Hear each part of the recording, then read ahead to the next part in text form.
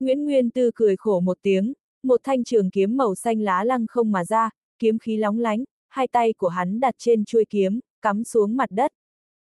Một cổ kiếm khí lấy hắn làm trung tâm lan tràn trên cả vùng đất, bao lấy trọn cả thanh phong minh nguyệt viên dưới kiếm mang của hắn, gạt hoàn toàn âm hàn chi khí ở bên ngoài ra.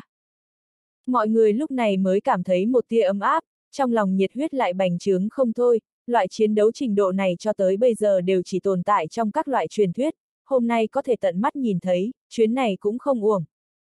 Muốn đi, đi đến chân trời góc biển cũng phải chết. Đông môn viễn bị phẫn nộ chiếm cứ đầu óc, vô số oan hồn ác quỷ hóa thành từng đạo lưu quang, trùng kích mà đi.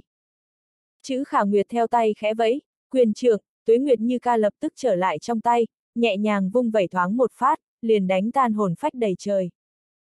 Hừ, chỗ ta có hàng tỷ sinh hồn, ta xem người đánh tới khi nào đây. Đông môn viễn nhe răng cười không thôi, lại vẫy tay một cái, ác quỷ phô thiên cái địa từ trong luyện ngục tuôn ra, gào rú lao tới. Chữ khả nguyệt nhíu mày lại, sinh ra một cổ lệ khí, lạnh giọng nói. Phệ hồn tông thật là một tông phái không nên tồn tại, phải giết bao nhiêu người mới có thể luyện thành cây phiên này chứ. Tay phải nàng nắm chặt tuế nguyệt như ca, giơ lên cao cao, một đạo kim quang hiển hiện trên quyền trượng, lập tức biến hóa, kim mang chiếu dọi khắp toàn thân nàng vào trong. Một đạo ngâm khẽ yêu thương vang lên, nói. Thử khứ kinh niên, ứng thị lương thần hảo cảnh hư thiết. Tiện túng hữu thiên trùng phong tình, canh giữ hà nhân thuyết. Nháy mắt, quyền trượng biến mất, kim mang trói mắt kia đều hiển hiện trên người nàng, trên bóng hình xinh đẹp kia chớp động một kiện chiến y màu vàng như mang, dưới ánh trăng từ từ sinh huy, trong tay lại nắm một trường kiếm màu vàng, giống như tiên tử giữa tháng, lăng ba mà đến. Trong mắt Nguyễn Nguyên Tư lộ vẻ phức tạp, tràn đầy các loại hâm mộ và ghen ghét.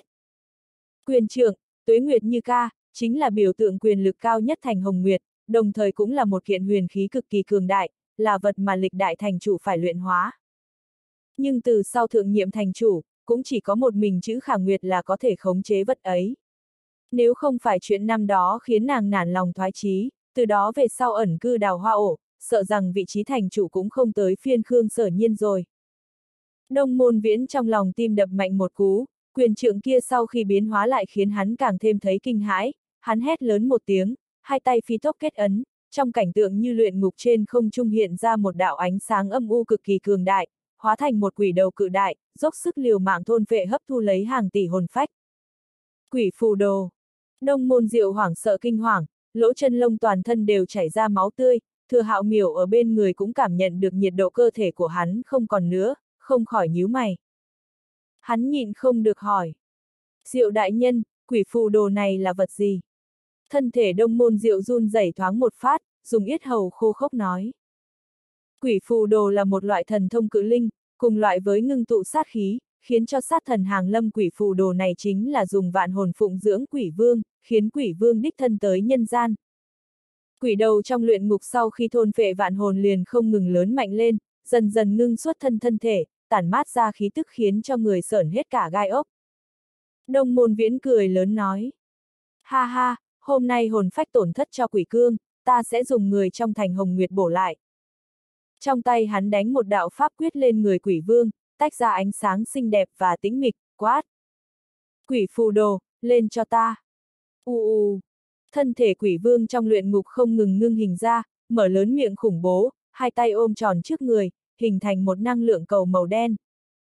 Trong quả cầu kia tràn ngập các loại năng lượng mặt trái, chỉ riêng lực uy áp đã khiến cường giả ẩn độ trong hư không lấy làm kinh ngạc, hơn 10 đạo ánh sáng phá không lóe lên, đều bỏ chạy về phía xa xa. Nguyễn Nguyên Tư, thủ hộ giả thanh phong minh nguyệt viên trên chán cũng chảy ra mồ hôi, cảm thấy áp lực lớn lao. Đột nhiên một đạo ánh sáng màu xanh lóe lên, tản ra trong viên, đúng là chữ hàng phong ra tay, cùng hắn chống cự. Lúc này áp lực mới giảm nhiều. Đông môn viễn đã thúc giục chân nguyên đến cực hạn, phẫn nộ quát.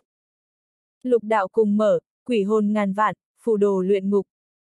Năng lượng cầu màu đen trong tay quỷ vương bỗng nhiên phát ra ánh sáng âm u cường đại, bắt đầu thôn phệ tất cả bốn phía, tựa hồ muốn kéo cả thiên địa này vào trong luyện ngục, cùng rơi vào lục đạo vậy. A! À, trên bầu trời không ngừng truyền đến kêu thảm thiết, không ít người tự cho rằng thực lực cường đại, trốn ở trên hư không không đào tẩu đều nhao nhao bị viên cầu màu đen kia nuốt vào, thì cốt không còn, hồn phách không lưu. Lần này đã dẫn phát càng nhiều cường giả chạy trốn, nhưng giờ phút này trốn đã không còn kịp nữa, ngoại trừ số ít mấy N người tự bạo huyền khí thiêu đốt tinh hồn tránh thoát một kiếp ra, tuyệt đại đa số đều bị hút vào trong, khó thoát khỏi cái chết. Toàn bộ trên không thành hồng nguyệt tựa hồ như mở ra địa ngục chi môn, một mảnh quỷ tướng khủng bố, khiến người toàn thành đều sợ hãi, mỗi người đều hoảng sợ không thôi. Chữ khả nguyệt thần sắc không thay đổi, hít một hơi thật sâu, nhắm hai mắt lại, tay phải hoành kiếm đặt sau lưng, thời gian dần qua vận thế ngưng nguyên, từng đạo ký hiệu cổ quái hiện ra trên thân kiếm, hóa thành kim quang tiêu tán trên không trung. phảng phất như có tiếng ca mờ mịt không thể nghe thấy vang lên trong thân kiếm, như là đến từ phiêu miểu, tựa như ảo mộng, phiêu tán trên thành hồng nguyệt, truyền vào tai mỗi người. Lý Vân Tiêu mở miệng ngâm nói. Lấu kim lũ y hề, ý nhập ma. Hành vân lưu thủy hề, miểu thiên ba. Hoành tảo thiên quân hề, dẫn nhược hà. Không hoài vạn thế hề, thiên cổ ca. Trong lòng mọi người chấn động, bài thơ này vậy mà phối hợp không kẽ hở với khúc ca mờ ảo kia, khiến cho người sinh ra một loại tuế nguyệt vô tận trôi qua, thiên địa chợt buồn vô cớ. Tiếng thơ của hắn dừng lại, hai mắt chữ khả nguyệt dần mở ra, đan môi thở khẽ nói. Thiên thu nhược tuyết, bán tịch nhược mộng, nhất kiếm tuế nguyệt chấn hồn ca. Trên thân kiếm một mảnh tang thương, kiếm quang quét ngang ra, một đạo quang mang kim sắc vạch phá vòng trời, trật tự thời gian bị đánh loạn, giống như thiên thu muôn đời, thời gian qua nhanh, đều ngưng tụ trong một kiếm này, muốn chảm liệt quá khứ, chảm liệt hiện tại, chảm liệt tương lai. Tất cả mọi người dưới một kiếm chấn hồn ca này, mờ mịt như mất, phảng phất tất cả trong thiên địa để không hề tồn tại nữa, hồi tưởng lạ chỉ còn lại nguyên một đám thời gian ngắt quảng, không ngừng tiêu tán trong trí nhớ. Trước không thấy cổ nhân, sau không thấy lai giả, thiên địa du du, tuế nguyệt như ca. Những cường giả kia còn có thể mở hai mắt ra, kinh hãi nhìn quỷ vương cực lớn ở trên không dưới kiếm quang bị kiếm quang chém thành hai người, năng lượng cầu màu đen kia cũng lập tức tan vỡ, đại lượng năng lượng màu đen bạo hướng bốn phía, vô số oan hồn lệ quỷ kêu thảm, phô thiên cái địa tuôn ra, lại bị cổ khí tức tang thương kia chôn vùi, trong thiên địa chỉ còn một mảnh tịch mịch. Ngàn vạn quỷ hồn, vô số tàn phách, vậy mà dưới một kiếm này ở trong năm tháng bị chấn hồn ca siêu độ, dẫn hướng lục đạo chi bỉ ngạn, thiên quốc mịt mù không thể biết kia. Đông môn viễn đã sợ hãi không cách nào lên tiếng nữa rồi, há to mồm, khuôn mặt hoàn toàn chết lặng. Phanh! Phệ hồn phiên trong tay hắn nổ bung ra, thân thể cũng như cán phiên màu xám kia, trong mấy đại khiếu tuôn ra lượng lớn huyết vụ, huy sái trên bầu trời. Cả người như bóng da bị xì hơi, tinh khí thần hoàn toàn biến mất, thoáng cái uể oải xuống, gương mặt lập tức như già nua đi mấy trăm tuổi vậy, trở nên lờ mờ không ánh sáng. Bá thiên hổ trong nội tâm kinh hãi, hoảng sợ nói. Viễn đại nhân, hắn vội vàng phi thân xuống, muốn tới cứu đông môn viễn. Chiến y màu vàng trên người chữ khả nguyệt và bảo kiếm lập tức hóa thành từng chút kim mang ngưng tụ trước người nàng, ngưng tụ lại thành hình thái quyền trưởng. Nàng nhẹ nhàng bắt lấy tuế nguyệt như ca, đặt bên cạnh thân điểm một cái, toàn bộ không gian có chút chấn động thoáng một phát. Bá thiên hổ bỗng nhiên phát ra một tiếng hét thảm, trước ngực như bị người trùng trùng điệp điệp nện xuống một búa, phun ra một búng máu rơi xuống dưới. Lúc này tất cả mọi người mới nguyên một đám phục hồi tinh thần lại từ trạng thái mịt mờ kia, lộ ra sắc mặt trắng bệch. Trận chiến vừa rồi quá mức đáng sợ, quả thực không thể tưởng tượng nổi, bọn hắn hiện giờ vẫn chưa hiểu rõ chuyện gì xảy ra, chỉ biết được kết quả, chữ khả nguyệt thắng. Đông môn viễn từ trên bầu trời mất rơi xuống, trùng trùng điệp điệp ngã trên thanh phong minh nguyệt viên, chấn lên một đợt bụi mù.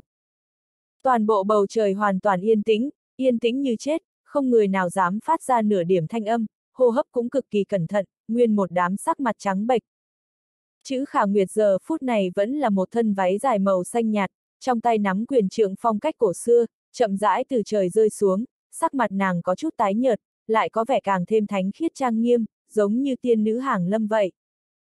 Một trận chiến không thể tưởng tượng, khiến lòng kính ngưỡng của mọi người đối với nữ tử trước mắt này đã lên đến trình độ tột đỉnh, coi như là Nguyễn Nguyên Tư vạc chữ hàng phong, còn có vô số người đang ở các nơi quan kháng cũng đều tâm kinh đảm hàn.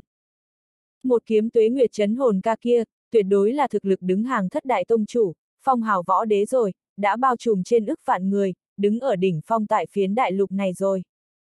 Trong bát tượng cũng chỉ còn tiểu bát là còn khí lực, hắn cố lấy dũng khí, bảo kiếm hoành thân, ngăn ở trước người đông môn viễn, dung giọng nói. Ngươi, ngươi không thể giết hắn, ngươi, ngươi, ngươi có biết lão đại của chúng ta là người phương nào không? Chữ khả nguyệt bước ra vài bước, trực tiếp đi đến trước người tiểu bát, cũng không thấy nàng ra tay, đã có một cổ lực lượng vô hình hóa thành bàn tay cực lớn, trực tiếp tát tới. Ba, Một tiếng thanh thúy cực lớn vang lên, cả người tiểu bát bị tát bay lên, thân thể lộn vài vòng trên không liền rơi xuống. Chữ khả nguyệt cười lạnh nói. Lão đại các ngươi sao? Cắt, chẳng phải là lăng bạch y sao? Có giỏi thì bảo hắn đến đánh ta đi. Ba. Lại một cái bàn tay tát tiểu bát bay thẳng lên. Cái gì? Lần này tất cả mọi người đều đột nhiên hít một hơi lạnh, hoảng sợ tột đỉnh, đám người một mực cẩn thận từng ly từng tí không dám lên tiếng cũng nhịn không được nữa kinh hô lên. Lăng bạch y. Tất cả mọi người đều lạnh run khó nhịn được, khó trách Bắc Minh kháng thiên nghe xong liền không dám lên tiếng, dĩ nhiên là vị đại nhân được phong hào giả ảnh, bài danh thứ tư trên thiên địa phong vân bảng kia. Thần sắc Lý Vân Tiêu hơi động, trong mắt hiện lên vẻ nhớ lại, thầm thở dài nói, quả nhiên là hắn, đại phiền toái A. Cũng chỉ có loại tính cách ma nữ như Khả Nguyệt mới không sợ trời không sợ đất, hoàn toàn bất kể hậu quả, nếu là Khương Sở Nhiên ở đây, tất nhiên sẽ không triệt để quyết liệt với bát tượng như vậy. Trên trán Nguyễn Nguyên Tư cũng chảy ra mồ hôi lạnh ra, thầm nghĩ hỏng bét, nếu thân phận Lăng Bạch y còn chưa công khai thì bọn hắn còn có thể âm thầm thao tác, xử lý linh hoạt với mấy người tử thần cung này, hiện giờ ở trước mặt mọi người lại nói tuẹt ra, hiện giờ giết cũng không được, không giết cũng không nên a. À. Hơn nữa đã nói ra thân phận thủ lĩnh, nếu còn động thủ, chẳng lẽ không phải rõ ràng đối địch với người nọ sao? Ngươi, ngươi biết còn. Tiểu bát bụng mặt, đứng lên, vẻ mặt không phục. Ba. Lại một bà tai tát đến, cả người hắn lần nữa lộn ra ngoài, mặt của hắn đã sưng đến không thể sưng hơn rồi. Chữ đại nhân, ngươi. Ba. Lão đại nhà ta. Ba. Đại nhân, thỉnh chú ý phong độ. Ba. Oa, không được đánh nữa. Ba. Ta giết ngươi, oa. Ba. Ngừng ngừng ngừng, rốt cuộc phải làm sao ngươi mới dừng đánh đây. Ba. Từng tiếng tát vang lên trong lòng mọi người, tất cả đều cảm thấy toàn thân rét run, bờ môi khô khốc. Đặc biệt là sau khi biết thân phận lão đại bọn hắn lại còn dám ra tay như vậy. Cái gọi là đánh chó cũng phải ngó mặt chủ A. Tiểu bát lảo đảo bò lên, tựa hồ đầu sau khi bị đánh lớn cũng nặng hơn trước, có chút chúi tới trước. Trong đôi mắt tràn đầy tơ máu, ai oán chằm chằm vào chữ khả nguyệt. Chữ khả nguyệt lạnh lùng nói. Sao hả, không nói nữa sao? Tiểu bát dốc sức liều mạng mím môi, sợ mình nhất thời miệng tiện nói gì đó không nên. Ba, Lại một tát đánh qua, lần này trực tiếp nện hắn vào trong đất, toàn bộ đầu đều vùi xuống dưới. Tất cả mọi người trong lòng đều nhảy dựng, run rẩy sờ lên mặt của mình, ngay cả hô hấp cũng không dám như ai, nói chuyện cũng đánh, không nói lời nào cũng đánh, nữ nhân cũng thật đủ điên. Tiểu bát lần này đã có kinh nghiệm, trực tiếp bảo trì tư thế đầu chọc vào trong đất, như vậy sẽ không bị đánh a. À. Hừ lăng bạch Y thì đã sao? Cho dù lão đại ngươi có là ngạo trường không, cũng không thể nào cứu được ngươi đâu. Hình tượng thì thục nữ, nhưng nói chuyện lại lộ ra một cổ khí tức lưu manh bá đạo, quyền trượng trong tay nàng đánh xuống mặt đất một hồi, lập tức một cổ sức cực lực chấn lên mặt đất, trực tiếp chấn nhập đỉnh đầu tiểu bát, đánh cho hắn bay vút lên đời, đợi đến khi lại té xuống thì đã trực tiếp ngất đi, bất tỉnh nhân sự. Ba người trong tử thần bát tượng, còn có cung chủ tử thần cung lý giật, bốn người toàn bộ nằm té trên mặt đất, chiến lực hoàn toàn biến mất. Còn lại lê vẻ mặt tái nhợt, không biết như thế nào cho phải. Thực lực cô gái trước mắt này quá mức khủng bố rồi, cho dù nàng khôi phục đến trạng thái yêu lực đỉnh phong, hơn phân nửa cũng không phải đối thủ của cô gái này, người này là nhân loại mạnh nhất nàng thấy được từ khi thức tỉnh đến nay. Chữ khả nguyệt lạnh lùng nhìn nàng một cái, liền nói với chữ hàng phong. Năm người này toàn bộ nhốt vào địa lao, dựa theo quy củ thành hồng nguyệt, mặc hắn là ai, đáng chết liền giết. Đúng, đúng. Chữ hàng phong cũng một thân mồ hôi lạnh, chuyện hôm nay đã không phải cấp bậc như hắn có thể làm chủ được nữa rồi. Hắn vội vàng gọi mấy tên cường giả võ đế trong cấm quân tới, trở thành công nhân bốc vác, mang năm người lý giật đi.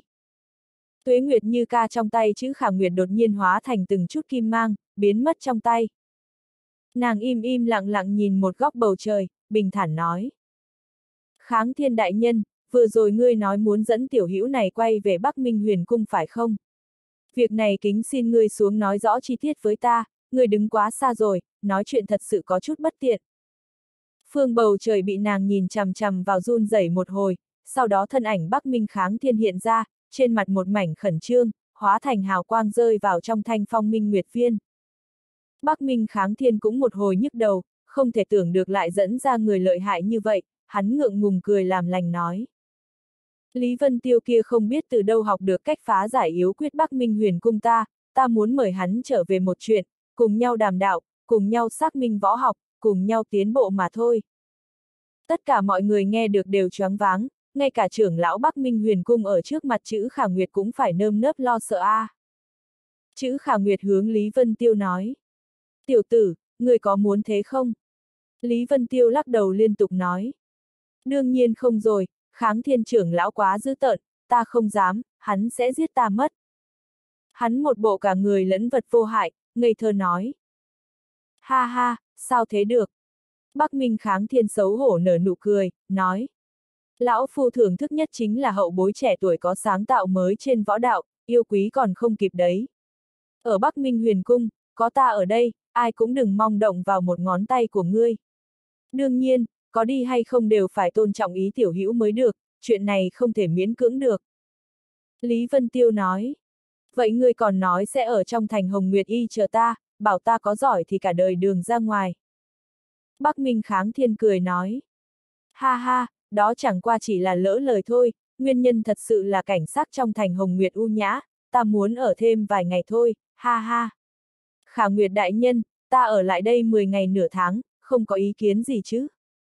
Chữ Khả Nguyệt lạnh nhạt nói. Có ý kiến. Bắc Minh kháng thiên. Chữ Khả Nguyệt nói. Không có chuyện gì thì mau trở về đi, Thành Hồng Nguyệt không thích người rảnh rỗi nhàm chán.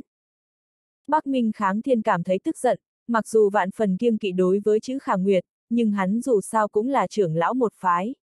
Hắn ngược lại không sợ chữ Khả Nguyệt sẽ giết hắn, dù sao Bắc Minh huyền cung cũng không phải dễ trêu, nhưng chỉ sợ ma nữ này cũng tra tấn mình như tiểu bát, vậy thì mất hết mặt mũi rồi. Tình thế yếu hơn người, không thể không cúi đầu. Hắn chắp tay trầm giọng nói. Vậy xin cáo từ rồi. Không dám nhiều lời nữa, ngoan thoại cũng không dám ném, hắn mang theo lửa giận ngập trời và biệt khuất, lập tức liền biến mất trong hoa viên.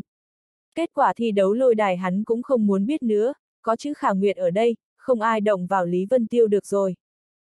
Bắc Minh kháng thiên vừa đi, đột nhiên bầu trời biến sắc, một mảnh hồng mang rơi xuống, chiếu rọi trên hoa viên, diễm lệ dị thường.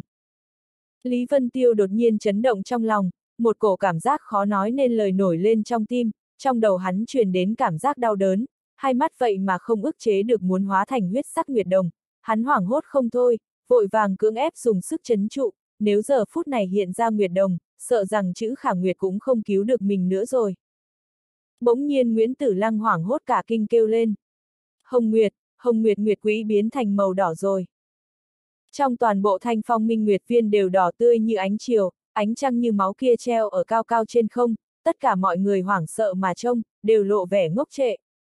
Người toàn thành, tất cả đều đưa mắt mà trông, nguyên một đám trợn mắt há hốc mồm. Nguyệt quý biến hồng, tỏ rõ lấy một tháng sau, một trong các bí cảnh của tứ đại vực địa lão thiên hoang sẽ hàng lâm bên ngoài thành hồng nguyệt, trên tử vân phong. Biến hóa này tới quá đột nhiên, khiến tất cả mọi người nhất thời khó có thể kịp phản ứng. Vân Tiêu đại ca, người không sao chứ? Khương Nhược Băng đột nhiên kêu một tiếng, phát hiện Lý Vân Tiêu đầu đầy mồ hôi lạnh, sắc mặt tái nhợt dị thường, nhắm chặt hai mắt. Lý Vân Tiêu giờ phút này nào dám mở mắt, vội hỏi. Ta không sao, chỉ là có chút không thoải mái, nghỉ ngơi một chút là được. Khương Nhược Băng tiến lên dìu lấy hắn, nói. Có lẽ là chiến đấu vừa rồi khiến ngươi không khỏe, ngươi cứ ngồi một hồi đi. Nàng đỡ lấy Lý Vân Tiêu đi đến trước phương tọa, để hắn chậm rãi ngồi xuống nghỉ ngơi, một màn này rơi vào trong mắt mọi người, trong lòng không biết có tư vị gì nữa. Chữ Khả Nguyệt tiến lên phía trước nói. Ta tới giúp ngưa. Nàng vươn tay muốn dò xét tới. Lý Vân Tiêu sợ tới mức toàn thân run lên, vội vàng lui về sau nói. Không cần không cần, bệnh cũ phát tác thôi, ngàn vạn không cần. Chữ khả nguyệt ngây ngốc một chút, thu tay lại nói. Được rồi, vậy ngươi cứ ở đây nghỉ ngơi một lát đi. Trong mắt nàng hiện lên một tia nghi hoặc. Nguyễn Nguyên Tư đột nhiên hỏi. Khả Nguyệt muội tử, sao ngươi lại biết vị thành chủ thành viêm vũ này thế? Chữ Khả Nguyệt nói. Hữu duyên, cho nên nhận ra. Nguyễn Nguyên Tư. Tất cả mọi người biết nàng là không muốn nói, nhưng vì người này ngay cả đông môn viễn cũng dám phế, ngay cả giả ảnh võ đế lăng bạch y cũng dám công nhiên đắc tội, quan hệ giữa hai người sợ rằng cũng không đơn giản như vậy. Kỳ thật bọn hắn cũng nghĩ nhiều rồi, chữ khả nguyệt vốn là mà ma nữ không sợ trời không sợ đất, cứu Lý Vân Tiêu là một chuyện, nhưng đông môn viễn dám kiêu ngạo ở thành Hồng Nguyệt như vậy, cho dù không có chuyện gì khác nàng cũng sẽ phế hắn đi. Nguyễn Tử Mậu tuy rằng trong lòng cực kỳ không khoái, nhưng trong lòng lại nhẹ nhõm hơn trước nhiều, mối họa lý giật được trừ, Lý Vân Tiêu còn có miếng sắt có thể khống chế hắn, Thừa Hạo Miểu và Bắc Minh Lai Phong cũng đã đáp ứng phóng nước, trong thi đấu lôi đài này căn bản có thể dễ dàng thắng được không hề nghi ngờ. Đông môn diệu trầm giọng nói. Mấy vị đại nhân, Nguyệt Quý biến hồng, thật sự tỏ rõ địa lão thiên hoang hàng lâm sao. Nguyễn Nguyên Tư nói. Cũng có tranh lệch, nhưng không lớn. Đông môn diệu gật đầu nói. Việc này quan hệ quá nhiều, ta phải trở về phệ hồn tông bẩm báo, còn có chuyện tam ca ta. Hắn do dự nói. Hy vọng quý phái có thể tạm thời lưu hắn một mạng, tông chủ phái ta tất nhiên sẽ tự mình hỏi đến việc này. Nguyễn Nguyên Tư đang muốn mở miệng đáp ứng, hắn vốn cũng không có cách nghĩ muốn giết đông môn viễn, nhưng vẫn trầm mặc, ngược lại nhìn về phía chữ khả nguyệt, việc này dường như cũng không phải do hắn quyết định nữa rồi. Chữ khả nguyệt lạnh nhạt nói. Ta đối với phệ hồn tông các ngươi thực không có cảm tình gì, coi như là hoàng phủ bật mở miệng, đông môn viễn này hơn phân nửa cũng phải chết. Mọi người đều đầy mồ hôi, ma nữ này nói chuyện cũng quá tùy hứng đi a. À. Chữ khả nguyệt nhìn đông môn diệu sắc mặt khó coi, khẽ nói. Bất quá đều là thất đại tông phái, chút mặt mũi này ta vẫn sẽ bán cho hoàng phủ bật, tuy rằng kết cục đều giống nhau cả. Sắc mặt đông môn diệu lúc này mới thoáng cái chuyển biến tốt đẹp hơn, ôm quyền nói. Đã như vậy, vậy thì đa tạ khả nguyệt đại nhân rồi. Hai chuyện này đều tương đối khẩn cấp, ta phải lập tức trở lại tông môn. Nguyên tư huynh, tạm biệt rồi. Hắn nói xong, liền lưu lại thừa hạo miểu, hóa thành một đạo quang mang mà đi. Giờ phút này những cường giả tránh thoát một kiếp trong hư không, cũng nhao nhao rời đi không ít, tựa hồ địa lão thiên hoang sắp mở ra có dụng động cực lớn đối với bọn họ. Trong phủ thành chủ, Khương sở nhiên cũng khó có thể ức chế kích động trong lòng, thì thào lẩm bẩm. Rốt cục lại đợi đến lúc tiên cảnh phủ xuống rồi, thiên tư, ta vô luận như thế nào cũng phải đạt được. Nguyễn Hồng Ngọc lo lắng nhìn hắn một cái, nói. Thiên tư chi năng quá mức cường đại, chúng ta vẫn nên trước tìm Lý Vân Tiêu kia xem thử có thể tiếp xúc toàn diện không, chú ấn của Nhược Mai, nếu như có thể thì cũng không cần mạo hiểm nữa. Khương sở nhiên lắc đầu nói.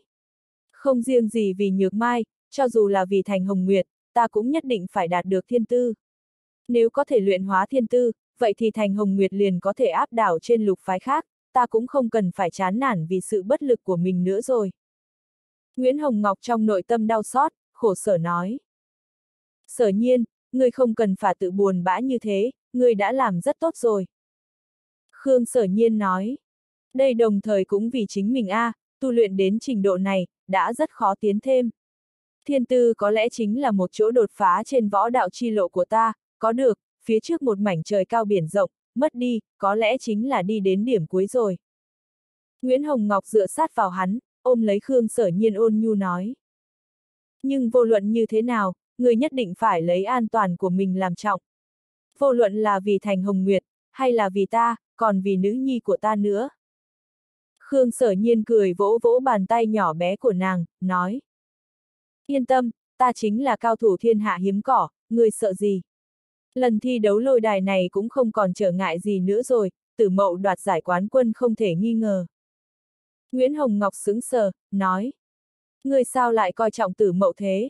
Chiến lực Lý Vân Tiêu kia hơn xa tử mậu A. Khương sở nhiên cười nói. Thực lực để so đấu lôi đài, nhưng dưới lôi đài so chính là thực lực tổng hợp. Ta tin tưởng tử mậu sẽ xử lý tốt chuyện Lý Vân Tiêu, nếu hắn làm không được vậy thì cũng khiến ta quá mức thất vọng rồi. Nguyễn Hồng Ngọc cao mày nói. Nhưng ta thấy tình cảnh hiện giờ, Nhược Băng không hề có ý gì với tử mậu, ngược lại rất có hảo cảm với Lý Vân Tiêu. Khương sở nhiên không cho là đúng, cười nói. Lý Vân Tiêu quả thật là thiên tài khó được, nhưng thân phận quá mức thần bí. giao nhược băng cho tử mậu càng khiến ta yên tâm hơn. Về phần chuyện hảo cảm, ở lâu tất nhiên sẽ có hảo cảm. Lý Vân Tiêu hấp dẫn nàng, cũng chỉ là ở phần thần bí không giống bình thường kia thôi, nữ hài tử cuối cùng vẫn cần cảm giác an toàn a. À. Nguyễn Hồng Ngọc sẳng giọng. Xem ra người thật sự rất hiểu lòng của nữ nhân a, à, rất có nghề đấy, sao không thu ma nữ này đi. Khương sở nhiên cười nói. Ta không phải đã thu ma nữ ngươi rồi sao? Ha ha bất quá, hiện giờ duy nhất khiến ta lo lắng chính là. Nụ cười của hắn thoáng cái thu liễm. Nguyễn Hồng Ngọc tựa hồ cảm ứng được gì đó, ngưng giọng. Chữ khả nguyệt. Không tệ. Khương sở nhiên nhẹ nhàng gật đầu, nói.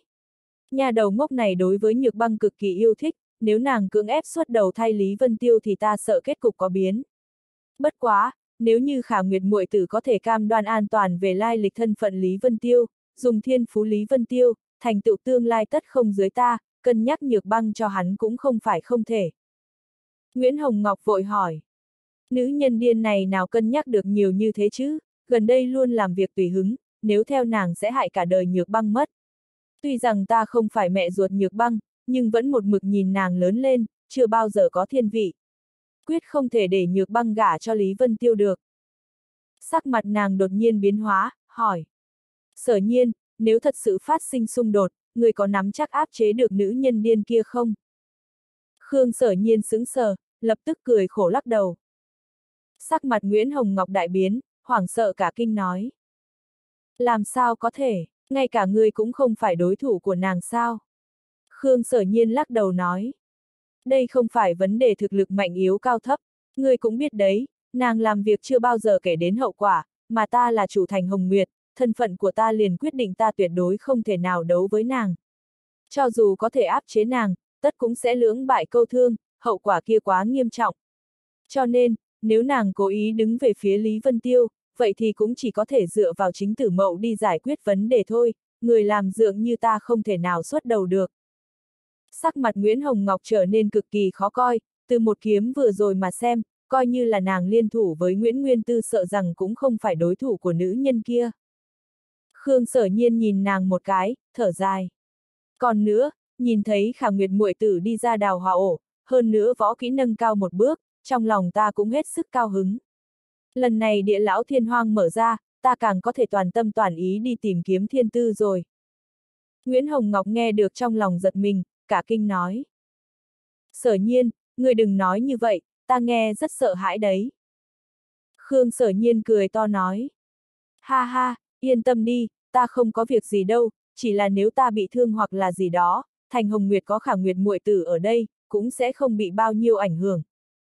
Nguyễn Hồng Ngọc một hồi tâm phiền ý loạn, chuyện thi đấu lôi đài lập tức bị nàng ném ra sau đầu, hoàn toàn không còn tâm tư đi suy nghĩ nữa. Cái gì, đây là... Đột nhiên Khương sở nhiên phát ra một tiếng kêu kinh hãi, khiến trong lòng Nguyễn Hồng Ngọc tim đập mạnh một cú, trượng phu của mình rất ít khi thất thố như thế, mặc dù là vừa rồi Nguyệt Quý biến hồng thì biểu hiện cũng thập phần bình tĩnh cơ mà. Nàng theo ánh mắt trượng phu nhìn vào trong màn nước kia, chỉ thấy trên vương tọa chỗ Lý Vân Tiêu ngồi phát ra quang mang mãnh liệt, cùng sáu cái vương tọa khác sinh ra cộng minh, chậm rãi bay lên không trung, tựa hồ hợp thành trận pháp nào đó, từng đạo hào quang hội tụ đến trên người Lý Vân Tiêu. Nguyễn Hồng Ngọc cả kinh nói. Cái này, đây là cái gì? Loại hiện tượng này nàng chưa bao giờ thấy qua. Sắc mặt Khương sở nhiên thập phần ngưng trọng, trầm giọng nói. Truyền thừa võ kỹ, Lý Vân Tiêu này vậy mà khiến vương tọa truyền thừa võ kỹ, ta kháo, điều này sao có thể? Hắn thân là một trong thất đại tông chủ cũng nhìn không được nữa mở miệng nói tục. Nguyễn Hồng Ngọc sợ hãi nói. Võ kỹ trên vương tọa không phải đã sớm hỗn loạn, bị thành chủ vạn năm trước phong ấn rồi sao? Khương sở nhiên ngưng giọng nói. Không sai, nhưng vị thành chủ vạn năm trước phong ấn vương tọa kia lại khắc sâu võ đạo truyền thừa của mình lên phong ấn, qua nhiều năm như vậy cũng chưa từng có người cởi bỏ qua. Dân ra, tất cả mọi người cho rằng đó là chuyện hư ảo không tồn tại, không thể tưởng được dĩ nhiên là sự thật. Võ kỹ truyền thừa. Nguyễn Hồng Ngọc cũng kinh ngạc ngốc trệ ở đó, lời đồn này nàng tự nhiên cũng biết đến, vốn không cho rằng sinh thời mình có thể chứng kiến, nhưng giờ phút này. Thần sắc trên mặt Khương sở nhiên ngưng trọng dị thường, trầm giọng nói. Thành chủ thành Hồng Nguyệt một đời kia được vinh dự là một đời mạnh nhất trong vạn năm qua, thứ mà ngay cả hắn cũng nhìn không được khắc xuống võ kỹ, tuyệt đối phi phàm, vô luận như thế nào thì Lý Vân Tiêu này cũng phải lưu lại. Giờ phút này trong thanh phong minh nguyệt viên, cũng là một mảnh hoảng sợ và không biết làm sao. Ngay lúc Lý Vân Tiêu ngồi trên vương tọa nghỉ ngơi, tự nhiên lại xuất hiện một đạo quang mang bao lấy cả người hắn vào trong, sau đó trên bảy cái vương tọa sinh ra cộng hưởng không hiểu, chậm rãi bay lên, ngưng tụ thành một cái trận đồ. Tất cả mọi người kinh ngạc nhìn bảy cái vương tọa trên bầu trời, hợp thành một đường, tất cả quang mang đều hội tụ tới trên người Lý Vân Tiêu, lập tức nghĩ tới truyền thừa võ kỹ như lời Nguyễn Tử Mậu nói lúc trước, tất cả đều hâm mộ ghen ghét nói không nên lời. Nguyễn Tử Mậu càng ghen ghét đến toàn thân run rẩy, võ học vô thượng của Thành Hồng Nguyệt, thần thông vạn năm qua cũng không ai có thể được truyền thừa, lúc này lại bị Lý Vân Tiêu kế thừa, nếu không phải có chữ khả nguyệt ở đây hi, hắn liều mạng trọng thương cũng sẽ xông lên cắt đứt truyền thừa rồi. Khương Nhược Băng cũng kinh ngạc nói. Sư phó, hắn đây là, truyền thừa võ kỹ sao? Chữ khả nguyệt gật đầu, trong mắt cũng lộ tư vị nói không nên lời. Tiểu tử này thậm chí có cơ duyên thế này, xem ra cũng tuyệt không phải vật trong ao, nếu ngươi gả cho hắn, ngược lại cũng sẽ không lỗ. Sư phó ngươi nói bậy bạ gì đó. Khương Nhược Băng cực thẹn, nhiều người như vậy ở đây, khiến mặt nàng càng đỏ lên như quả cà, nổi giận nói. Ta và hắn chẳng qua chỉ là bằng hữu bình thường, sư phó ngươi đừng có nói lung tung, làm xấu thanh danh của ta. Chữ Khả Nguyệt có chút cười nói. Không có việc gì, dù sao thi đấu lôi đài cũng không ai thắng được hắn, ngươi gả cho hắn chỉ là chuyện sớm hay muộn thôi. Khương Nhược Băng cảm nhận được ánh mắt mọi người nhìn sang, xấu hổ đến mức đầu óc choáng váng, dậm chân cả giận nói. Sư phó quá xấu rồi, ta không để ý tới ngươi nữa. Nàng lúc này hóa thành một đạo quang mang bỏ chạy, xấu hổ đến mức không dám lưu lại nữa. Nạp Lan chỉ tuyền tức cười, cùng nha hoàn tiểu tuyết kia vội vàng đuổi theo. Nguyễn Nguyên Tư nhìn con mình sắc mặt trắng bệch, trong lòng cũng khẽ động, tiến lên phía trước nói. Khả Nguyệt muội tử, bất thế truyền thừa của thành Hồng Nguyệt ta, lại để một ngoại nhân đạt được, cũng không tốt lắm đâu. Chữ Khả Nguyệt nói, ta cũng không muốn ngoại nhân có được, nhưng các ngươi nếu có bổn sự, sao không đạt được truyền thừa cho ta xem một chút. Bảy cái vương tọa này đặt ở thành Hồng Nguyệt đã một vạn năm, sao chưa từng có ai đạt được. Nguyễn Nguyên Tư trầm giọng nói. Mặc dù Thành Hồng Nguyệt hiện giờ không ai có thể thì đó cũng là vật của Thành Hồng Nguyệt, sớm muộn cũng có người Thành Hồng Nguyệt đạt được, nếu truyền thừa ra ngoài, vậy thì trôi mất rồi. Chữ Khả Nguyệt khẽ nói. a à, ý của ngươi là muốn ta cắt đứt truyền thừa của hắn sao? Nguyễn Nguyên Tư nói. Đúng vậy, nếu Khả Nguyệt muội tử cảm thấy không tiện tay thì cứ để huynh làm thay đi. Trên người hắn phóng xuất ra chấn động nguyên lực, tùy thời chuẩn bị ra tay. Trong mắt chữ khả nguyệt lóe lên hàn mang, lạnh lùng nói. Ngươi dám. Khí tức trên người nàng trào ra, lập tức ngăn chặn khí tức Nguyễn Nguyên Tư lại, cười lạnh nói. Ngươi không cần lo lắng, sau khi đấu lôi đài, Lý Vân Tiêu này cũng là người một nhà rồi. Trên mặt Nguyễn Nguyên Tư ẩn ẩn hiện ra nộ khí, nhưng cũng không nói gì. Đột nhiên một giọng nói truyền đến, nói. Vương tọa truyền thừa, vạn năm qua xem chính là cơ duyên, quyết không thể đánh gãy. Hào quang chấp động thoáng một phát, Khương Sở Nhiên và Nguyễn Hồng Ngọc đã dắt tay nhau hiện thân. Mọi người thành hồng nguyệt cả kinh, vội bước lên phía trước khom người nói. Thành chủ đại nhân. Tất cả mọi người lúc này mới kinh hãi, đúng là thành chủ thành hồng nguyệt, một trong thất đại tông chủ, trong lòng đám tiểu bối lúc này đều dâng lên nhiệt huyết, mắt phóng dị sắc, tất cả đều lộ ra vẻ hơi khẩn trương. Mỗi người bọn hắn đều là nghe chuyện về những nhân vật truyền kỳ này mà lớn lên, giờ phút này vừa thấy chân nhân, đều nhịn không được kích động vạn phần. Khương sở nhiên bảo mọi người miễn lễ, liền cười nói. Chúc mừng Khả Nguyệt muội tử đi ra. Chữ Khả Nguyệt mỉm cười, hạ thấp người nói. Đa tạ thành chủ đại nhân quan tâm. Khương sở nhiên nhẹ gật đầu, hướng chúng nhân nói. Cảm tạ chư vị không ngại xa vạn dặm đi đến thành Hồng Nguyệt, cũng là cho ta chút tình mọn. Ngày hội hôm nay liền dừng ở đây, mọi người tán đi đi. Thi đấu lôi đài vào ba ngày sau lại tổ chức, không cần báo danh, hoan nghênh mọi người tham gia đông đủ A. Tất cả mọi người đều thụ sủng nhược kinh, nhao nhao tỏ vẻ nhất định sẽ tham gia, sau đó dưới sự an bài của Nguyễn Tử Mậu lần lượt rời đi. Tất cả mọi người biết rõ kế tiếp bọn hắn phải xử lý chuyện võ kỹ truyền thừa, lúc trước đông môn viễn cản rỡ Khương sở nhiên này cũng không đi ra, hiện giờ lại đích thân xuất hiện, có thể thấy tầm quan trọng của chuyện truyền thừa này, bọn hắn ở đây trung quy cũng có chút bất tiện. Lần này đi gặp, không chỉ được thiên ba kính tương trợ, đại bộ phận mọi người đều có đột phá, hơn nữa tận mắt nhìn thấy một trận chiến kinh thiên không thể tưởng tượng nổi, khiến lòng bọn hắn cực kỳ kinh hãi, cuối cùng càng gặp được thành chủ thành Hồng Nguyệt, một trong thất đại tông chủ, cũng coi như không uổng công đi chuyến này rồi. Đợi mọi người rời đi, Nguyễn Nguyên Tư vội hỏi. Thành chủ, Lý Vân Tiêu này quả thật là người ngoài, nếu không đoạn truyền thừa của hắn, võ học tuyệt thế của Thành Hồng Nguyệt sẽ lưu truyền ra ngoài A. Khương sở nhiên ngưng giọng nói. Ngươi nói ta cũng biết, không nói đến Lý Vân Tiêu này có thể trở thành người Thành Hồng Nguyệt hay không. Nhưng công pháp yếu quyết trên vương tọa nhiều năm qua cũng chưa từng truyền thừa, hắn có thể đạt được cũng là chuyện tốt. Hơn nữa chúng ta có thể thông qua hắn làm khế cơ, tìm về tuyệt học thất truyền, nếu mạo muội cắt đứt vậy thì người được truyền thừa tiếp theo không biết phải tới năm tháng nào nữa. Nguyễn Nguyên Tư ngây ngốc một chút, có chút không biết nói gì, hít một hơi liền yên lặng đứng ở một bên. Chữ khả nguyệt ngược lại nghe được vế sau liền có chút lo lắng, nói. Tuyệt học này nếu cần thông qua vương tọa truyền thừa, vậy thì tất nhiên khó có thể truyền thụ. Nếu như Lý Vân Tiêu tập được, thành chủ định bảo hắn truyền thế nào đây? Nguyễn Hồng Ngọc nói.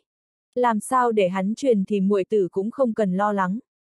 Ta ngược lại rất hiếu kỳ, muội tử và người này có quan hệ thế nào? Vậy mà vì hắn lại phế bỏ đệ nhị trong bát tượng, không tiếc quyết liệt với phong hào võ đế, ha ha, phần khí phách này, khiến người khó có thể với tới A. Chữ khả nguyệt lạnh nhạt nói. Nếu truyền thế nào không quan trọng, vậy thì quan hệ giữa ta và hắn càng không quan trọng. Bất quá, nếu các ngươi chọn dùng siêu hồn chi pháp đọc lấy truyền thừa trong trí nhớ của hắn, ha ha, vậy thì không thú vị rồi. Khương sở nhiên nói, nếu như hắn có thể sử dụng biện pháp của mình truyền thừa võ học, đó là không thể tốt hơn. Nếu không làm được, vậy thì siêu hồn chính là cách tốt nhất. Tuy rằng nguy hiểm, nhưng chỉ cần khống chế cẩn thận, vẫn có thể tránh ảnh hưởng tới hắn mà. Chữ khả nguyệt cao mày nói.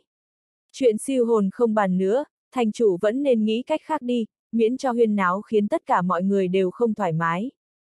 Nguyễn Hồng Ngọc cả giận nói. Chữ khả nguyệt, truyền thừa tuyệt thế của thành Hồng Nguyệt, chẳng lẽ không đáng giá mạo hiểm thử một lần sao? Tuy rằng nơi đây không có người ngoài, nhưng chữ khả nguyệt không cho Khương sở nhiên mặt mũi như vây, vẫn khiến lửa giận trong lòng nàng sôi trào. Chữ khả nguyệt nhẹ nhàng cười cười, lạnh nhạt nhổ ra mấy chữ. Không đáng.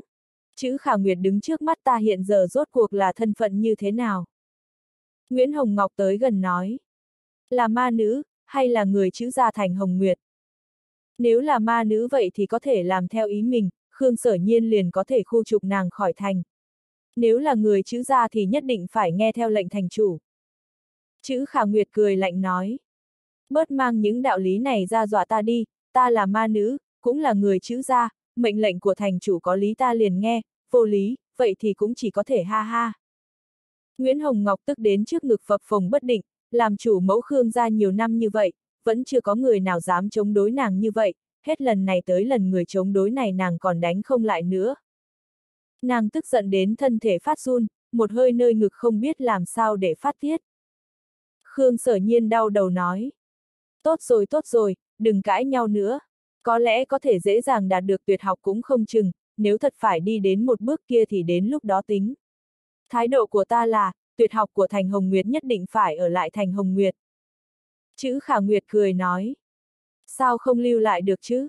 Thi đấu lôi đài ba ngày sau, có ai có thể thắng được Lý Vân Tiêu chứ? Hồng Ngọc tỷ tỷ, hắn lập tức sẽ là con rể của ngươi rồi, ngươi nên đối với hắn nhiều hơn mới phải. Đánh giám, ta quyết không đồng ý. Nguyễn Hồng Ngọc đối mặt chữ Khả Nguyệt, cũng nhìn không được nữa mở miệng nói tục, cả giận nói. Ta là mẫu thân Khương Nhược Băng, ta không đồng ý, cho dù hắn chiến lực vô địch thiên hạ cũng vô dụng. a à, chữ Khả Nguyệt cười nhạo nói. Chẳng lẽ Hồng Nguyệt lệnh sở nhiên đại ca ban bố xuống, dùng võ luận thân, lại muốn nuốt lời sao? Hiện giờ đột nhiên nhiều ra một ít điều kiện kèm theo, còn cần cha mẹ đồng ý nữa, ha ha, cái này bảo thiên hạ hào kiệt nhìn thành Hồng Nguyệt chúng ta thế nào đây? Khương sở nhiên thấy hai nữ tranh chấp, chỉ cảm thấy đau đầu, hơn nữa đều là người không thể đắc tội, đành phải nói. Lý Vân Tiêu này có tham gia thi đấu lôi đài hay không còn chưa nói, huống hồ võ học truyền thừa cũng không phải một hai ngày là xong, thời gian thật sự quá gấp, ta sợ hắn không tới kịp rồi.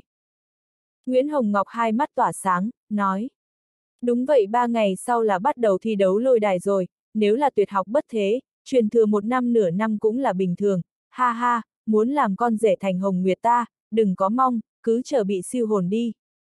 Trên mặt nàng lộ vẻ cười lạnh, chẳng biết tại sao, nàng nhìn chữ khả nguyệt là đã không vừa mắt.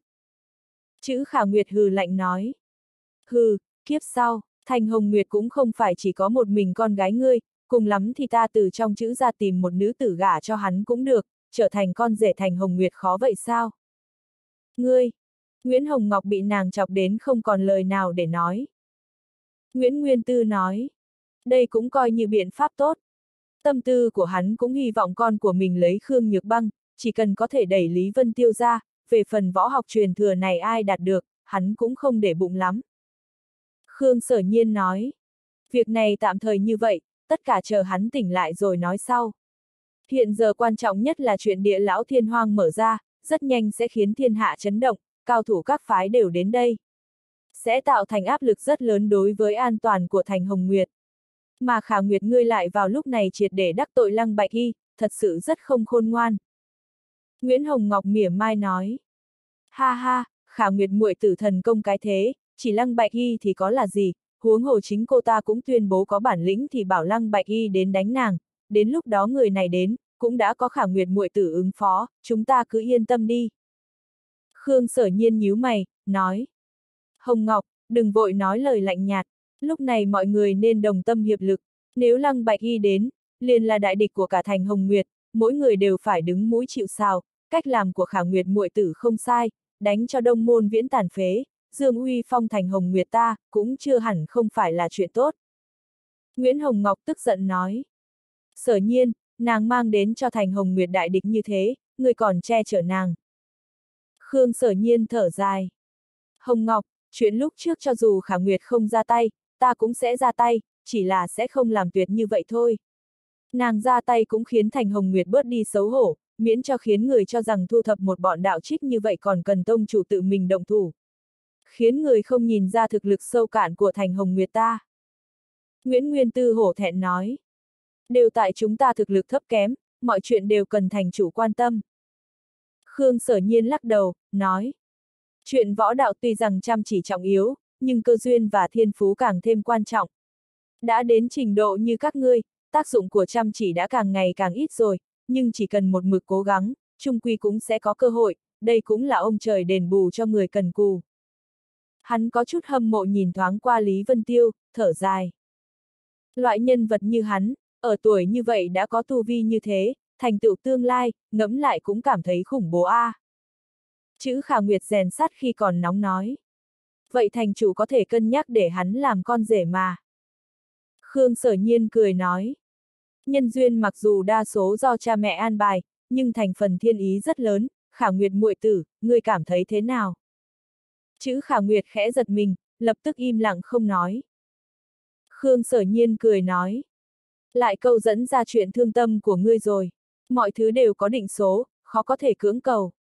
Giờ phút này quan trọng nhất là vấn đề phòng ngự thời gian tới của Thành Hồng Nguyệt, tai họa ngầm lớn nhất chính là Lăng Bạch Hy. Hắn ngưng trọng nói.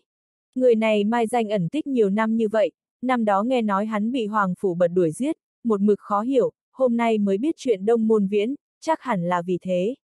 Nếu ta không đoán xa thì năm đó bàn tay phía sau chuyện phệ hồn tông đại biến rất có khả năng chính là Lăng Bạch Y, đồng môn viễn giết nhiều đồng môn như vậy, thậm chí đả thương Hoàng Phủ Bật, từ thực lực hôm nay của hắn mà xem, không có Lăng Bạch Y tương trợ thì tuyệt đối không thể nào làm được. Nguyễn Nguyên Tư nói, nếu nói thế, lần này địa lão thiên hoang mở ra, rất có khả năng Hoàng Phủ Bật sẽ đích thân đến thành Hồng Nguyệt cũng không chừng. Khương Sở Nhiên nói, Ân, Nguyên Tư nói thế mới nhắc ta. Ta liền truyền một phong thư cho Hoàng Phủ Bật, mời hắn đến thành Hồng Nguyệt một chuyện, một là xử lý chuyện đông môn viễn, hai là cũng nhiều hơn trợ giúp, có thể ứng đối biến cố đột xuất. Nguyễn Nguyên Tư cười to nói.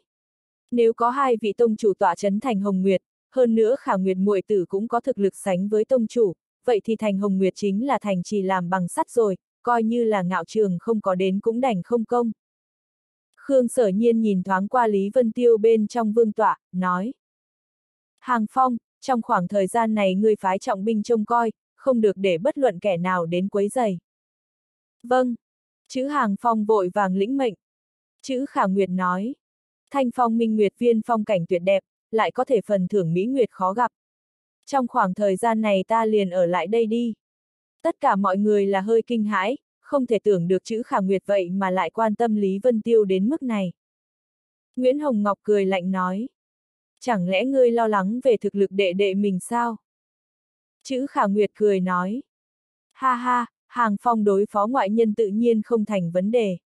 Ta chỉ sợ trong thành có phu nhân quyền thế lớn hơn cả hắn, cưỡng ép dùng quyền tới dọa, tiểu ngốc tử hắn lại không biết biến báo, vậy thì phiền toái rồi. Nàng dù chưa chỉ rõ, lại nói thẳng ra hai chữ phu nhân khiến Nguyễn Hồng Ngọc tức tới ngứa răng. Khương sở nhiên lắc đầu, nói. Khả Nguyệt muội tử ở đây, vậy tự nhiên không còn gì tốt hơn rồi. Ta cũng có thể điều hàng phong đi ứng đối chuyện phòng hộ an toàn sắp tới. Những chuyện này cứ thế đi, mọi người tản đi. Hắn quay người lại, liền cùng Nguyễn Hồng Ngọc biến mất. Nguyễn Hồng Ngọc trước khi đi còn không quên lạnh lùng liếc qua chữ Khả Nguyệt. Nguyễn Nguyên Tư nói. Khả Nguyệt muội tử, quân đốc, ta cũng cáo từ trước. Hắn cùng với nhị tử cũng lập tức rời đi. Giờ phút này trong lòng tâm thần bất định nhất chính là Nguyễn Tử Lăng, chuyện nghe Hồng Kiều hắn một mực không dám lộ ra, hiện giờ mọi người còn không biết tình huống trong đó. Nghe Thạch lúc trước gây ra phong ba thật lớn, nhưng thế nhân rất ít biết, đồng thời được vinh dự là vật điểm xấu, vứt đi lại đáng tiếc, cho nên bị an trí ở bên ngoài thành Hồng Nguyệt, dùng sát nhân đại trận chấn thủ, cũng phái ba gã võ đế trông coi, qua nhiều năm như vậy đều một mực gió êm sóng lặng. Hắn hận không thể lập tức bay ra bên ngoài thành đi điều tra, nếu thật sự nghe thạch đã xảy ra chuyện, vậy thì trách nhiệm kia, hắn ngẫm lại liền cảm thấy một thân mồ hôi lạnh. Ngay lúc thanh phong minh nguyệt câu quần anh tụ hội, trong một núi rừng bên ngoài thành Hồng Nguyệt, linh khí mờ mịt mà sinh, chim bay tứ tán, tẩu thú chạy trốn, tựa hồ như bị uy hiếp gì đó, khiến mảnh hoàn cảnh vốn an bình nguyên thủy này thoáng sia trở nên khắc nghiệt.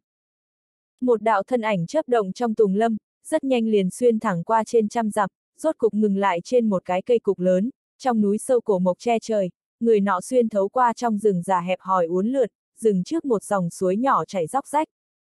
Gió thổi khiến ngọn cây cao cao loạn choạng, phát ra từng đợt thành âm sàn sạt, giống như trên đỉnh đầu có một sa mạc thụ hải vậy, phụ trợ lấy một cổ nghiêm nghị và lãnh tịch khiến cho người hít thở không thông. Trước dòng suối nhỏ có một đầu viên hầu cực lớn đang cúi đầu hút lấy nước, gương mặt hung ác kia đột nhiên ngoi lên khỏi mặt nước, tựa hồ ý thức được nguy hiểm, nó vội hét lớn một tiếng phóng về phía sau lưng. Một cổ trùng kích từ trên người viên hầu gào thét ra, lập tức mảng lớn rừng rậm liền tan thành mây khói. Thân ảnh nam tử dưới sóng xung kích cực lớn kia lộ ra đơn bạc dị thường, nhưng thân pháp hắn cực nhanh, nhẹ nhàng nhảy dựng lên, nghiêng nghiêng thối lui ra sau lưng. Quả nhiên là huyết mạch phản tổ, ngươi là từ thánh vực đến sao? Nam tử nhẹ nhàng dẫm trên không trung, tay phải lâm không khẽ vẫy, một thanh trường thương hiển hiện, gương mặt lạnh lùng hiển lộ ra, đúng là La Thanh Vân, thần sắc hắn ngưng trọng nói. Sao hả, mất đi thần trí sao? Viên hầu sau một giống, mắt lộ ra hung quang, trên người tràn đầy khí thức cổ xưa và mãng hoang, theo hô hấp thoáng mạnh thoáng yếu, hoàn toàn không bị khống chế. Trên mặt La Thanh Vân lộ ra một vòng cô đơn, thở dài. Quả nhiên là đã mất đi thần trí, đây cũng là kết quả khi cưỡng ép mở ra phòng ấn chuỗi gen trong cơ thể A. Hắn vung lấy trường thương, nghiêm nghị nói. Nếu đã mất đi thần trí, vậy thì để ta xem thử, chuỗi gen trong cơ thể ngươi đến cùng là thế nào gì? Thân thể La Thanh Vân đột nhiên phóng tới, ở trên không trung hóa thành một đạo hình ảnh thanh long, hiển hiện ở sau lưng, hoang thần minh nguyệt thương trong tay hóa thành du long, lâm không chấn xuống như cửu thiên lôi kiếp, đánh vào rừng rậm vô biên vô hạn kia. Giống. Viên hầu dốc sức liều mạng ngửa cổ gào rú một tiếng, mạnh mẽ xông lên, vung nắm đấm đấm ra ngoài. ầm ầm, một đạo lực lượng khủng bố khuếch tán trên không rừng rậm, mảng lớn cây cối liền biến mất. Một kích của viên hầu vậy mà phá vỡ thường uy của La Thanh Vân, thân thể La Thanh Vân đỉnh phá uy áp như long uy kia, gào thét phóng tới La Thanh Vân. Cái gì, không ngờ cường hãn như thế. Trong mắt La Thanh Vân cũng lồi ra, nắm chặt trường thương, bắt đầu thi triển ra chân long pháp thân, từng khối lân phiến hiện ra bên ngoài làn da, toàn bộ quá trình long hóa lập tức hoàn thành, tay phải hắn giơ lên trường thương, hét lớn một tiếng, một đạo long uy từ miệng trong chấn ra, thương thế tùy theo mà xuống, đánh tới. Giống. Viên hầu ở trong long uy kia run rẩy thoáng một phát, giữ tợn nghiêm mặt, cắn chặt răng lại đánh ra một quyền. ầm ầm, hai người dốc sức liều mạng lần nữa va chạm, cả hai đều bay ngược ra ngoài. Viên hầu tựa hồ đã chết lặng với cảm giác đau đớn, gào thét lớn lại vọt lên, ngàn vạn loạn quyền vung vẩy trên không trung, chỉ biết dốc sức liều mạng đánh loạn, rừng rậm một mảnh bừa bộn. La Thanh Vân xanh mặt, một thân đã hóa thành chân long pháp thân, như bán yêu, không ngừng chống lấy công kích như phát điên kia. Hai người đều là võ giả kiểu cương mãnh, chiến bắt thảm thiết dị thường, mỗi một chiêu đều đánh khiến thân thể rung động lắc lư, huyết mạch quay cuồng. Hống hống hống. Viên hầu càng đánh càng mất đi lý trí, càng ngày càng nổi điên, hơn nữa lực lượng cũng theo đó được tăng cường, một quyền đánh xuống, chấn cho La Thanh Vân vẫn một mực đau khổ trèo trống phải hộc máu tươi, bay ngược xa vài trăm thước, mới tán đi cự lực. Chuyện gì xảy ra, một quyền này, chẳng lẽ lại một chuỗi gen phóng thích ra sao? La Thanh Vân nghĩ tới loại khả năng này, trên mặt giật mình một mảnh trắng bệch, hoảng sợ nhìn qua viên hầu đang lâm không bay tới, chỉ thấy hai cái tơ máu đỏ tươi trước ngực viên hầu giống như kinh mạch vậy, cực kỳ khiến người chú mục. Sau sợ hãi ngắn ngủi, một cổ nhiệt huyết cắn xé nhau sông lên đầu, hắn hét lớn một tiếng, lập tức bạo phát ra khí thức toàn thân, đạo đạo long khí phóng lên trời. Hoàng thần minh nguyệt thương dưới long khí kích động cũng phát ra khí uẩn chi lực cường đại, chiếu rọi lẫn nhau, lực lượng đan vào cùng một chỗ, trực chỉ đại hầu tử trước mắt. Viên hầu sửng sốt một chút, tựa hồ đã nhận ra bất thường, nhưng giã tính thị sát khát máu kia vẫn khiến nó vọt xuống dưới, trong miệng liên tục gào rú, tựa hồ muốn thông qua thanh âm để gạt đi sợ hãi trong lòng vậy. Thần sắc La Thanh Vân trở nên bình tĩnh, ngưng giọng nói. Nếu ngươi đã mở ra chuỗi gen thứ hai, vậy thì không có khả năng khôi phục thần trí nữa rồi. Không bằng để ta nghiên cứu bí mật hai chuỗi gen này, thế thì cũng coi như chết có ý nghĩa rồi. Hắn nắm lấy trường thương trong tay, nhắc tới mà lên, cả người xông lên trời, trường thương cùng thân thể hợp hai làm một, làm một kích cuối cùng. Tử, liền tiêu tán đại địa, trở về cát bụi. Sinh, liền đạt được phá phong chi pháp, mở ra huyết mạch bản thân. La Thanh Vân đôi mắt bình tĩnh như hồ nước, lại cho người một loại cảm giác như giam hãm thiên địa, toàn bộ không gian dưới khí thức này đều như thủy tinh, thỉnh thoảng phát ra thanh âm nứt vỡ. Long khiếu cửu thiên, khuyết nguyệt nan viên. Một thương lâm không đâm ra, toàn bộ thiên địa hóa thành một mảnh màu đen, chỉ còn lại thương mang và viên hầu kia hung hăng va chạm vào nhau trên không. Hoàng thần minh nguyệt thương ngay khi phá phong, một cổ thái cổ chi ý khó có thể địch nổi từ trong thương truyền ra, tựa hồ thần minh ngủ say đã lâu vào thời khắc này chờ tỉnh lại, La Thanh Vân sau khi ngốc trệ ngắn ngủi, phảng phất nghe được một tiếng hít thở như ảo giác. Oanh! Hai đạo lực lượng bá đạo cực hạn trùng kích cùng một chỗ, trường thương thế như trẻ tre, trực tiếp chém nát thân thể viên hầu, một mảnh huyết vụ xuất hiện ở trước mặt La Thanh Vân. Thắng, ha ha, ta không chết. Cái con khỉ này tựa hồ cũng không cường đại như trong tưởng tượng, La Thanh Vân sau cuồng hỉ cũng bất chấp vui sướng, lúc này trong thân thể nổ bung của viên hầu bắt đầu hiện ra từng đạo hào quang trận pháp hình tròn, đúng là phong ấn chi trận hai chuỗi gen, giờ phút này cũng hiện ra trạng thái mở ra. Trong trận pháp phong ấn màu lam nhạt kia là hai kinh mạch màu đỏ như máu, cũng bắt đầu dần dần biến mất tán loạn, tan vỡ từng chút một, hóa thành huyết quang nhàn nhạt tiêu tán. Hai mắt La Thanh Vân có chút ngưng, phi tốc ghi chép đồ án trận pháp kia trong đầu. Tất cả đều lập tức phát sinh ngay khi thân thể viên hầu tan vỡ, hắn nhẹ nhàng khép hai mắt lại, rơi vào trầm tư.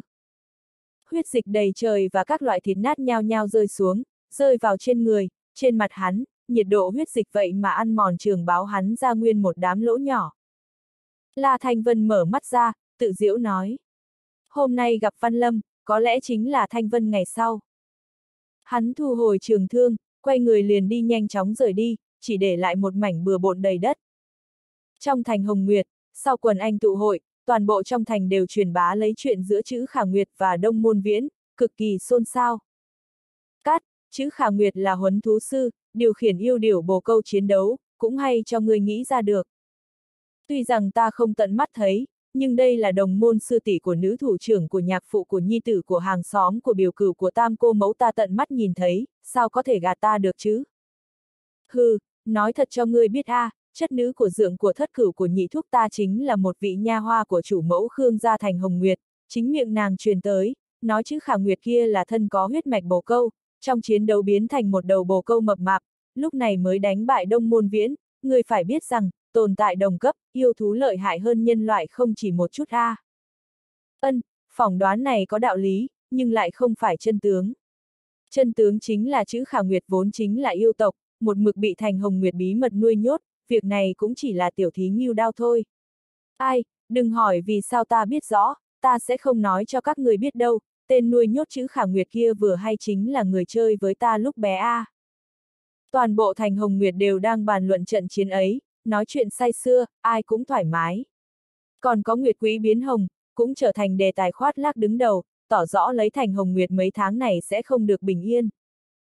Giờ phút này trong phủ đệ Nguyễn Gia, cây cối xanh dần, kỳ hoa le lói, vùng thanh lưu, dưới hoa và cây cảnh khúc chiết là một cây cầu bắc ngang mặt nước, đi thông đến lương đình. Trong đình một trương đài án bát giác, Nguyễn Tử Mậu dâng hương đánh đàn, tiếng đàn bong bong vang vọng. Nguyễn Nguyên Tư hỏi, ngày mai là thi đấu lôi đài rồi, người có mấy phần nắm chắc. Nguyễn Tử Mậu khí định thần nhàn, thương thế trên người đã tốt lại, hơn nữa tu vị tựa hồ ẩn ẩn càng tiến một bước, nói. Mười phần. Nguyễn Nguyên Tư cười nói. Đúng vậy, ta thích bộ dáng tự tin này của ngươi. Nhiều khi thực lực cũng không thể quyết định tất cả, nếu Lý Vân Tiêu kia đột nhiên xuất hiện, ngươi có nắm chắc chiến thắng không? Nguyễn Tử Mậu nghe cái tên đó, trong mắt hiện lên một tia vẻ lo lắng, lạnh lùng nói. Đương nhiên, miếng sắt trong tay ta là thứ hắn bức thiết đạt được, lúc ấy hắn cũng đồng ý giết Lý Giật, không dự thi để trao đổi, có thể thấy lực hấp dẫn của miếng sắt này đối với hắn rất lớn. Ánh mắt hắn lộ vẻ nghi hoặc, dừng đàn lại, lấy ra miếng sắt kia nói. Cha, thứ này rốt cuộc là cái gì, cửu di kia cũng không chịu nói, nhưng nhất định là vật khó lường. Nguyễn Nguyên Tư cau mày nói. Tuy rằng không cách nào kết luận, nhưng ta suy đoán hẳn là công pháp truyền thừa nào đó, chỉ là chúng ta không tìm thấy mấu chốt trong đó, giữ lại cũng chỉ uổng công. Nếu Lý Vân Tiêu không thể tỉnh lại trước khi lôi đài bắt đầu, vậy thì tác dụng của miếng sắt này cũng càng lớn. Nguyễn Tử Mậu sững sờ, nói. Cha ngươi nói là công pháp truyền thừa trên vương tọa kia sao? Nguyễn Nguyên Tư cười nói.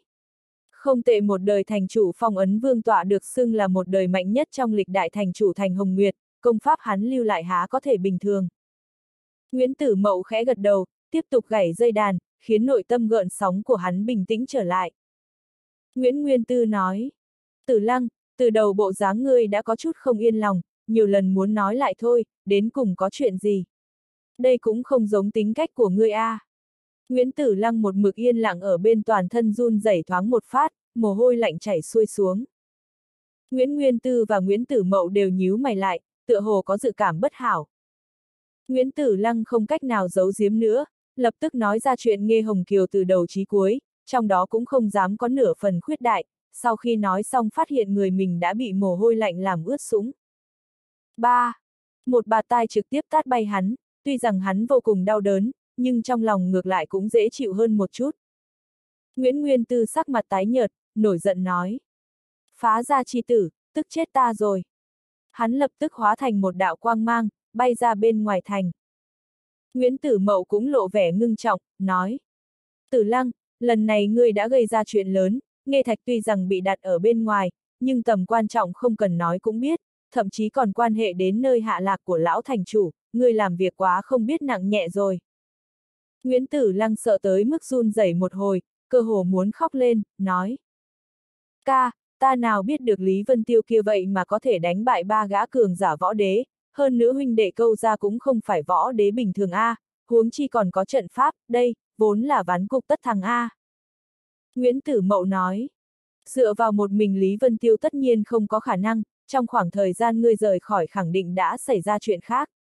Tình hình trong đó cũng chỉ có Lý Vân Tiêu biết, may mắn hắn vẫn còn trong thanh phong minh nguyệt Việt, chuyện có lẽ còn có chuyển cơ. Trong khoảng thời gian này ngươi cứ ở lại Nguyễn Gia không nên đi ra ngoài, việc này đều có phụ thân đại nhân định đoạt. Hắn trầm tư một hồi, liền lao về phía thanh phong minh nguyệt viên. Ngày thứ hai, muôn người đều đổ xô ra đường, tất cả mọi người chen chúc trong quảng trường lớn nhất thành, chờ đợi luận võ chọn dễ. Khương gia gả nữ, toàn thành trang trí màu đỏ, khắp nơi đều là đầu người di động, lại ngay ngắn trật tự. Hai bên đường đã sớm bày đầy vô số hoa hồng, gió nhẹ vòng quanh cánh hoa, trong lúc nhất thời toàn thành phiêu hương. Cửa hàng, phòng ốc, cây cối trong thành, tất cả đều treo lên lụa đỏ, tất cả cấm quấn trong thành Hồng Nguyệt cũng đều được xuất động, bắt đầu khởi động đám người nối liền không dứt, đông nghịt, mỗi người đều vui vẻ chờ xem luận võ chọn dễ kia. Trong sân rộng, lôi đài trận đấu chính là một kiện huyền khí tạm thời biến thành, trên tứ giác đều có đầu thú diện mục dữ tợn, vì thừa theo không khí náo nhiệt hôm nay nên chúng cũng đều bị thay đổi hình dạng, hóa thành bốn em bé cười hì hì, trong tay từng người bưng lấy một món đồ chơi, không có chút không khí sát phạt nào cả. Ở phía sau lôi đài, trên khán đài dùng bạch ngọc dựng lên Khương Nhược Băng một thân phục sức đỏ phủ lấy vải che trước mặt đang ngồi ngay ngắn ở góc trên bên phải, hai bên đứng lấy ba ả nha hoàn. Ghế trên khán đài chỉ có hạn, ngoại trừ cao tầng thành Hồng Nguyệt ra, liền chỉ có một ít người cực kỳ có thân phận địa vị mới có tư cách nhập tọa, đồng thời cũng với tư cách là người chứng kiến. Ở bên dưới lôi đài bài trí lấy một mặt trống trận cực lớn cao đến hai người, một đạo quang mang từ trời rơi xuống, ở trước trống trận hiển hóa ra một gã lực sĩ, trong tay khiêng rùi trống, sau khi hướng lên trên ý báo cáo tê hỉ đột nhiên đánh xuống một cái. Đông! Một cổ sóng âm rất mạnh từ trên trống lan ra, truyền khắp cả thành trì rộng lớn, mỗi người đều cảm thấy như tim nhảy lên, toàn thân run lên, lập tức đình chỉ thanh âm ầm ý. Trong thành cực kỳ đông đúc vậy mà thoáng cái đều yên tĩnh lại. Tiếng trống kia không chủ dừng mọi âm thanh, mà tựa hồ còn có một loại ảnh hưởng, khiến mọi người ở đây cảm thấy một cổ nhiệt huyết dần bành trướng trong người, tựa hồ như thiêu đốt lên vậy, muốn liều mạng lên lôi đài đánh một lần. Đặc biệt là những thanh niên tuấn ngạn ở tương đối gần phía trước, nguyên một đám hô hấp trầm trọng. Bọn họ cũng đều biết xác suất chiến đấu của mình rất nhỏ, nhưng đây tuyệt đối là thời cơ tốt nhất để luận bàn với người cùng thế hệ trong thiên hạ. Bọn họ đều xoa tay chờ đợi ra trận, nói không chừng ông trời giật dây, sẽ có một kinh hỉ lớn cũng không chừng. Đông, Tiếng trống lần nữa vang lên tiếng thứ hai, không gian trên khán đài có chút vặn vẹo, lắc lư, Khương Sở Như và Nguyễn Hồng Ngọc dắt tay nhau xuất hiện, lập tức dẫn tới bạo động và tiếng hét ầm vang. Thành chủ thành Hồng Nguyệt gần đây rất ít xuất hiện, mặc dù là người trong thành cũng rất ít khi nhìn thấy, nhưng bởi vì trong thành pháp luật cực nghiêm, bảo hộ thế lực khắp nơi và thương nhân vô cùng tốt, cho nên rất được nhân tâm. Khương sở nhiên một thân trường bào, bên hông cột một cây thương tử sắc bức vân giác mang, một đầu tóc mai như mây, lãng mục như nguyệt, có cảm giác giống như một đại tông sư, phong độ khí vũ phi phàm. Hắn gật đầu ý bảo một cái với các vị cao tầng cùng với khách quý trong thành, lúc này mới từ từ đi đến trước sân khấu, cười nói. Cảm tạ chư vị không ngại xa vạn giảm tới tham gia luận võ chọn rể của tiểu nữ, sở nhiên cảm thấy cực kỳ vinh hạnh. Đồng thời có thể thấy được phong thái kiệt xuất của hậu bối trong thiên hạ cũng là một chuyện thú vị trong đời quy tắc sớm đã chiêu cáo thiên hạ, ta cũng không nói nhiều nữa, như vậy bắt đầu đi. Hắn nhẹ nhàng phát ống tay áo, liền quay người trở lại trên ghế, nói cực kỳ ngắn gọn khiến người phải ngạc nhiên, dù sao cũng là gả nữ A, sao không nói nhiều vài câu chứ. Không gian trên lôi đài có chút lắc lư, một gã nam tử trang phục màu nâu xuất hiện giữa lôi đài, một đầu tóc dài bay múa, hai con người sáng ngời như hổ, khóe miệng mang theo mỉm cười, nói. Tại hạ Khương Biệt Ly, là người chủ trì luận võ chọn rể lần này, thắng bại toàn bộ do ta phán. Phía dưới mà bắt đầu đi, muốn dự thi thì có thể lên đây. Một lời ra, trong chàng yên tĩnh trong chốc lát, lập tức người nhảy lên cao, phóng tới chỗ lôi đài. Đột nhiên trên lôi đài nổi lên một đạo ánh sáng màu xanh, trực tiếp ngăn thân ảnh người nọ lại, sau đó chợt nghe thấy một tiếng kêu thảm, tên nam tử kia liền bị đánh bay trên đất, sắc mặt trắng bệch, đây là có chuyện gì? Tất cả mọi người đều hoảng hốt nhìn qua. Khương Biệt Ly làm thủ thế, cười nói. Mọi người im lặng, ta đã quên nói rõ. Vì để tránh cho quá nhiều người nhàm chán tham gia, nên tham gia luận võ chọn rể lần này thu vị thấp nhất phải là bát hoang cảnh võ tôn, nếu không thì không thể nào lên lôi đài được. Thì ra là thế, như vậy mới chính xác. Nếu không A miêu A cẩu gì cũng muốn lên một chuyến, vậy thì lôi đài này có đánh tới khi Khương Nhược Băng 100 tuổi cũng đánh không hết a. Trong đám người, thừa hạo miểu thản nhiên nói. Bắc Minh Lai Phong bên người hít một tiếng, nói. Ai, thật sự là không thú vị a, trò chơi kết quả đã định, mà ngay cả bản thân nhược băng tiểu thư cũng dùng hàng giả thay thế ở đằng kia, cũng chỉ có những lâu la này đùa hăng say, ta cảm thấy tới đây xem cuộc vui thật sự không thú vị chút nào. Thừa hạo miểu ngạc nhiên nói. Làm sao ngươi biết trên đó không phải Khương Nhược Băng? Mấy người bên người đều rời mắt đến trên người Bắc Minh Lai Phong, hiển nhiên đã mất đi thần thức dò xét, bọn hắn đều không thể phán đoán, mỗi người đều cực kỳ tò mò. Trên mặt thừa hạo miểu lộ ra một tia cười quái dị, cười nói. Khương Nhược Băng chẳng qua chỉ vội vàng xuất hiện, không thể tưởng được lại bị ngươi nhớ kỹ trong đầu, vợ của bạn không thể lấn, Lai Phong huynh, ngươi đường đột rồi. Bắc Minh Lai Phong cười nói. Hạo miểu huynh thật sự không buông tha bất luận cơ hội châm ngòi nào a, à, ta thấy võ kỹ lợi hại nhất vệ hồn tông không phải hồn thuật, mà là khẩu kỹ kia. Các người nghĩ đi, dùng tính tình Khương Nhược Băng sao có thể ngồi đàng hoàng ở chỗ kia không nhúc nhích được. Mà ngay cả nha hoàn thiếp thân tiểu tuyết cũng không thấy bóng dáng, cái này cũng trái với lẽ thường, người này tất nhiên là giả không thể nghi ngờ. Thừa hạo miểu gật đầu nói.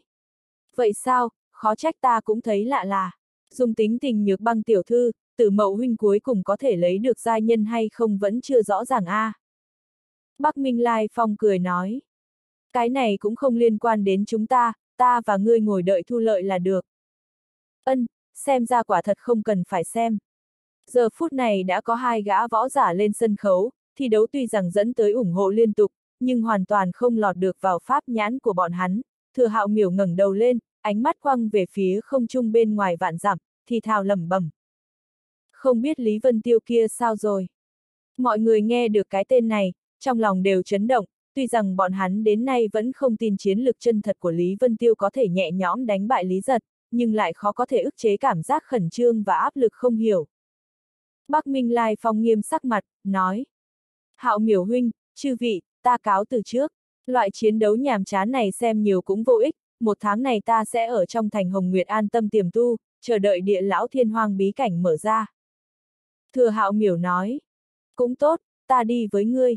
Hai bên có thể trao đổi luận bàn nhiều hơn, muốn tìm một gã đối thủ xính tâm như ý, rất khó a. À. Hai người nhìn nhau cười cười, tuy nhiên cũng mang theo vẻ cay đắng. Vốn bọn hắn đều cực kỳ tự tin vào võ đạo bản thân, nhưng sự xuất hiện của Lý Vân Tiêu và Lý Giật đã khiến tâm tính vốn coi thường thiên hạ của bọn hắn xảy ra biến hóa cực lớn, bớt đi rất nhiều ngạo mạn và thành kiến, trong lòng nhiều hơn một phần áp lực và theo đuổi. Hai người dần dần rời khỏi đám người, những người còn lại không ít cũng trầm mặc, lặng yên trở ra. Tất cả mọi người đều là thiên chi kiêu tử, không ai muốn thua người cả. Giờ phút này trên không trung vạn dặm, trong thanh phong minh nguyệt viên. Khương Nhược Băng không ngừng mà dán vào chữ khả nguyệt cầu khẩn. Sư phó A, nếu ngươi không đi thì sẽ không kịp nữa. Sư phó gần đây hiểu ta nhất, yêu cầu gì cũng đáp ứng ta mà. Nàng đã năn nỉ hai ngày, khiến chữ khả nguyệt cực kỳ phiền muộn, khiển trách quát mắng. Chuyện lớn như thế không thể để ngươi làm trò đùa vậy, ngươi nếu chạy đi, bảo thành hồng nguyệt làm sao ăn nói với thiên hạ đây. Thừa lúc bây giờ còn có thời gian, chính ngươi chọn một vị lão công đi, sư phó có thể trợ hắn thủ thắng. Khương Nhược băng quính lên, hai hàng nước mắt chảy xuống, thút thít nỉ non nói. Nếu sư phó ở vào vị trí của ta, sẽ làm thế nào? Bản thân không muốn, chưa có ép người, huống chi còn là đồ đệ thân yêu của mình nữa, sư phó ngươi nhẫn tâm nhìn ta cả đời không vui sao? Hừ, ngươi làm gì biết cái gì là vui vẻ chính thức, cái gì không vui chứ? Chữ khả nguyệt lạnh lùng nói. Bình bình đạm đạm tìm một trượng phu có ép tiền đồ gả đi, đó chính là hạnh phúc lớn nhất của ngươi, dù có cầu ta thế nào cũng vô dụng thôi.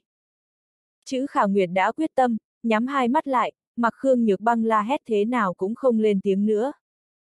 Khương Nhược Băng quyền đấm cước đá một hồi, cũng không thể tới gần quanh thân nàng ba thước, lúc này mới tức đến dậm chân, hóa thành một đạo quang mang bay vào trong thành. Nàng không cam lòng cứ thể bị gả đi, phụng trộm thay đổi một bộ nam trang, liền bay về phía truyền tống đại trận, kỳ vọng có thể đào thoát. Nhị tiểu thư, ngài cũng đừng làm khó dễ chúng ta nữa. Chỗ đại trận truyền tống, vị ứng đối bí cảnh mở ra, thủ vệ cũng nhiều gấp mấy lần ngày thường, Khương Nhược Băng vừa tới đã bị đội trưởng bảo vệ phát hiện, mời nàng qua một bên, cười khổ nói. Hiện giờ đang đánh lôi đài, nếu để cho người biết rõ nhị tiểu thư ở đây, sợ rằng sẽ có phiền toái lớn đấy. Khương Nhược Băng chán nản, bắt lấy đội trưởng bảo vệ kia đánh cho một trận, lúc này mới tức giận rời đi. Thành Hồng Nguyệt tuy lớn, nhưng nàng lại có một loại cảm giác lên trời không đường, xuống đất không cửa, một hồi bực bội, đi vào trong quán rượu uống rượu, đột nhiên giật mình nói. Hương vị rượu này, ta rốt cuộc biết sư phó vì sao lại nói là túy vong sầu rồi. Ha ha! Đột nhiên một tiếng cười trong sáng truyền đến, nói. Người sở dĩ phiền não quá nhiều, cũng là bởi vì trí nhớ quá tốt. Nhưng luôn mê hoặc mình, vĩnh viễn không phải cách giải thoát a. Khương Nhược Băng ngây ngốc một chút, chỉ thấy hai tên nam tử chẳng biết lúc nào lại xuất hiện trước mặt mình, trực tiếp ngồi xuống ở đối diện. Hai người tướng mạo lộ ra vẻ yêu dị, khiến người vừa nhìn đã có cảm giác rét run trong lòng, mà một người trong đó lại khiến nàng có cảm giác dường như từng quen biết. Khương Nhược Băng cảnh giác lên, quát. Các ngươi là ai, ta có cho các ngươi ngồi xuống sao? Người giống như từng quen biết kia khẽ cười nói. Có bằng hữu từ phương xa tới lại đón tiếp như vậy, Nhược Băng tiểu thư, mấy năm không gặp, giờ đã trổ mã trở thành tuyệt sắc nhân gian rồi. Khương Nhược Băng lắp bắp kinh hãi, người này mình quả nhiên đã từng thấy qua, ngay cả sau khi dịch dung mình cũng có thể nhận ra, nàng cau mày nói. Người rốt cuộc là ai? Người nọ cười nói.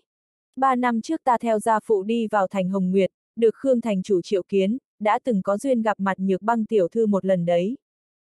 Trên mặt Khương nhược băng lộ ra một tia suy ngẫm, đột nhiên nói. Ngươi là đường kiếp, công tử đường kiếp của tứ cực môn. Đường kiếp cười to nói. Ha ha, xem ra ta làm người còn không quá thất bại.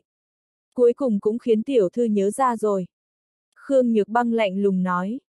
Nhớ được thì đã sao, người tới thành Hồng Nguyệt hẳn cũng là đến luận võ chọn rể sao. Đường kiếp cười nói. Có ý nghĩ này, một lần hành động đánh bại hào kiệt thiên hạ, ngẫm lại liền khiến người hưng phấn không thôi, nhiệt huyết sôi trào a. À. Vào thời điểm quan trọng thế này, nhược băng tiểu thư vậy mà chạy loạn khắp nơi, bộ dạng lại tràn đầy tâm sư. Ha ha, không biết ta có thể giúp được gì không? Khương Nhược Băng trong nội tâm khẽ động, vội hỏi. Đúng rồi, ngươi là công tử tứ cực môn, chắc hẳn cũng có chút bổn sự, có thể giúp ta thoát khỏi thành hồng nguyệt không?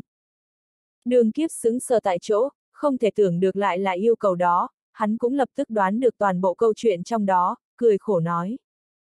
Đây không phải là muốn ta bị thành hồng nguyệt đuổi giết sao? Khương Nhược Băng nói. Ngươi có thể lấy ta để áp chế, bọn hắn không dám truy giết ngươi đâu. Đường kiếp một hồi tráng váng đầu, đột nhiên người bên người mở miệng nói. Có thể, nhưng phải có điều kiện trao đổi. Đường kiếp giật mình nói. Thương đại nhân, không thể việc này quá.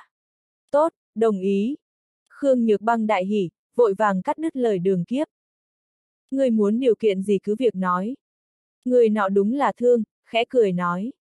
Mang bọn ta đi địa lao thành hồng nguyệt cứu người, chỉ cần cứu đồng bọn của chúng ta ra, liền lập tức mang người đi. Địa lao cứu người. Khương Nhược Băng cả kinh, sợ hãi nói. Các ngươi, các ngươi là tử thần bát tượng sao? Thương lắc đầu nói. Ta không có quan hệ gì với bọn họ, nhưng bằng hữu của ta bị giam chung với tử thần bát tượng trong địa lao. Đường kiếp cuống quyết nói. Thương đại nhân, ngàn không được, nếu mang nàng đi, sẽ bị thành hồng nguyệt đuổi giết khắp thiên hạ mất. Thương cười nói. Chúng ta đi cướp ngục, không phải cũng sẽ bị đuổi giết sao? Thuận tiện mang nàng một đoạn thì đã sao? Đường kiếp thoáng cái nghẹn lời, nói. Cái này. Khương Nhược băng hồ nghi nhìn thoáng qua hai người, hừ lạnh nói. Cướp địa lao thành hồng nguyệt, ngươi cho rằng các ngươi là phong hào võ đế sao?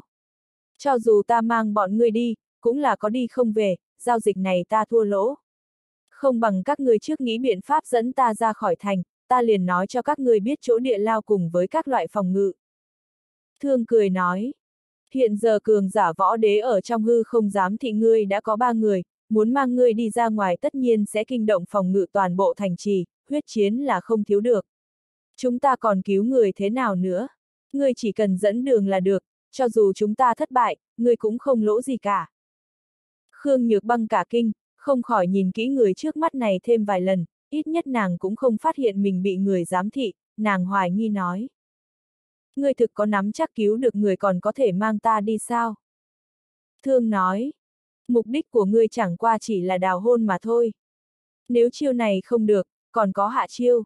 Ta vốn định để đường kiếp đi tham gia thi đấu lôi đài này, chỉ cần hắn đoạt được đệ nhất, đến lúc đó ngươi lại cự tuyệt hắn là được, hắn tuyệt sẽ không dây dưa, xem như là hậu chiêu để phòng bất chắc, ngươi cảm thấy thế nào? Khương Nhược Băng không tin nói. Chỉ bằng hắn cũng có thể thắng được sao? Đường kiếp cười lạnh một tiếng, nói. Trong những người cùng thế hệ trong thiên hạ, ngoại trừ Lý Vân Tiêu kia ra, ta thật sự không để vào mắt. Khương Nhược Băng ngạc nhiên nói. Ngươi cũng biết Lý Vân Tiêu sao? Nàng trầm tư nói. Tốt ta liền mạo hiểm thử một lần, vì hạnh phúc của mình, liều mạng. Trên mặt nàng lộ ra vẻ kiên quyết, một bộ thấy chết không sờn. Trên mặt thương lộ ra vẻ vui mừng nói. Đường kiếp, đã có nhược băng tiểu thư tương trợ, người liền tự hình động một mình đi. Chuyện cứu người mình ta là được, nhiều hơn ngươi ngược lại cũng chỉ là gánh nặng. Đường kiếp gật đầu nói. Tốt, vậy xin thương đại nhân tự mình cẩn thận, ta cũng đúng lúc muốn xem thử hào kiệt thiên hạ, xem thử đám bắc vực tứ tú đông vực thất tinh gì đó rốt cục có thực lực gì, có thể khiến ta có hứng thú đánh một trận không, ha ha. Hắn đối với lực lượng của mình tràn ngập tự tin, nhịn không được cười to không thôi. Người trong tử lâu đều liếc mắt nhìn qua, đều tưởng rằng hắn bị điên. Thương cười nói, việc này không nên chậm trễ, đi thôi.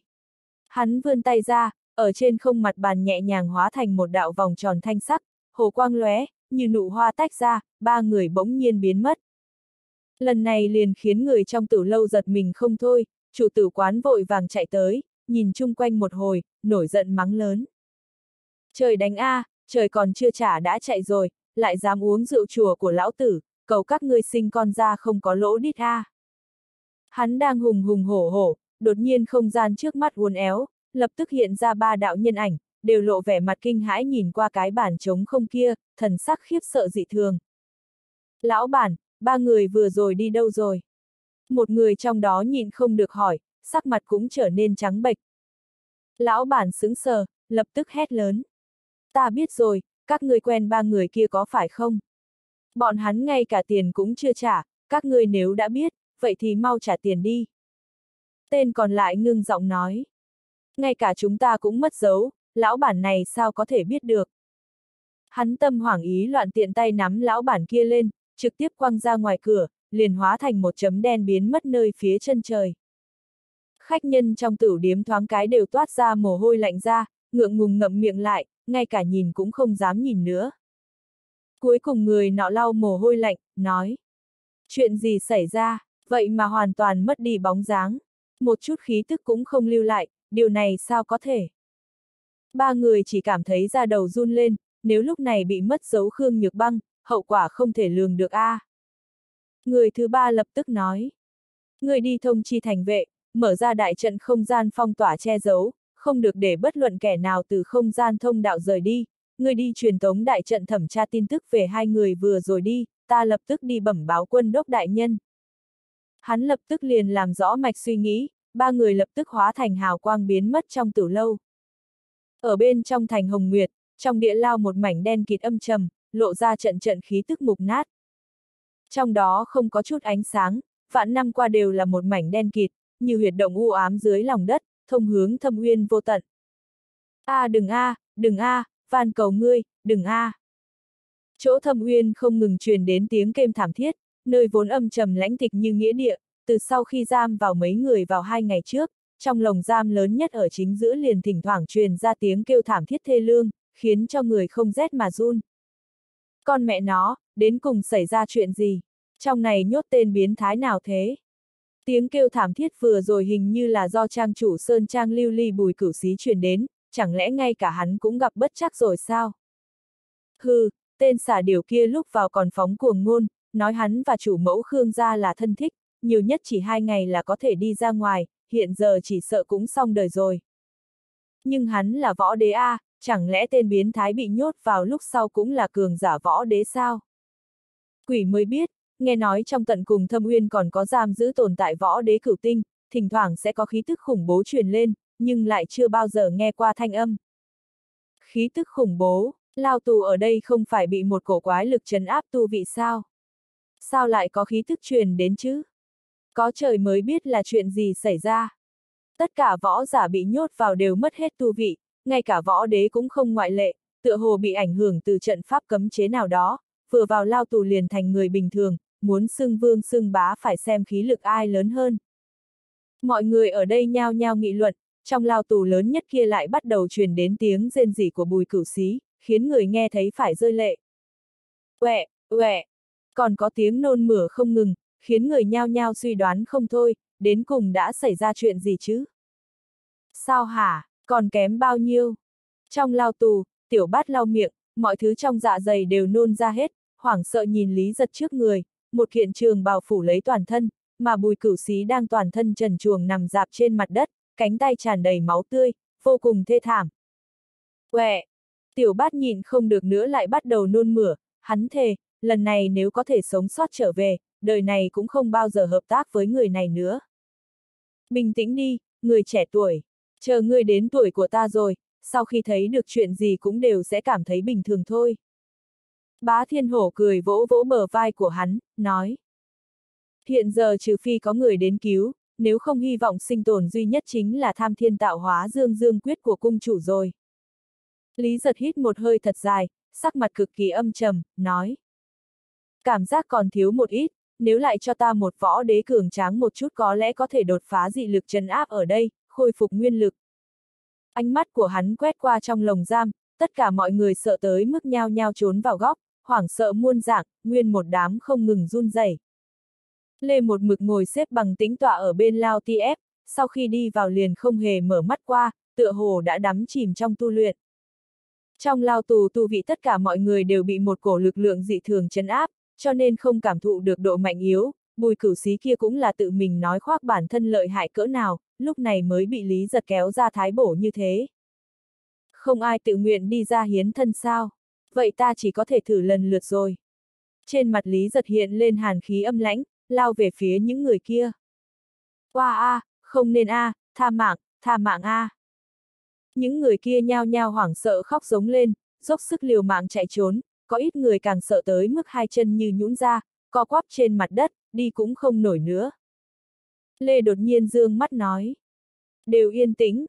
Thanh âm của nàng tuy rằng yếu ớt, lại tựa hồ như mang theo lực lượng kỳ dị, thoáng cái toàn bộ đều yên tĩnh lại. Lý giật cao mày nói. Lê Đại Nhân, sao hả? Lê nhìn hắn một cái, cũng tựa hồ cảm thấy có chút không khỏe, sắc mặt có chút trắng bệch, nói. Có người tới cứu chúng ta rồi, đã tiến vào trong nơi này, vừa mới liên lạc với ta. Cái gì, là ai?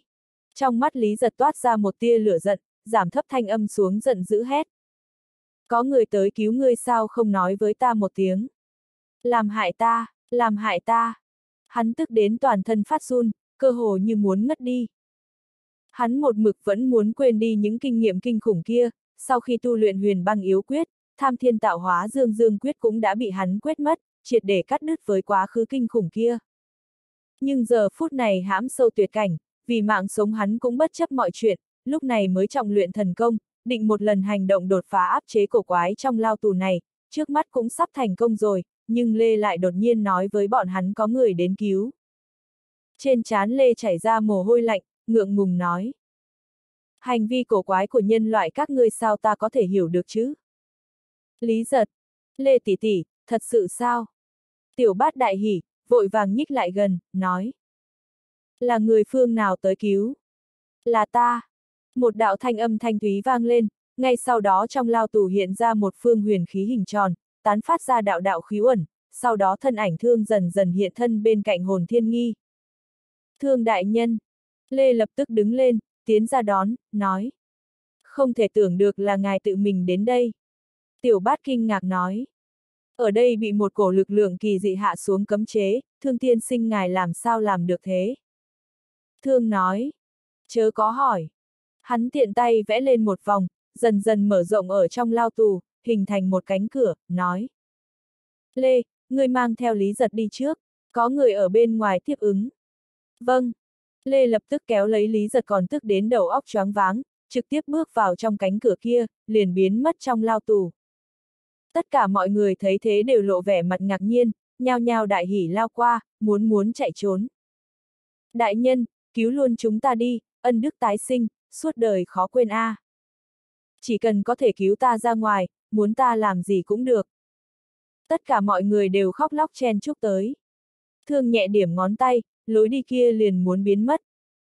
Tiểu bát vội vàng khẩn trương nói. Thương tiên sinh chậm một chút, đợi chúng ta nữa.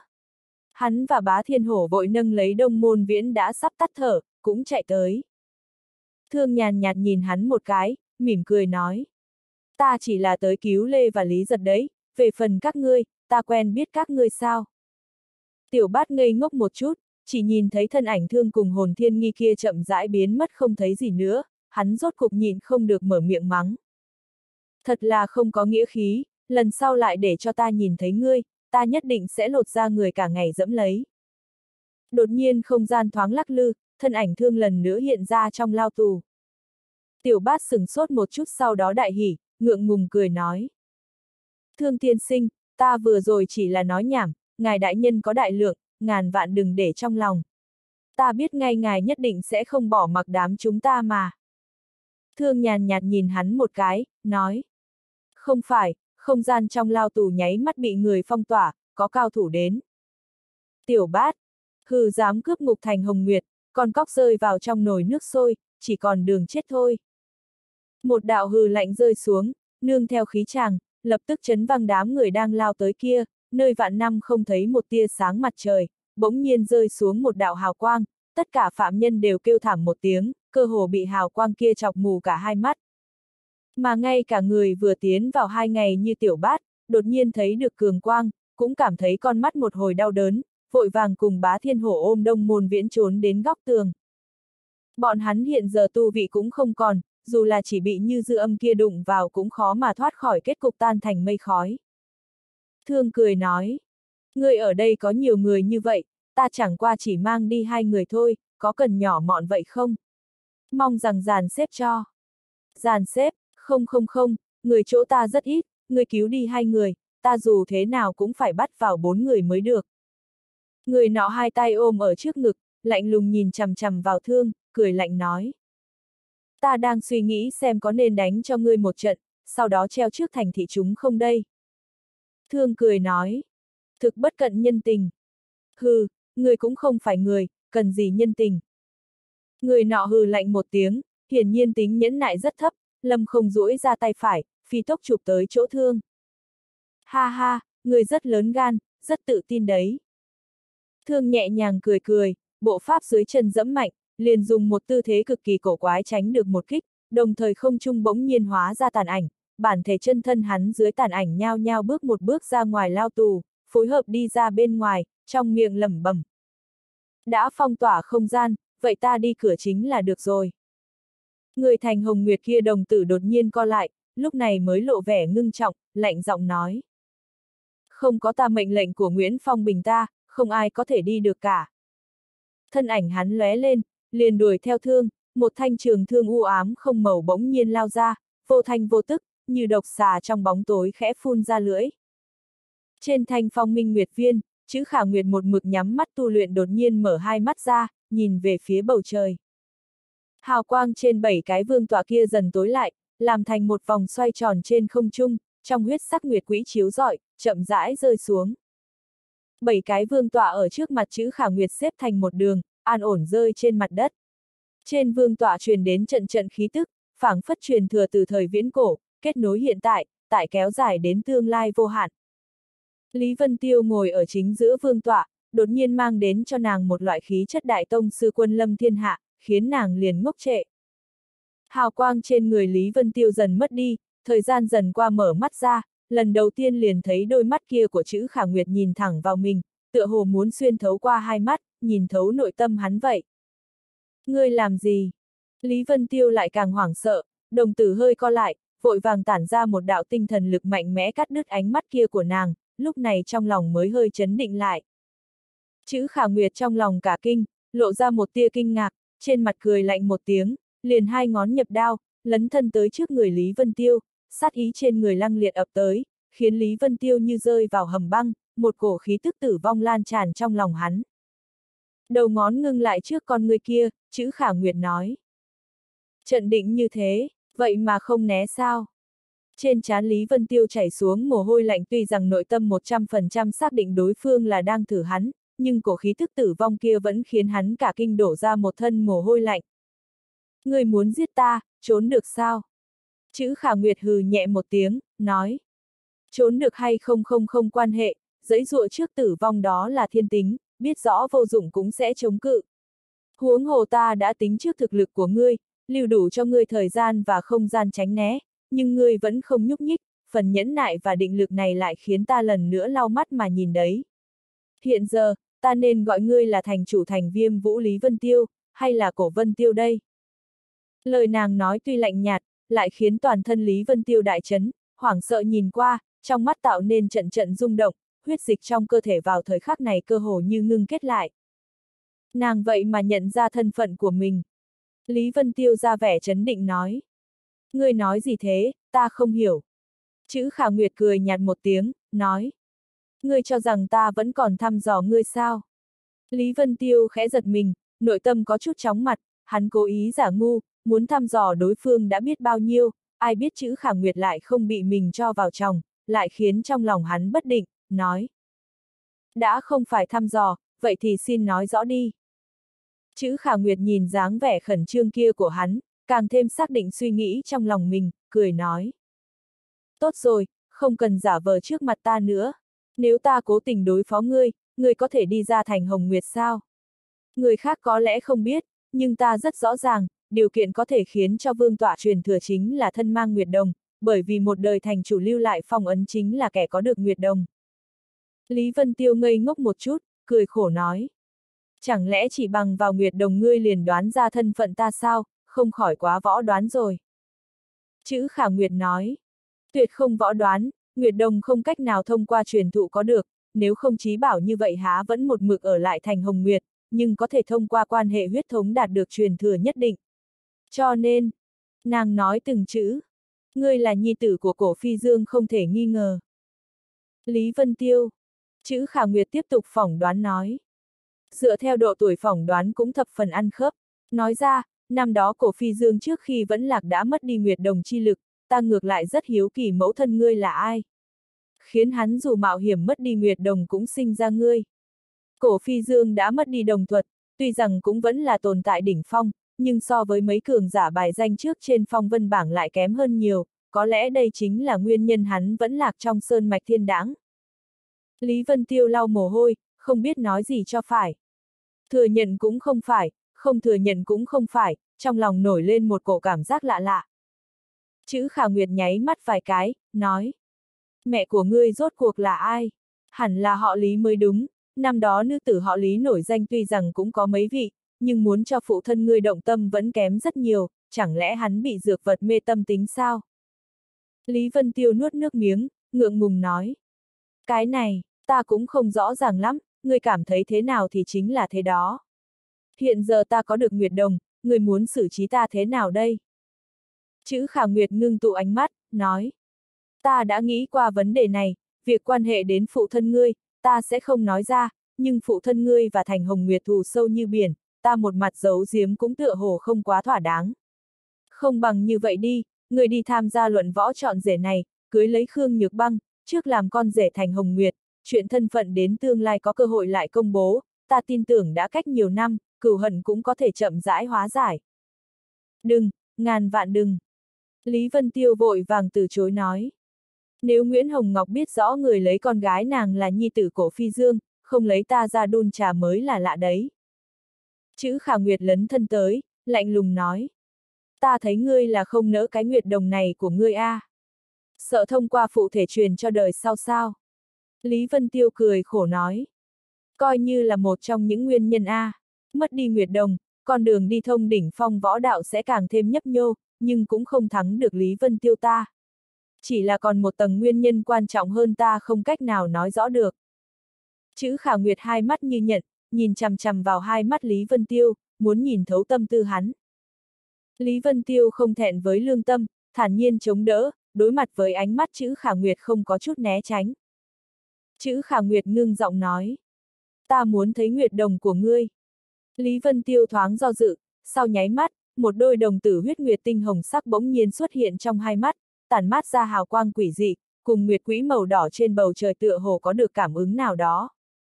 Chữ khả nguyệt hít một hơi lạnh, sắc mặt hơi có chút trắng bệch, tuy rằng đã sớm chuẩn bị tâm lý, nhưng lần nữa trông thấy đôi mắt này nàng vẫn khó có thể ức chế nội tâm, các đoạn ngắn trí nhớ từng cái hiện lên trong đầu, trước ngực phập phồng dị thường lợi hại. Nàng có chút thất thần, bi thương nói. Phi dương đại ca, ta một mực cũng không tin ngươi chết. Hiện giờ con của ngươi kế thừa Nguyệt Đồng ta mới thật sự tin. Trong ngữ khí của nàng mang theo bi thương vô tận, đau thương hối tiếc nói. Năm đó bên ngoài thành Hồng Nguyệt, cố nhân trên tử vân phong bây giờ còn mấy người. Lý Vân Tiêu nghe thế thở dài trong lòng, nhịn không được muốn công khai thân phận của mình, nhưng sau khi hơi do dự vẫn bình tĩnh lại, trước mắt người biết càng ít càng tốt, đợi có thời cơ thích hợp lại nói cho nàng biết a. À. Chữ khả nguyệt một mình hao tổn tinh thần một hồi, mới nói. Chuyện cũ không nói đến nữa, ta cũng chỉ thương cảm thôi. Đúng rồi, võ kỹ người thu được trong vương tọa này là. Lý Vân Tiêu ánh mắt ngưng tụ, mở miệng nói. Nào có võ kỹ gì, bên trong ghi lại chính là cách lấy được và thu phục thiên tư. Năm đó vị tổ tiên này vốn có thiên tư, lại bởi vì một chiêu vô ý, tiếc nuối cả đời. Liền khắc tâm đắc lĩnh ngộ của mình vào trong vương tọa, sở dĩ vạn năm qua thành hồng nguyệt không ai có thể truyền thừa, cũng là vì nguyệt đồng này. Nếu không phải nguyệt quỹ biến hóa, dẫn động nguyệt đồng của ta sợ rằng đã bị bỏ qua rồi. Chữ khả nguyệt giật mình nói. Thiên tư, thiên tư đến cùng là thứ gì? Tuy rằng điển tịch có ghi lại nhiều, nhưng thủy trung bao phủ một tầng sương mù, khiến người không rõ ràng lắm. Lý Vân Tiêu trao mày lại, hiển nhiên cũng khó hiểu, nghi ngờ nói. Vị này tổ tiên cũng không nói rõ ràng, chỉ nói là có được thiên tư xem như thấy được trung cực võ đạo, có cơ hội thành thần. Mà Nguyệt Đồng chính là điểm mấu chốt để có được thiên tư. Trung cực võ đạo, cơ hội thành thần. Dù chữ khả nguyệt tâm như chỉ thủy, cũng nhìn không được kinh hãi, nhưng sau rung động ngắn ngủi lập tức khôi phục thần sắc như thường, nói. Xưa nay bao nhiêu truyền thuyết thành thần, cũng không ta ấy có ai thật sự bước vào thần cảnh, ngược lại lưu lại không ít căn cứ tồn tại của thập phương thần cảnh. Nếu ngươi đã có cơ duyên này, có lẽ có thể lấy được thiên tư cũng không chừng. Lý Vân Tiêu đột nhiên cười nói. Tâm tính khả nguyệt đại nhân khó người sánh bằng, sau khi nghe được cơ hội thành thần còn khí định thần nhàn như thế, phần tu vị này đã trên thất đại tông chủ rồi, ngày khác vấn đỉnh đỉnh phong võ đạo cũng chỉ trong tầm tay. Chữ khả nguyệt nhìn không được cười lên, nói. Ta cảm thấp loại người như ngươi làm ra vẻ rất có ý tứ, nói chuyện với ta cũng lớn mật như vậy, tính cách của ngươi rất giống phụ thân ngươi, thiên phú càng hơn hẳn hắn, thành tựu tương lai cũng không dưới phụ thân ngươi. Ta thật sự rất hy vọng ngươi cân nhắc một chút chuyện lấy nhược băng, nàng là một nữ hài rất không tệ, cũng là học trò cưng của ta. Sau khi cưới chưa hẳn phải lập tức cùng phòng, có thể đợi đến khi ngươi ít dựa dẫm vào Nguyệt Đồng rồi mới nói đến chuyện vợ chồng. Lý Vân Tiêu cười khổ nói. Ta hiện giờ có rất nhiều băn khoăn, tạm không cân nhắc việc này, ngày khác hữu duyên lại nói sau. Chữ khả nguyệt thở một tiếng thật dài, nói. Đứa nhỏ nhược băng này cũng thật kém phúc, sau luận võ chọn rể không biết sẽ rơi vào nhà nào nữa. Lý Vân Tiêu cười dài nói. Ta thấy ngược lại cũng chưa hẳn, dùng tính tình nhược băng tiểu thư, ai có thể thuần được nàng chứ? Khả Nguyệt đại nhân, lần này chuyến đi thành Hồng Nguyệt có thể gặp đại nhân ta rất vui sướng, hơn nữa thứ ta cần cũng đã đến tay, như vậy xin từ biệt rồi. Hắn đã nhận được Đông Hải Nguyệt Minh Châu, muốn tìm điểm nơi an toàn trước tiên luyện hóa lấy hạt châu, khắc chế ma đầu trong cơ thể mình. Chữ Khả Nguyệt ngạc nhiên nói. Người phải đi rồi sao? Còn một tháng nữa là đến lúc địa lão thiên hoang mở ra, không bằng ở lại thành Hồng Nguyệt tiềm tu, nơi này cũng là linh sơn bảo địa hiếm có A. Lý Vân Tiêu nói. Quả thật, nhưng đây cũng là nơi thị phi, nước càng ngày càng sâu, ta không muốn bị cuốn vào vũng nước đục này. Chờ ta trả Khương Nhược Mai một cái nhân tình, liền đi hóa thần hải xem thử, lại đợi dây đến lúc tiên cảnh kia mở ra. Chữ khả nguyệt tinh tế suy nghĩ ý trong nửa lời trước, không nhịn được gật nói. Đứa bé Nhược Mai kia thật khổ, người cũng nên giúp nàng. Vậy thì ngươi cẩn thận đấy, ta với người phụ thân là hảo hữu trí giao, cũng xem như cô mụ của ngươi.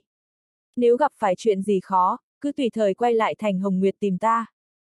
Một đạo quang mang từ trong tay nàng bay ra, lại là một khối ngọc bội màu trắng, nói. Phía trên này có một đám thần niệm của ta, gặp phải bất cứ chuyện gì cứ bóp nát ngọc bài ta liền cảm ứng được, có thể tùy thời đánh nát không gian tới. Lý Vân Tiêu trong nội tâm ấm áp, sinh ra một cổ phiền muộn, áp chế cảm xúc yêu thương trong lòng mình, cười to nói. Ta biết rồi. Giữa hai người tuy rằng gặp mặt không nhiều lắm, nhưng phần tình nghĩa năm đó lại không nhạt. Lý Vân Tiêu quay người đang muốn rời đi, đột nhiên một đạo quang mang từ phía dưới thành hồng nguyệt bắn lên, hóa thành một đạo nhân ảnh kinh quát. Ngươi không thể đi. Người tới chính là Nguyễn Nguyên Tư, hắn cũng phát hiện ra dị tượng vương tọa biến mất, lúc này mới chạy tới, lại thấy Lý Vân Tiêu đang định rời đi, vì vậy vội vàng lên tiếng ngăn trở. Chữ khả nguyệt nhướng mày, nói. Nguyên Tư đại nhân, trong vương tọa này cũng không truyền thừa võ kỹ gì cả, điểm ấy ta có thể làm chứng. Nguyễn Nguyên Tư cau mày nói. Khả Nguyệt muội tử, hắn nói ngươi tin sao? Tuy rằng ta không biết hắn và ngươi có sâu xa gì, đối với võ kỹ trên vương tỏa ta cũng không ôm tâm tư gì, ta ngăn đón hắn là vì chuyện khác. Thái Hoa Kim phù tỏa trận bị phá, nghệ Thạch và ba huynh đệ câu ra đều không thấy đâu nữa. Cái gì? Chữ khả nguyệt cả kinh, thiếu chút nữa đã không khống chế nổi khí tức bản thân chấn động, sắc mặt bỗng nhiên chìm xuống. Đến cùng đã xảy ra chuyện gì? Nguyễn Nguyên Tư hừ một tiếng, lạnh lùng nhìn chằm chằm vào Lý Vân Tiêu, nói. Cái này thì phải hỏi hắn rồi. Hắn liền nói ra chuyện Nguyễn Tử Lăng kể lại. Hiện giờ biết rõ hạ lạc của Nghê Thạch và ba huynh đệ câu ra cũng chỉ có Lý Vân Tiêu hắn thôi. Lý Vân Tiêu kiên nhẫn nghe xong, bất giác nở nụ cười lạnh nói. Con của ngươi hãm hại ta không thành, ngược lại giống như ta hại con ngươi vậy. Nguyễn Nguyên Tư đại nhân, Nguyễn gia các ngươi không chỉ thực lực siêu quần, mà ngay cả logic cũng siêu quần A, lĩnh giáo, ha ha. Trên mặt Nguyễn Nguyên Tư lộ ra một vòng đỏ ửng, bị một hậu bối mỉa mai như thế, hắn cũng cảm thấy không có ý tứ, chỉ có thể khẽ nói. Mặc ngươi nói như thế nào, chuyện nghe thạch mất đi ngươi cũng không thoát khỏi quan hệ đâu. Chữ khả nguyệt cũng lộ vẻ trầm trọng nói. Vân Tiêu, nghe thạch kia đối với ta cực kỳ trọng yếu. Thậm chí quan hệ đến sinh tử hạ lạc của cha ta, vô luận như thế nào cũng phải tìm về mới được. a à, thành chủ thành hồng nguyệt đời trước, phụ thân ngươi lại vì nghe thạch mà mất tích sao? Lý Vân Tiêu giật mình trầm tư, liền trực tiếp truyền âm qua, nói. Nghe thạch không mất, nhưng giờ ta không cách nào lấy ra được. Một tháng sau, lúc địa lão thiên hoang mở ra ta sẽ trả lại cho ngươi. Chữ khả nguyệt hơi nhíu mày, liền gật đầu nói. Tốt, chỉ một chữ, liền đại biểu tín nhiệm tuyệt đối của nàng đối với Lý Vân Tiêu, Nguyễn Nguyên Tư thấy thế chợt cau mày lại.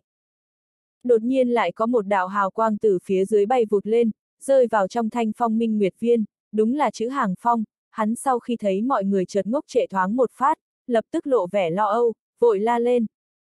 Nhị tỷ, không tốt rồi, nhược băng tiểu thư mất tích. Mấy người đều sững sờ, chữ khả nguyệt cao mày nói. Mất tích, làm sao có thể, cô gái nhỏ kia có bao nhiêu bổn sự ta sao không rõ, nếu nàng có thể chạy thoát dưới sự giám thị của các ngươi, vậy thì vị trí quân đốc của ngươi phải thay người rồi. Chữ hàng phong cười khổ nói. Chức quân đốc này ngươi cho rằng ta muốn làm sao? Nhược băng tiểu thư đi một chuyến đến cửa thành, muốn truyền tống rời đi, sau khi bị ngăn lại liền đi vào một tử quán, gặp hai người xa lạ, ba người sau khi uống vài chén liền hoàn toàn biến mất trước sự giám thị của ba gã cường giả võ đế, chút dấu vết cũng không lưu lại. Nguyễn Nguyên Tư cả kinh nói. Hiện giờ vào lúc này lại xảy ra chuyện, thành hồng nguyệt to lớn như thế, nếu bọn họ thật muốn trốn đi, đợi đến khi thi đấu lôi đài kết thúc, nên ăn nói với người trong thiên hạ thế nào đây? Chữ khả nguyệt nói. Không cần phải gấp gáp, cho dù thi đấu lôi đài phân ra thắng bại, nhược băng cũng không nhất định phải lộ mặt. Bất luận đồn pháp gì cũng đều có dấu vết để lần theo, chỉ có thể nói thực lực hai người xa lạ kia quá mạnh mẽ, ta ngược lại cảm thấy lo lắng cho an toàn của nhược băng đấy. Người lập tức mở ra đại trận hộ thành, có bất kỳ phá không đi vào nào đều có thể cảm ứng được, đồng thời phái cường giả giữ vững vị trí cửa thành, bất luận kẻ nào cũng chỉ được phép vào không cho phép ra. Nguyên tư đại nhân, chuyện nghe thạch lòng ta đã có tính toán, kính xin nguyên tư đại nhân phái người cùng đi tìm nhược băng đi. Nguyễn Nguyên Tư sửng sốt một chút, cổ quái nhìn Lý Vân Tiêu, lúc này mới nói. Nếu khả nguyệt muội tử đã nói, ta tự nhiên cũng yên tâm. Vậy ta liền phái nhân thủ đi bốn phía điều tra đây. Chỉ hành hồng nguyệt phạm vi quá lớn, sợ rằng có chút phiền phức. Hắn và chữ hàng phong liền hóa thành một đạo hào quang biến mất. Lý Vân Tiêu nói. Chuyện tìm người ta cũng không giúp được gì, không quấy rầy khả nguyệt đại nhân nữa. Chữ khả nguyệt nói. Ngươi đi đi, cầm ngọc bài ta đưa cho ngươi là có thể ra khỏi cửa thành, một tháng sau hy vọng ngươi có thể đúng hẹn trả lại nghe thạch. Lý Vân Tiêu nói. Tất nhiên. Hắn cũng không nhiều lời, quay người liền hóa thành một đạo quang mang mà đi, chữ khả nguyệt nhìn qua thân ảnh hắn biến mất, trên mặt dần dần lộ ra vẻ suy ngẫm. Lý Vân Tiêu cũng không trực tiếp ra khỏi cửa thành, mà lao về phía chỗ kén rể, miếng sắt ghi chép chân ma pháp thân kia hắn nhất định phải đạt được. Bốn phía quảng trường người ta tấp nập, Lý Vân Tiêu cũng không tiện ngự không phi hành, sau khi đáp xuống liền lách vào trong đám người, Nguyễn Tử Mậu đứng ở trước nhất, lạnh mắt quan sát trận đấu, hai gã thiếu niên võ tôn đang liều mạng đánh nhau trên võ đài khiến tiếng ủng hộ liên tục vang lên. Đột nhiên thân thể Lý Vân Tiêu ngừng lại, hắn từ trong đám người thấy được một thân ảnh quen thuộc, trong nội tâm hơi kinh hãi, trong đầu nhanh chóng tính kế. Người trước mắt đúng là đường kiếp của tứ cực môn. Sao hắn lại ở chỗ này? Chẳng lẽ cũng là đến tham gia luận võ chọn rể, muốn đoạt được đệ nhất sao? Sắc mặt Lý Vân Tiêu khẽ biến thành ngưng trọng, rơi vào trầm tư, nói. Lý Giật và Lê đã tiến vào địa lao, nếu đường kiếp ở đây, vậy thì đám thân tự nhiên cũng biết tình huống của Lý Giật và Lê, tuyệt sẽ không không nghe thấy không thấy. Dùng cách làm người và phong cách làm việc của thương, sợ rằng sẽ cướp ngục, không biết bọn hắn bố trí thế nào đây, có lẽ đây chính là thời cơ tốt để mượn thành hồng nguyệt loại bỏ đám đại yêu này a. À. Trong mắt của hắn hiện lên một tia trang nhã, cong ngón búng ra, một đạo kình phong từ trong ngón tay hắn bắn ra, đâm thẳng vào sau ót đường kiếp. Ai? Kình phong khẽ động, đường kiếp lập tức liền cảm ứng được, quát một tiếng, lật tay bắt lấy, trực tiếp chôn vùi đạo chỉ mang kia trong lòng bàn tay, lập tức thấy được một khuôn mặt tươi cười phong khinh vân đảm, gật đầu ý bảo với hắn. Lý Vân Tiêu. Đường kiếp hít một miệng hơi lạnh, cả giận nói từng chữ, trong mắt tràn đầy lửa giận và chiến ý. Lý Vân Tiêu kinh ngạc nói. Ở Tống Nguyệt Dương thành ngươi hãm hại ta, ta cũng không có nổi giận với ngươi, sao ta vừa gặp được ngươi, vừa thấy ta đã giống như ta giết cha ruột ngươi vậy chứ? Đường kiếp duỗi ra một ngón tay, nhe răng cười nói. Vừa vặn ta thần thông đại thành, vốn định tìm đám tôm tép này đánh một trận, nhưng nếu ngươi đã đến vậy thì không còn gì tốt hơn rồi. Hắn trực tiếp đẩy đám người chung quanh ra, tiến từng bước tới chỗ Lý Vân Tiêu. Người bốn phía đều nhao nhao trợn mắt mắng to, gây ra bạo động không nhỏ, nhưng nơi này người ta tấp nập, chút náo loạn này cũng không hề có ý nghĩa gì cả. Lý Vân Tiêu cười nói. Đã muốn động thủ, vậy thì đi theo ta. Hắn quay người lại đi ra ngoài, đường kiếp cười lạnh nói. Nghe nói người bắt tên biến thái cuồng lý giật kia vào địa lao rồi sao? Rất không tồi, ta đã sớm không vừa mắt tên biến thái kia rồi, với tư cách cảm ơn ngươi, hôm nay liền tha cho ngươi một mạng, thu ngươi làm nô bộc vậy. Hắn phi tốc đuổi kịp bộ pháp Lý Vân Tiêu, hai người đều cất bước thong thả, nhưng lại đều là xúc địa thành thốn, mấy hơi đã đi đến một nơi không ngừng trong thành. Lý Vân Tiêu lúc này mới ngừng lại, quay người nhìn qua hắn ngâm ngâm cười, nói. Trong khoảng thời gian này khắp thiên hạ đều đang tìm các ngươi a. À. Ngươi lại vẫn dám công nhiên lộ diện, rất lớn mật đấp. Sau ngày ấy rời đi, người còn lại đều bị các ngươi giết hết rồi sao? Sau ngày ở Tống Nguyệt Dương Thành, Lý Vân Tiêu cũng tìm cơ hội nghe ngóng tình huống lúc sau, đều không có tin tức bọn người thôi bác, trong lòng của hắn đã nhận định bọn người thôi bác hẳn phải chết không thể nghi ngờ. Đường kiếp hai tay phụ ở trước ngực, một bộ tràn đầy tự tin, ngang nhiên khẽ nói. Hừ, một đám người cũ bảo thủ, cho dù không giết bọn hắn, cũng chỉ là cặn bã của thời đại, sống có ý nghĩa gì đâu chứ. Lý Vân Tiêu ngạc nhiên nói. Thương tẩy não các ngươi thế nào thế? Vậy mà khiến ngươi tự đại cuồng vọng đến mức này rồi. Nhìn Lý Giật cũng không khác gì ngươi, quả nhiên là cá mè một lứa a. À. Đường kiếp phẫn nộ quát. Đừng mang ta ra đánh đồng với tên biến thái cuồng kia, đó chẳng qua chỉ là tôm tép nhãi nhép, đáng đời hắn xuống địa lao, loại người này chết thì cũng thôi đi, căn bản không có bất cứ giá trị nào để cứu cả. Lý Vân Tiêu cười nói. Quả nhiên là đến cướp ngục, các người thật sự có gan A, địa lao thành Hồng Nguyệt cũng dám đi. Hẳn là thương tự mình xuất thủ A, nhưng không biết hắn đã khôi phục đến trình độ nào rồi. Những đại yêu này vốn đều là tồn tại đỉnh phong võ đạo đỉnh phong, quy tức vài vạn năm khiến lực lượng sói mòn không còn, hiện giờ dựa vào quái vật khổng lồ tứ cực môn, có tài nguyên vô cùng vô tận cung cấp, vẫn một mực khiến Lý Vân Tiêu sinh lòng kiêng kỵ. Nếu mấy tên đại yêu đều khôi phục đến đỉnh phong vậy thì thực lực chỉnh thể không thể lường được. Thương vào vài vạn năm trước đã luyện hóa được hồn thiên nghi, nếu lần này trở về đỉnh phong, chính là tồn tại có hy vọng bước vào thập phương thần cảnh nhất. Đường kiếp cười nhạo nói. Thương đại nhân.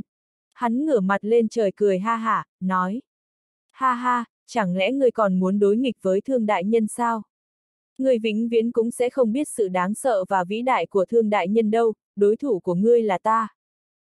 Trên thân thể của hắn phát ra một tiếng oanh trầm đục, hình thể thoáng cái lớn hơn một vòng, yêu lực bành trướng mà ra, một thanh bảo đao xuất hiện nơi tay, hắn giơ đao lên cao chém xuống một cái. Không gian bị đao mang hóa ra một khe hở thập tử, phi tốc khuếch trương ra, bao lấy Lý Vân Tiêu vào trong. Ánh mắt Lý Vân Tiêu lộ ra vẻ kinh ngạc, nói. Võ đế nhị tinh, quả nhiên có vốn liếng để cuồng vọng, bất quá điểm mà ta thưởng thức ngươi nhất cũng là loại vô tri đơn thuần này, cũng chính vì thế mới khiến ngươi làm việc không sợ hãi, tuy rằng hơi chút lăng đầu thanh, nhưng đối với tu luyện võ đạo lại rất có lợi. Trên người hắn nổi lên ánh sáng màu xanh, hóa thành một đạo điện mang lâm không chấp động vài lần trên không trung, như vẽ tranh vẽ ra mấy đạo đường gãy, đơn giản mà tránh đi một kích, lần nữa rơi trên mặt đất, hiện ra thân thể. Đường kiếp khinh thường nói. Thân hóa lôi đình, chiêu số cũ dích này cũng dám lấy ra, dưới đế khí, bất luận kỳ dâm kỹ xảo gì cũng để sẽ bị nghiền nát. Trong thân thể của hắn truyền đến từng đạo thanh âm xương cốt bạo liệt, toàn bộ hình thể phát sinh biến hóa cực lớn, lúc này một đạo hào quang ôn nhu từ trong thân thể đường kiếp hiển hóa ra, vậy mà chiếu dọi ra khung xương trong cơ thể hắn, ôn nhuận như ngọc, lưu quang chấp động. Bộ xương này tuy rằng cực kỳ giống nhân loại, nhưng lại có các loại bất đồng rất nhỏ, lộ ra lực lượng cường đại. Lý Vân Tiêu ngạc nhiên nói. Ngươi hoán cốt rồi sao? Khó trách tu vị tinh tiến nhanh như vậy, chỉ là một mặt cầu lực lượng, ngay cả thân thể nhân loại cũng không cần, như vậy có đáng không? Đường kiếp cười to nói. Ha ha, thân thể nhân loại, nếu là bước vào thập phương thần cảnh, thân thể thiên biến vạn hóa tùy tâm, là người hay là yêu, có gì khác nhau? Chư pháp vô tương, võ đạo vĩnh hằng, Lý Vân Tiêu, bằng vào điểm ấy, người cũng không bằng ta a. À. Lý Vân Tiêu thở dài. Dũng khí và quyết tâm của ngươi quả thật khiến ta tán thưởng, nhưng tự biến mình thành tứ bất tượng, như vậy cũng có thể bước vào thần cảnh thì cảnh giới truyền thuyết trong nhiều năm qua chẳng phải đều trở thành trò cười rồi sao? Có buồn cười hay không, nắm đấm sẽ kết luận, ta sống, người chết, đó là sự thật. Sắc mặt đường kiếp trầm xuống, thân ảnh lóe lên liền biến mất trước mắt, sau một khắc xuất hiện trên người Lý Vân Tiêu, chém xuống một đao. Thật nhanh! Lý Vân Tiêu cả kinh, mặc dù động tác đối phương thần thức hắn có thể bắt được, nhưng thân thể lại phản ứng có vẻ hơi chậm, lóe lên, đao mang đã dán lấy thân thể mà xuống. Khí lãng cường đại chấn khai, đánh lên người hắn, trực tiếp đánh cả người hắn bay ra xa hơn trăm mét. Ha ha, đây chính là uy lực của địa long chú cốt A. Trên người đường kiếp yêu khí trùng thiên, vừa xài bước ra đã vào tới trước người Lý Vân Tiêu, lần nữa chém xuống một đao. Trong tay Lý Vân Tiêu chấp động hàn quang, lãnh kiếm băng xương hiển hiện, ngăn cản ở trước mặt. Phanh! Hai thanh huyền khí cửu giai giao phong, hàn khí trên lãnh kiếm băng xương bị đao mang đối phương đánh tan, Lý Vân Tiêu chỉ cảm thấy cự lực đè xuống, cả đầu cánh tay đều tê dần, lần nữa bị đánh bay ra ngoài. Ha ha, đã ghiền, rất đã ghiền a. À. Đường kiếp hai chiêu đắc thủ, hưng phấn hoa hoa kêu to, dưới chân đạp một cái, thân thể phá không phóng lên, tới gần Lý Vân Tiêu lần nữa dơ lên chém xuống. Lý Vân Tiêu tuy rằng bị chấn khiến thể nội khí huyết cuồn cuộn, nhưng sắc mặt bình tĩnh như thường, trong lúc không ngừng lui về phía sau trong tay cũng bấm niệm pháp quyết, thái cổ thiên mục nơi mi tâm mở ra, một đạo hỏa diễm hóa thành phượng hoàng, vang lên một tiếng đốt ra ngoài, đón lấy đao mang của đường kiếp. Đường kiếp có chút kinh hãi, cổ hỏa diễm này mang đến cho hắn cảm giác đủ để thiêu đốt thân thể mình, hắn liền vội vàng thu hồi đao thế, vẽ ra trên không trung mấy đạo đao mang, đế khí tung hoành, ngăn cách hỏa diễm ra, hình thành một mảnh chân không. Mặc thủ đoạn ngươi có cường thịnh trở lại, chết lệch cực lớn về mặt tu vị, đủ khiến ta đánh tan tất cả rồi. Trong tay đường kiếp khẽ ngắt đao quyết, giữa không trung bắt đầu xuất hiện từng đạo khe hở màu đen, nhỏ bé yếu ớt như sợi tóc, thời gian dần qua tăng nhiều, tản ra mọi nơi, dần dần bước lui biển lửa ra ngoài. Lý Vân Tiêu đứng trên không trung, cười lạnh một tiếng, một cổ vòi rồng chậm rãi ngưng tụ trong lòng bàn tay hắn, lâm không đè xuống, một chiêu đại phong xa ngang trời mà đến, những nơi đi qua hỏa diễm bỗng nhiên phanh lên, hình thành từng đạo sóng lửa, đánh tới trên người đường kiếp, lập tức thôn vệ lấy những khe hở màu đen kia. Cái gì? Đường kiếp cả kinh, nộ vũ hồng đao, yêu lực bành trướng ra, hóa thành một đạo kết giới hình tròn bảo vệ mình vào trong.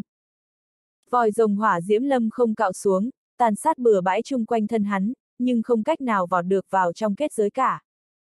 Đường kiếp lạnh giọng nói.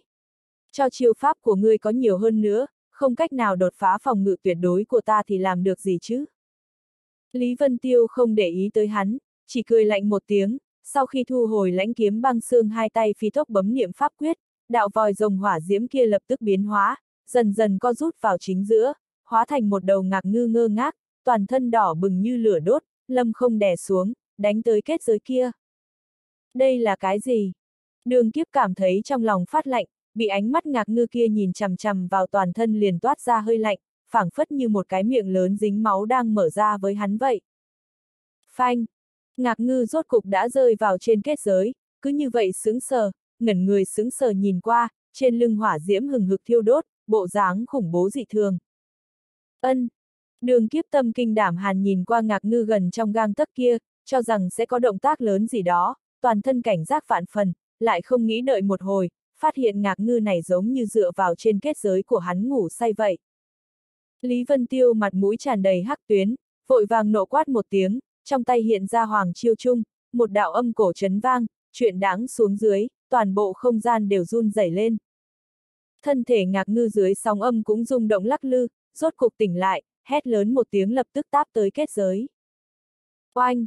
Toàn bộ kết giới lập tức nghiền nát, đường kiếp cả kinh toàn thân mồ hôi lạnh, đột nhiên một tiếng trái tim nhảy lên từ trong cơ thể hắn truyền ra, yêu khí cường đại bỗng nhiên hóa thành một đôi lông cánh, trên cánh ẩn ẩn có lôi quang lóe lên, lập tức chạy ra khỏi miệng ngạc ngư, liên tục lui vài trăm mét mới ngừng lại được, vẻ mặt thất kinh a à, dĩ nhiên là lôi đột.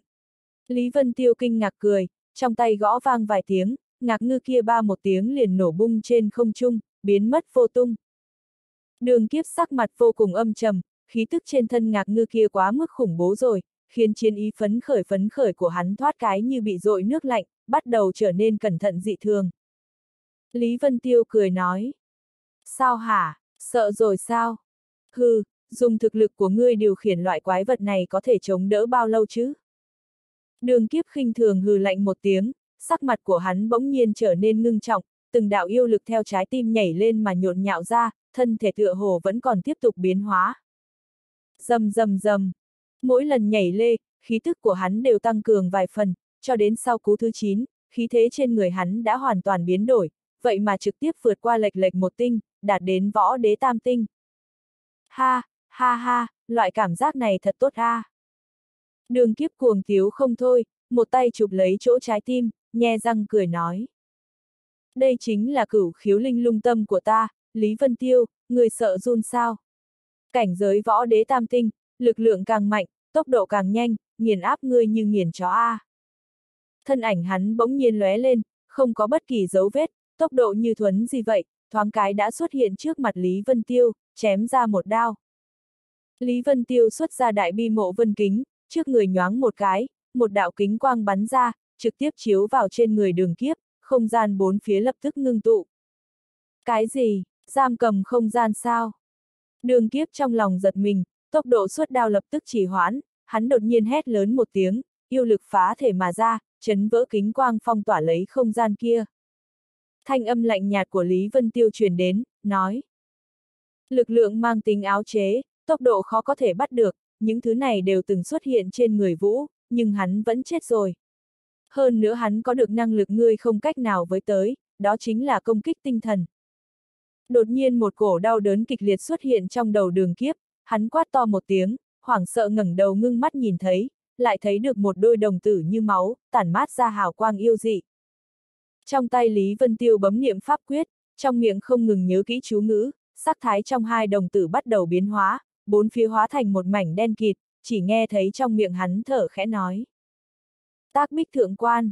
Đường kiếp hoảng sợ toàn thân mồ hôi lạnh, hắn chỉ thấy một đôi tròng mắt máu chảy đầm đìa hiển hiện phía trước, lâm không nhìn qua mình, ngoài ra thế gian không còn thứ gì khác nữa. Ngươi ngươi, Lý Vân Tiêu, đi ra, đi ra mau. Đường kiếp trong nội tâm hoảng sợ, biết rõ mình đã trúng phải ảo thuật, trong lòng sợ hãi khó có thể ức chế đang lan tràn, tuy rằng không để ý, nhưng mình là võ đế tam tinh, thuật luyện sư bình thường há có thể tùy ý vây khốn mình, hắn liên tục kinh sợ nói. Có bản lĩnh đi ra đánh một trận, dựa vào âm mưu quỷ kế vê, cho dù thắng cũng không vẻ vang gì cả. Mặc cho hắn gọi thế nào, đều không ai đáp, hơn nữa ánh mắt cực lớn kia càng ngày càng quái dị, khiến hắn có loại cảm giác chóng mặt, chỉ cảm thấy trong đầu càng ngày càng chìm. Mấu chốt là đường kiếp không có kinh nghiệm ứng đối ảo thuật, nếu là một gã cường giả thân kinh bách chiến, dùng tu vị võ đế tam tinh, giờ phút này bão nguyên thủ nhất, cũng sẽ không dễ dàng bị tinh thần lực ảnh hưởng như vậy, chỉ cần yên lặng chờ thời cơ lập tức liền phá huyễn mà ra, dù sao đối phương muốn tạo ra ảo thuật lớn như thế, tiêu hao tinh thần lực cũng rất lớn. Nhưng lòng đường kiếp đã sớm rối loạn, càng loạn càng bị ảnh hưởng, rất nhanh liền trở nên mơ mơ màng màng. Trong toàn bộ không gian màu đen, ánh mắt cực lớn kia lập tức hóa thành thân ảnh Lý Vân Tiêu hạ xuống, sắc mặt cực kỳ tái nhợt, một tay bắt lấy đầu đường kiếp, bắt đầu đọc trí nhớ hắn. Một lát sau, rốt cục bởi vì tinh thần lực chống đỡ hết nổi, bị tiềm thức trong đầu đối phương chấn xuất thần thức, thân thể suy yếu liên tiếp lui về phía sau, hắc ám bốn phía đều xua tán, về tới lại trong hiện thực. Thì ra là thế. Lý Vân Tiêu kinh hô một tiếng, hồn lực tiêu hao không còn, khiến hắn không dám lưu lại nữa, vội vàng hóa thành một đạo lôi đình lui thân ra. Đường kiếp trong khoảnh khắc tỉnh lại, trong mắt lộ ra một tia mê mang, nhưng lập tức liền khôi phục thanh minh, lập tức hiểu rõ đã xảy ra chuyện gì, trông thấy Lý Vân Tiêu bỏ chạy, hắn nổi giận gầm lên một tiếng liền mở ra hai cánh lập tức đuổi theo. Hai người đều thi triển lôi điện độn thuật, nhưng đường kiếp dựa vào một đôi lôi xí, hiển nhiên kém hơn Lý Vân Tiêu thân hóa lôi đình rất nhiều, chấp động mấy cái đã mất đi thân ảnh đối phương. Đáng giận a! À. Đường kiếp ngửa mặt lên trời gào thét, tức đến toàn thân phát run, mình có thực lực võ đế tam tinh, không chỉ có không thể giết chết đối phương, ngược lại còn bị đối phương đọc được trí nhớ trong đầu, một loại cảm giác thất bại và xấu hổ giận dữ thật lớn xông lên đầu hắn. Được một hồi hắn mới dần dần tỉnh táo lại, lạnh giọng nói. Cũng không biết hắn đọc được bao nhiêu trí nhớ của ta, nếu chuyện tứ cực môn hoàn toàn bị lộ ra ngoài ánh sáng, vậy thì thật sự xong đời rồi, người này không thể lưu, không phải giết không được, ta trước tiên phải gặp mặt thương đại nhân, lại thương nghị chuyện đánh chết người này. Hắn không còn tâm tình đi tham gia thi đấu lôi đài kia nữa, chấp động lên lông cánh, lập tức lao về phía đại lao. Lý Vân Tiêu sau khi chạy ra vài dặm, xác định đã bỏ qua được đường kiếp, lúc này mới biến hóa ra, rơi trên mặt đất, sau khi nuốt mấy khỏa đan dược liền vận chuyển đại diễn thần quyết, khôi phục hồn lực. Kéo võ đế tam tinh vào trong ảo thuật cũng là hành vi tham lam nhất thời của hắn, cả hai tu vị kém cực lớn, ý nghĩ của hắn là nếu một kích không trúng, liền hóa ra kim thân pháp tướng triệt để trấn áp đường kiếp, sau đó lại tinh tế khảo vấn. Khiến hắn vui mừng chính là tên này kinh nghiệm đối địch quá ít, cũng khiến hắn bớt đi nhiều chuyện. Chỉ là hồn lực tiêu hao quá lớn, trí nhớ cũng không đọc được hoàn toàn, lại đạt được một ít tin tức vô cùng có tác dụng. Quả nhiên là thương tự mình xuất thủ A, nếu là hắn thì cướp ngục quả thật có khả năng thành công. Tăng thêm hồn thiên nghi là huyền khí siêu phẩm, muốn thần không biết quỷ không hay mang Khương Nhược Băng ra khỏi thành Hồng Nguyệt cũng không khó. Mượn tay thành Hồng Nguyệt loại bỏ đám đại yêu này quả thật là diệu chiêu, nhưng hồn thiên nghi kia, nếu tên này chết thì, có thể khai giới thần bi của ta ra không đây? Lý Vân Tiêu lập tức lại xoắn suýt, nếu như thương bại lộ giới thần bi của hắn, sợ là chữ khả nguyệt cũng không giữ được mình. Hắn cùng thương giữa hai người vô hình ăn ý, ai cũng không có hướng người ngoài tiết lộ qua siêu phẩm huyền khí trong tay đối phương. Hai người đều là người thông minh, hơn nữa có trải qua tương tự, đều là từ vũ đạo đỉnh cao hạ xuống, đều khiếm khuyết tài nguyên cùng thời gian, hiện tại hai người đều có tài nguyên, chính là thiếu thời gian. Nhưng nếu để hắn tiếp tục trưởng thành, khôi phục lại vũ đế đỉnh cao, thêm vào hoàn toàn luyện hóa hỗn thiên nghi, vùng trời này còn có ai là đối thủ của hắn. Lý Vân Tiêu một thoáng ngăn lại ý nghĩ thông báo Hồng Nguyệt Thành, sau khi khôi phục hơn nửa hồn lực, liền hóa thành lôi đình hướng địa lao bay đi, dự định trước tiên tìm tòi hư thực, tốt nhất là có thể trong lúc vô tình giết chết thương. Trong thành vệ đội, tuy rằng võ giả tăng lên, nhưng đều là giữ gìn trật tự vũ đài tái, cùng với bí mật tìm kiếm Khương Như Băng, đối với nơi đây hầu như không đem ngó tới. Sau mấy tức thời gian, liền căn cứ ký ức trong đầu đường kiếp, chỗ Khương Như Băng chỉ điểm, tìm tới vị trí địa lao, lại là một hồ nước bốn phía núi vây quanh trong thành. Trong thành có sơn, trong núi có hồ, đáy hồ lại là địa lao. Thần thức của Lý Vân Tiêu tìm kiếm đi xuống, thâm nhập đến một nửa trong hồ, liền bị một nguồn sức mạnh ngăn cản, không cách nào thâm nhập hơn nữa. Quả nhiên có che đậy, xem ra chính là nơi này không sai. Bốn phía không nhìn thấy bất kỳ thủ vệ, Lý Vân Tiêu thử trực tiếp mở ra hư không xuống, lại phát hiện không gian đồng dạng bị phong tỏa lại, không có cách nào lay động. Chỉ có thể từ trong nước lẻn vào. Trên người hắn nổi lên một ánh hào quang, đặt mình ở trong chân không, hướng về dưới hồ lẻn đi, rất nhanh liền đến nơi cực hạn của thần thức, càng đi xuống dĩ nhiên là một vòng xoáy khổng lồ. Vòng xoáy đen kịt, không cần nghĩ cũng biết phía dưới, chính là vị trí địa lao của Khương Như Băng miêu tả. Ao ao ao. Đột nhiên trong nước truyền đến tiếng xiềng xích, xích sắt từ bốn phương tám hướng ngang trời mà đến, lập tức lên tới hàng ngàn, hàng vạn, dĩ nhiên kết thành lao tù, đóng kín con đường bốn phương. Một bóng người ở trong nước chậm rãi hiện lên, thanh vang phảng phất đến từ U Minh, nói. Chí lớn ngàn năm nhậm anh hùng, bước vào thủy hồ không đường về. Đáng thương tiểu quỷ dưới đao, chết đến nơi rồi còn không biết. Lý Vân Tiêu một mặt hắc tuyến, cao giọng nói. Có người cướp ngục, người còn ở chỗ này đọc thơ, mau mau đi xuống xem một chút đi. Người kia tầng tầng hừ một tiếng nói. Chuyện cười, lao ngục Hồng Nguyệt Thành, từ khi xây dựng liền chưa có người dám cướp. ầm ầm ầm. Đột nhiên dưới đáy hồ có một vòng xoáy phun trào, hắc khẩu ở trung tâm vòng xoáy đột nhiên mở lớn, một bóng người từ đó chậm rãi đạp đi ra, trực tiếp phá tan hồ nước, liền muốn phi không rời đi. Trong lòng Lý Vân Tiêu chấn động, người trước mắt này chính là Thương. Người phương nào? Người kia cũng phát hiện không đúng, lập tức quát lên. Dừng lại. Trong tay hắn lóe lên quyết ấn, một đạo phù ấn to lớn ở trên mặt nước mở ra, lập tức đem hồ nước bị tách ra hợp lại, phù ấn đè ép xuống, đem thương cùng Lý Vân Tiêu bao phủ trong đó. Ồ, Lý Vân Tiêu. Thương cũng phát hiện hắn, lộ ra vẻ kinh ngạc, sau đó cười lạnh nói. Chuyến này xem ra có chút thu hoạch, người cũng ở đây, vậy liền theo ta đi thôi. Nội tâm hắn trong nháy mắt nổi lên tâm bắt người. Ở đáy hồ dẫm một cái, liền hướng Lý Vân Tiêu bắt đến, đối với phủ ấn lâm không mà xuống làm như không thấy. Trong lòng Lý Vân Tiêu chấn động mạnh, hắn cũng không có phần thong dong này, phủ ấn nội hàm đế khí oai cực mạnh, không đỡ bảo đảm bị oanh gần chết, mà trước mắt thương lại từng bước áp sát, hắn trong nháy mắt lấy ra hàn kiếm băng xương, một chiêu kiếm hướng về trước người bổ ra. Hàn khí trùng thiên từ trong bảo kiếm dâng lên, lấy hắn làm trung tâm bắt đầu nhanh chóng kết băng, trong phút chốc liền đem hơn một nửa đáy hồ đông lại, xa xa nhìn tới, càng là có một đóa tượng băng hình hoa sen to lớn, thương cùng vô số xiềng xích lâm không mà tới kia đông lại trong đó. Ngàn dặm băng liên hóa ngọc tiết. Lý Vân Tiêu lần thứ hai múa kiếm, băng liên hoa to lớn trong nháy mắt phá tan, hóa thành ngàn tỷ tinh bụi, mang theo điểm điểm hàn mang hướng về bốn phương tám hướng vọt tới. Vô số âm thanh binh lách cách bàng, vang lên, đều là tiếng bông tuyết bị phù ấn nghiền nát, mặc dù không cách nào chặn thế rơi, nhưng tranh thủ thời gian rất lớn. Còn có công kích đếm không hết bắn ở trên người thương, như mưa lâm thâm, ngay cả gần người cũng không thể. Lý Vân Tiêu lấy ra mộ vân kính, lập tức ở trước người hóa thành một đạo phòng ngự, chờ phù ấn phá vỡ vạn ngàn tinh bụi hạ xuống, trực tiếp bị bảo kính gạt qua, từ bên cạnh người hắn lướt xuống.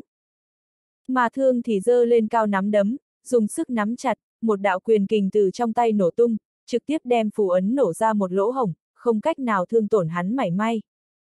Lúc này vô số xiềng xích trong nước đột nhiên bay múa, tỏa ra đạo đạo gợn sóng nguyên lực, hướng về hai người ràng buộc đi. Bỗng nhiên Lý Vân Tiêu cao giọng nói. Thương, như băng tiểu thư ở đâu? Ngươi không chỉ dám cướp ngục, còn bắt như băng tiểu thư, thật sự coi Hồng Nguyệt Thành như không có ai sao. Thân thể người trong nước kia chấn động, con người đột nhiên áp xúc, hai tay lập tức bấm quyết, phương hướng xích sắt kia biến đổi, tầng tầng xoay tròn, hết mức tỏa về phía thương, đồng thời quát to. Tiểu tử, người nói cái gì? Lý Vân Tiêu vội nói. Chúng ta là người mình, người này là yêu tộc, cướp đi Khương như băng tiểu thư, hiện tại toàn bộ Hồng Nguyệt Thành đều đang tìm hắn. Người kia cả kinh nói. Thật chứ? Nội tâm hắn rất khó tin tưởng, nhân vật chính luận võ chọn rể hôm nay, thiên hạ chú ý Khương Như Băng làm sao có khả năng bị người bắt cóc, này không phải chuyện cười lớn sao. Nhưng Hồng Nguyệt Thành mấy chục ngàn năm đến chưa bao giờ xảy ra việc cướp ngục, giờ khắc này cũng xảy ra, khiến cho tâm tư của hắn có chút hỗn loạn, hướng về thương quát lên. Phía dưới Nguyễn Phong Bình chấn thủ lao tù đâu? Thương cười nói. Cái tên nắm trường thương kia, chính ngươi đi xuống xem một chút liền biết rồi. Đáng chết! Người kia gầm lên một tiếng, vô số xích sắt hoành nhiễu mà lên, đem thương quấn ở trong đó. Thương lạnh nhạt nói. Thủ đoạn của ngươi cũng chỉ có chơi dây thường sao. Một ánh hào quang từ trong tay hắn bắn ra, giống như kiếm khí, trong nháy mắt bắn ra mấy chục đạo, mỗi một đạo đều đánh vào vị trí then chốt của xích sắt, bên trong thì lại nổ tung, trong nháy mắt những xích sắt kia toàn bộ tổn hại. Thương không để ý tới người trong nước kia, tựa hồ hoàn toàn không để vào mắt, mà tiếp tục hướng Lý Vân Tiêu lao đi.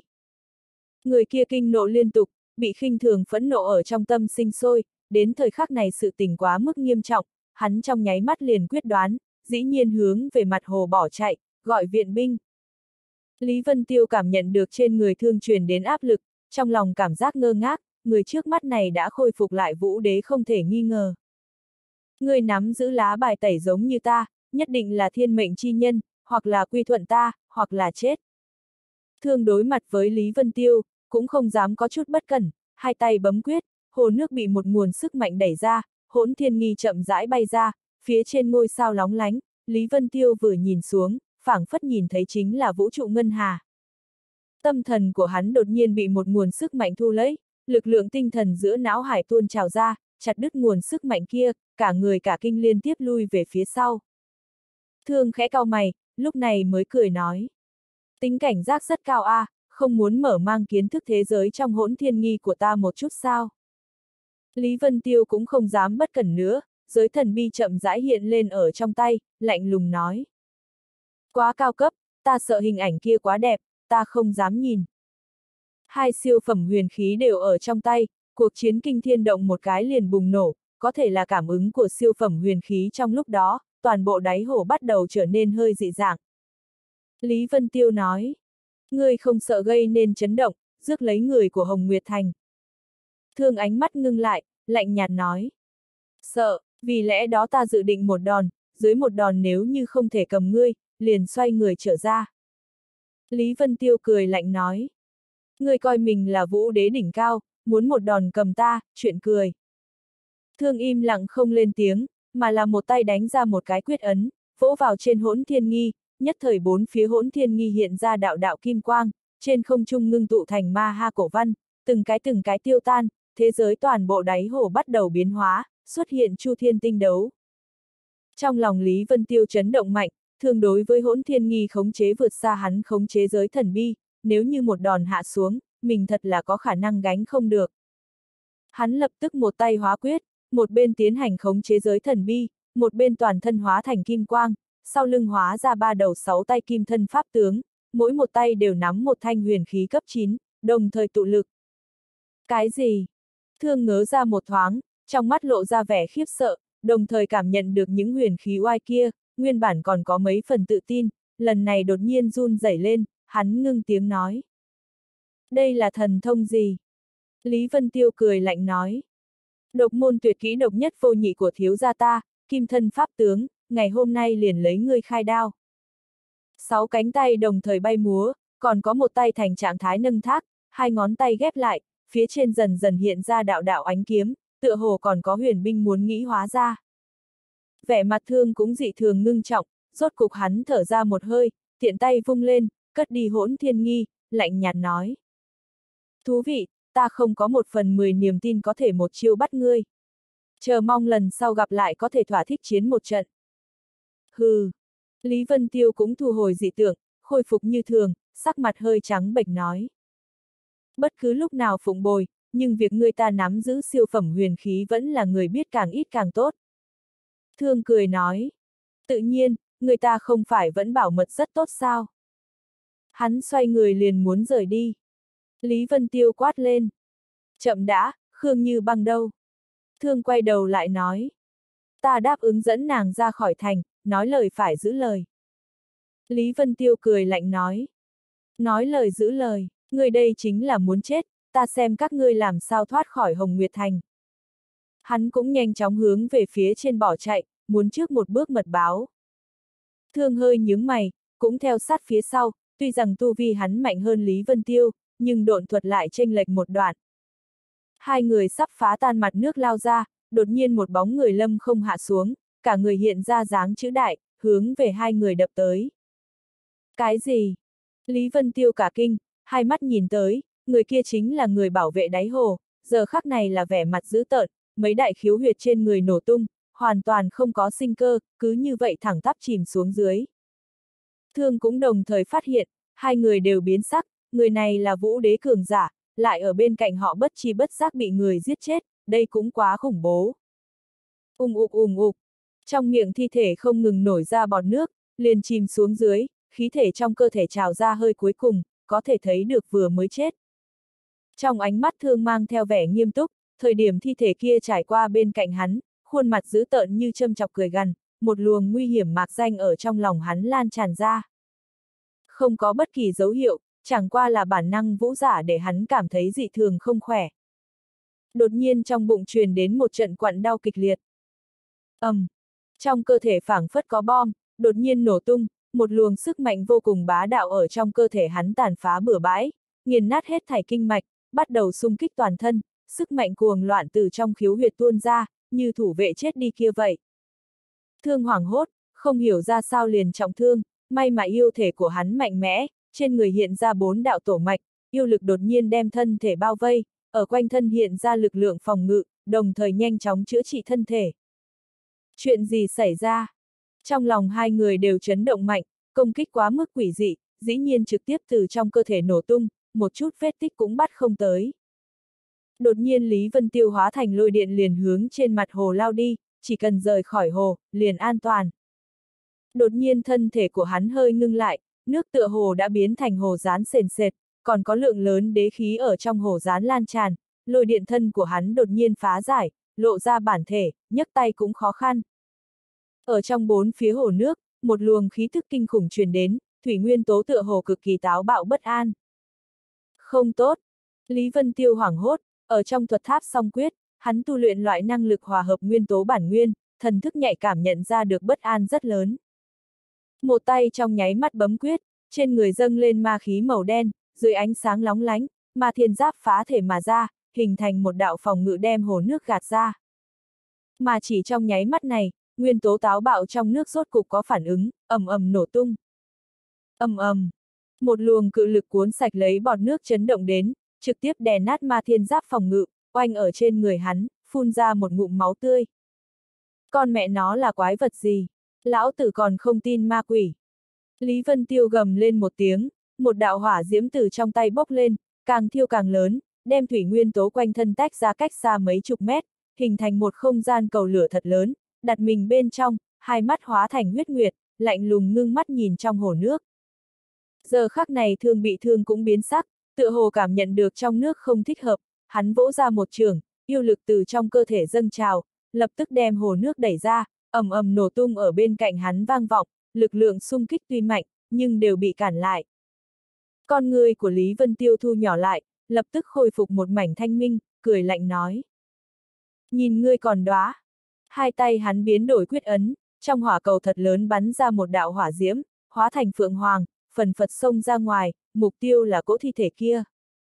ầm, um, thi thể bị đánh trúng, lập tức thiêu đốt nổ tung, một đạo ánh sáng khó mà nhận ra bắn ra, hóa vào trong nước không gặp. Thương trong nháy mắt xuất thủ, hỗn thiên nghi hướng về trong nước ném một cái, một đạo tinh thần chi lực bắn ra, đem một vùng không gian khóa chặt, ở trong nước hơi có thể thấy được một bóng người trong suốt đang di động. Hừ, muốn chết, thế giới lực lượng, hóa. Thương vỗ hỗn thiên nghi một cái, một luồng lực lượng thế giới dập dần bay ra, toàn bộ hồ nước lập tức muốn diễn hóa ra chu thiên tinh đấu. Đạo nhân ảnh kia tựa hồ nhận ra được nguy hiểm, thân thể hơi động, một luồng thủy nguyên lực ở phía sau hắn hóa ra một con voi lớn, há to mồm hét lớn một tiếng, song quyền hướng về bốn phía đánh tới, toàn bộ hồ nước bị nhiễu loạn dập dần. Thủy nguyên sung kích, người kia hét lớn một tiếng, uy lực nắm đấm cực lớn, trong nháy mắt đánh ra mấy trăm đạo quyền ảnh, dưới oanh kích, tinh đấu dị tượng còn chưa thành hình nổ nát, bóng người ở trước thủy nguyên cự linh kia cũng dần dần hiển lộ ra chân thân, là một lão giả mặc tơ lụa, dáng dấp như thương nhân khôn khéo, hoàn toàn không giống như là vũ giả. Thương xứng sờ nói, là ngươi. Kha kha. Lão giả kia nở nụ cười hai tiếng nói.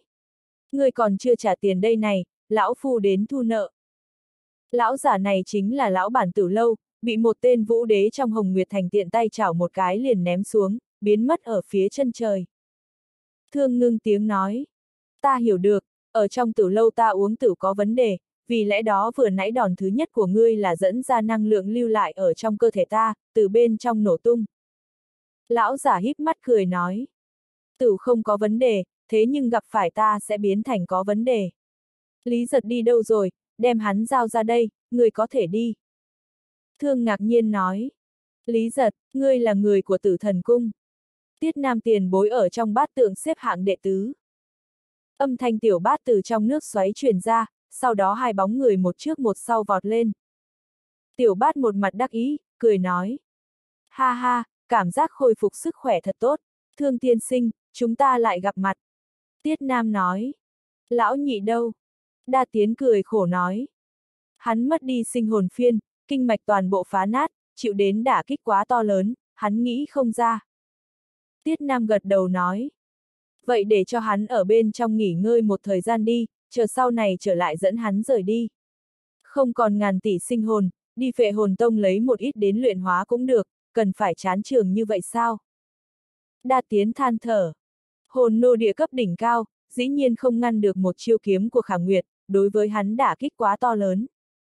Tiết Nam nói, thực lực Khả Nguyệt sợ là chỉ có lão đại mới có thể hàng phục nàng.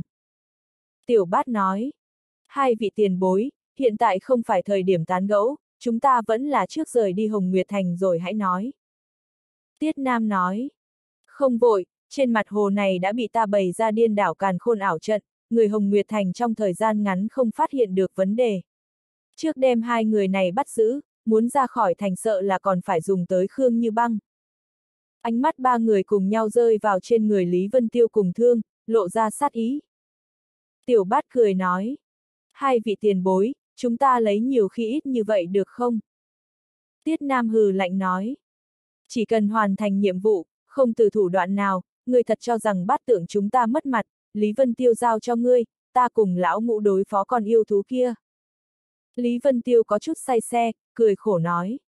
Ba vị, ta và các ngươi không thù không oán, trong tay lại không có lý giật, cũng không có khương như băng, hơn nữa ta cùng con yêu thú này cũng có cửu oán, cái gọi là kẻ thù của kẻ thù là bằng hữu. Nếu mọi người đều là bằng hữu, không bằng thả ta đi trước a. Thả ngươi, mới vừa rồi ngươi còn phóng hỏa đến thiêu ta, còn muốn ta thả ngươi đi.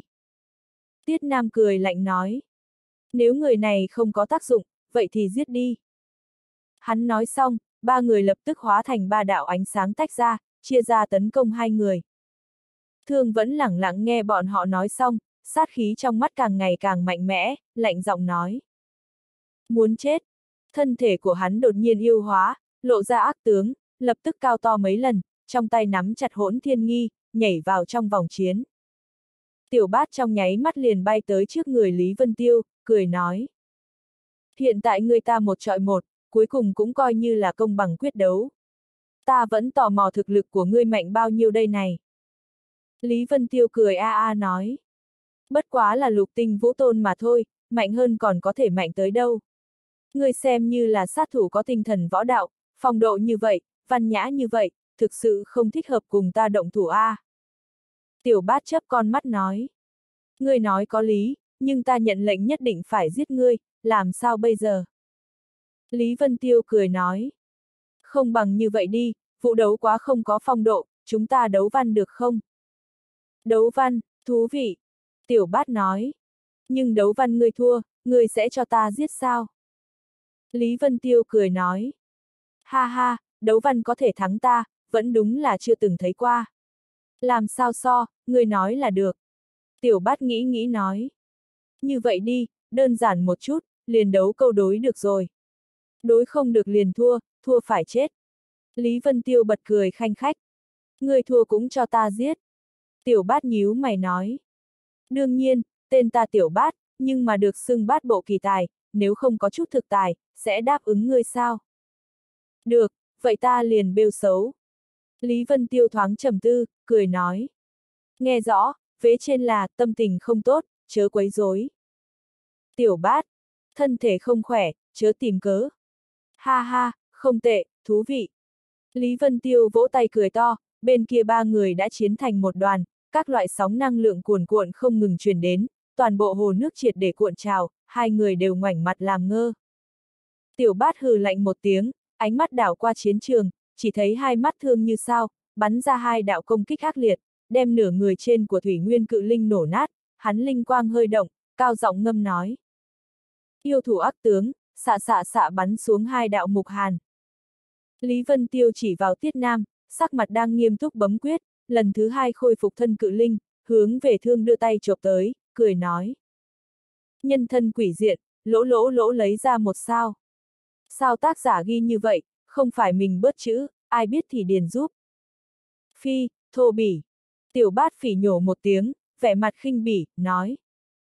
Câu đối vốn là việc phong nhã, làm sao từ trong miệng ngươi đi ra lại hoàn toàn thay đổi vị. Chỉ thấy hỗn thiên nghi của thương tuột tay mà ra, bắt đầu diễn biến chu thiên tinh đấu, lực lượng thế giới lan ra, cắn nuốt tất cả công kích. Tiểu bát kinh khen. Tứ phương thông suốt, nhất chiêu quán vật, diễn biến chư thiên tinh đấu.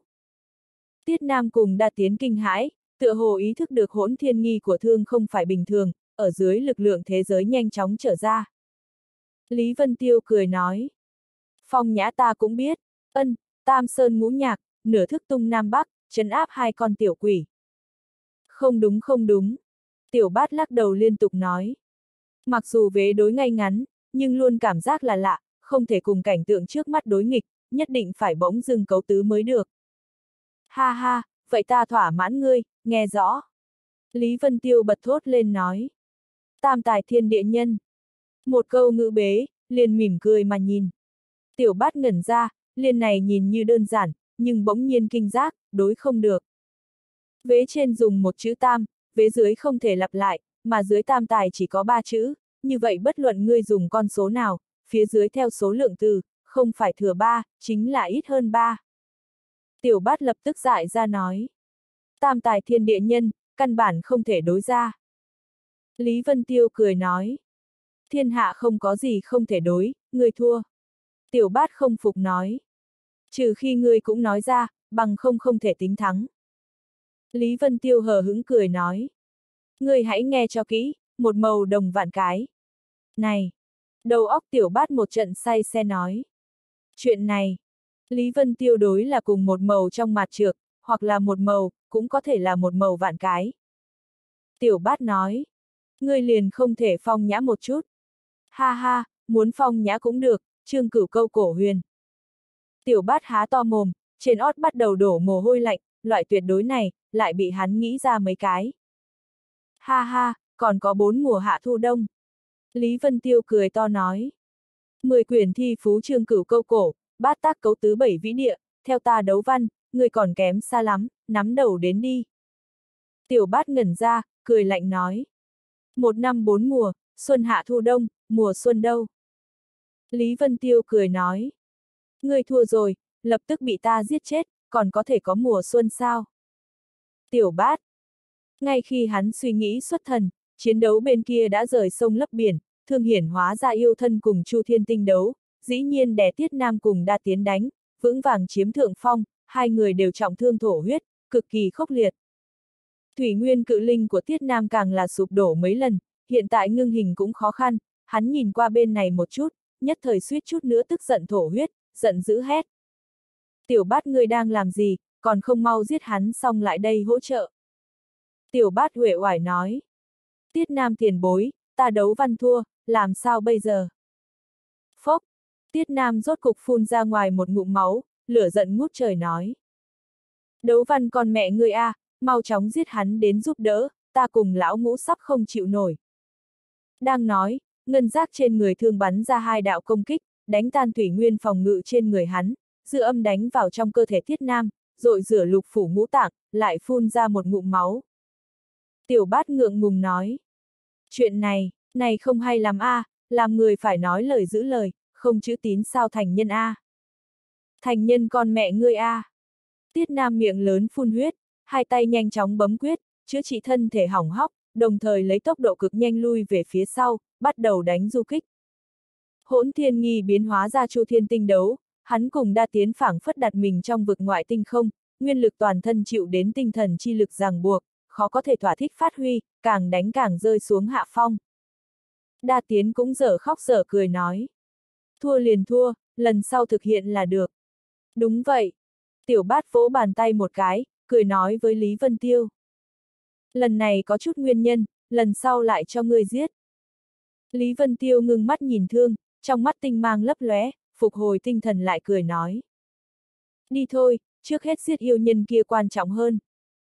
Tiểu bát mới từ trong phiền muộn tỉnh lại, một thanh bảo kiếm hiện lên ở trong tay, cười lớn hướng thương vọt tới, kiếm thế của hắn lấp lóe, ánh kiếm hóa thành một thú thủ, giống chém đi qua. Vẻ mặt thương âm trầm, nắm đấm sốc lên, trực tiếp đánh vào trên thú thủ, trong nháy mắt đánh tan ánh kiếm, thế nhưng kiếm khí mạnh mẽ, chặt đứt kinh mạch trên cánh tay hắn, mấy chục đạo máu tươi bắn mạnh ra. A à, a! Thương phẫn nộ giống to liên tục, quát lên. Người cũng tiến vào đi.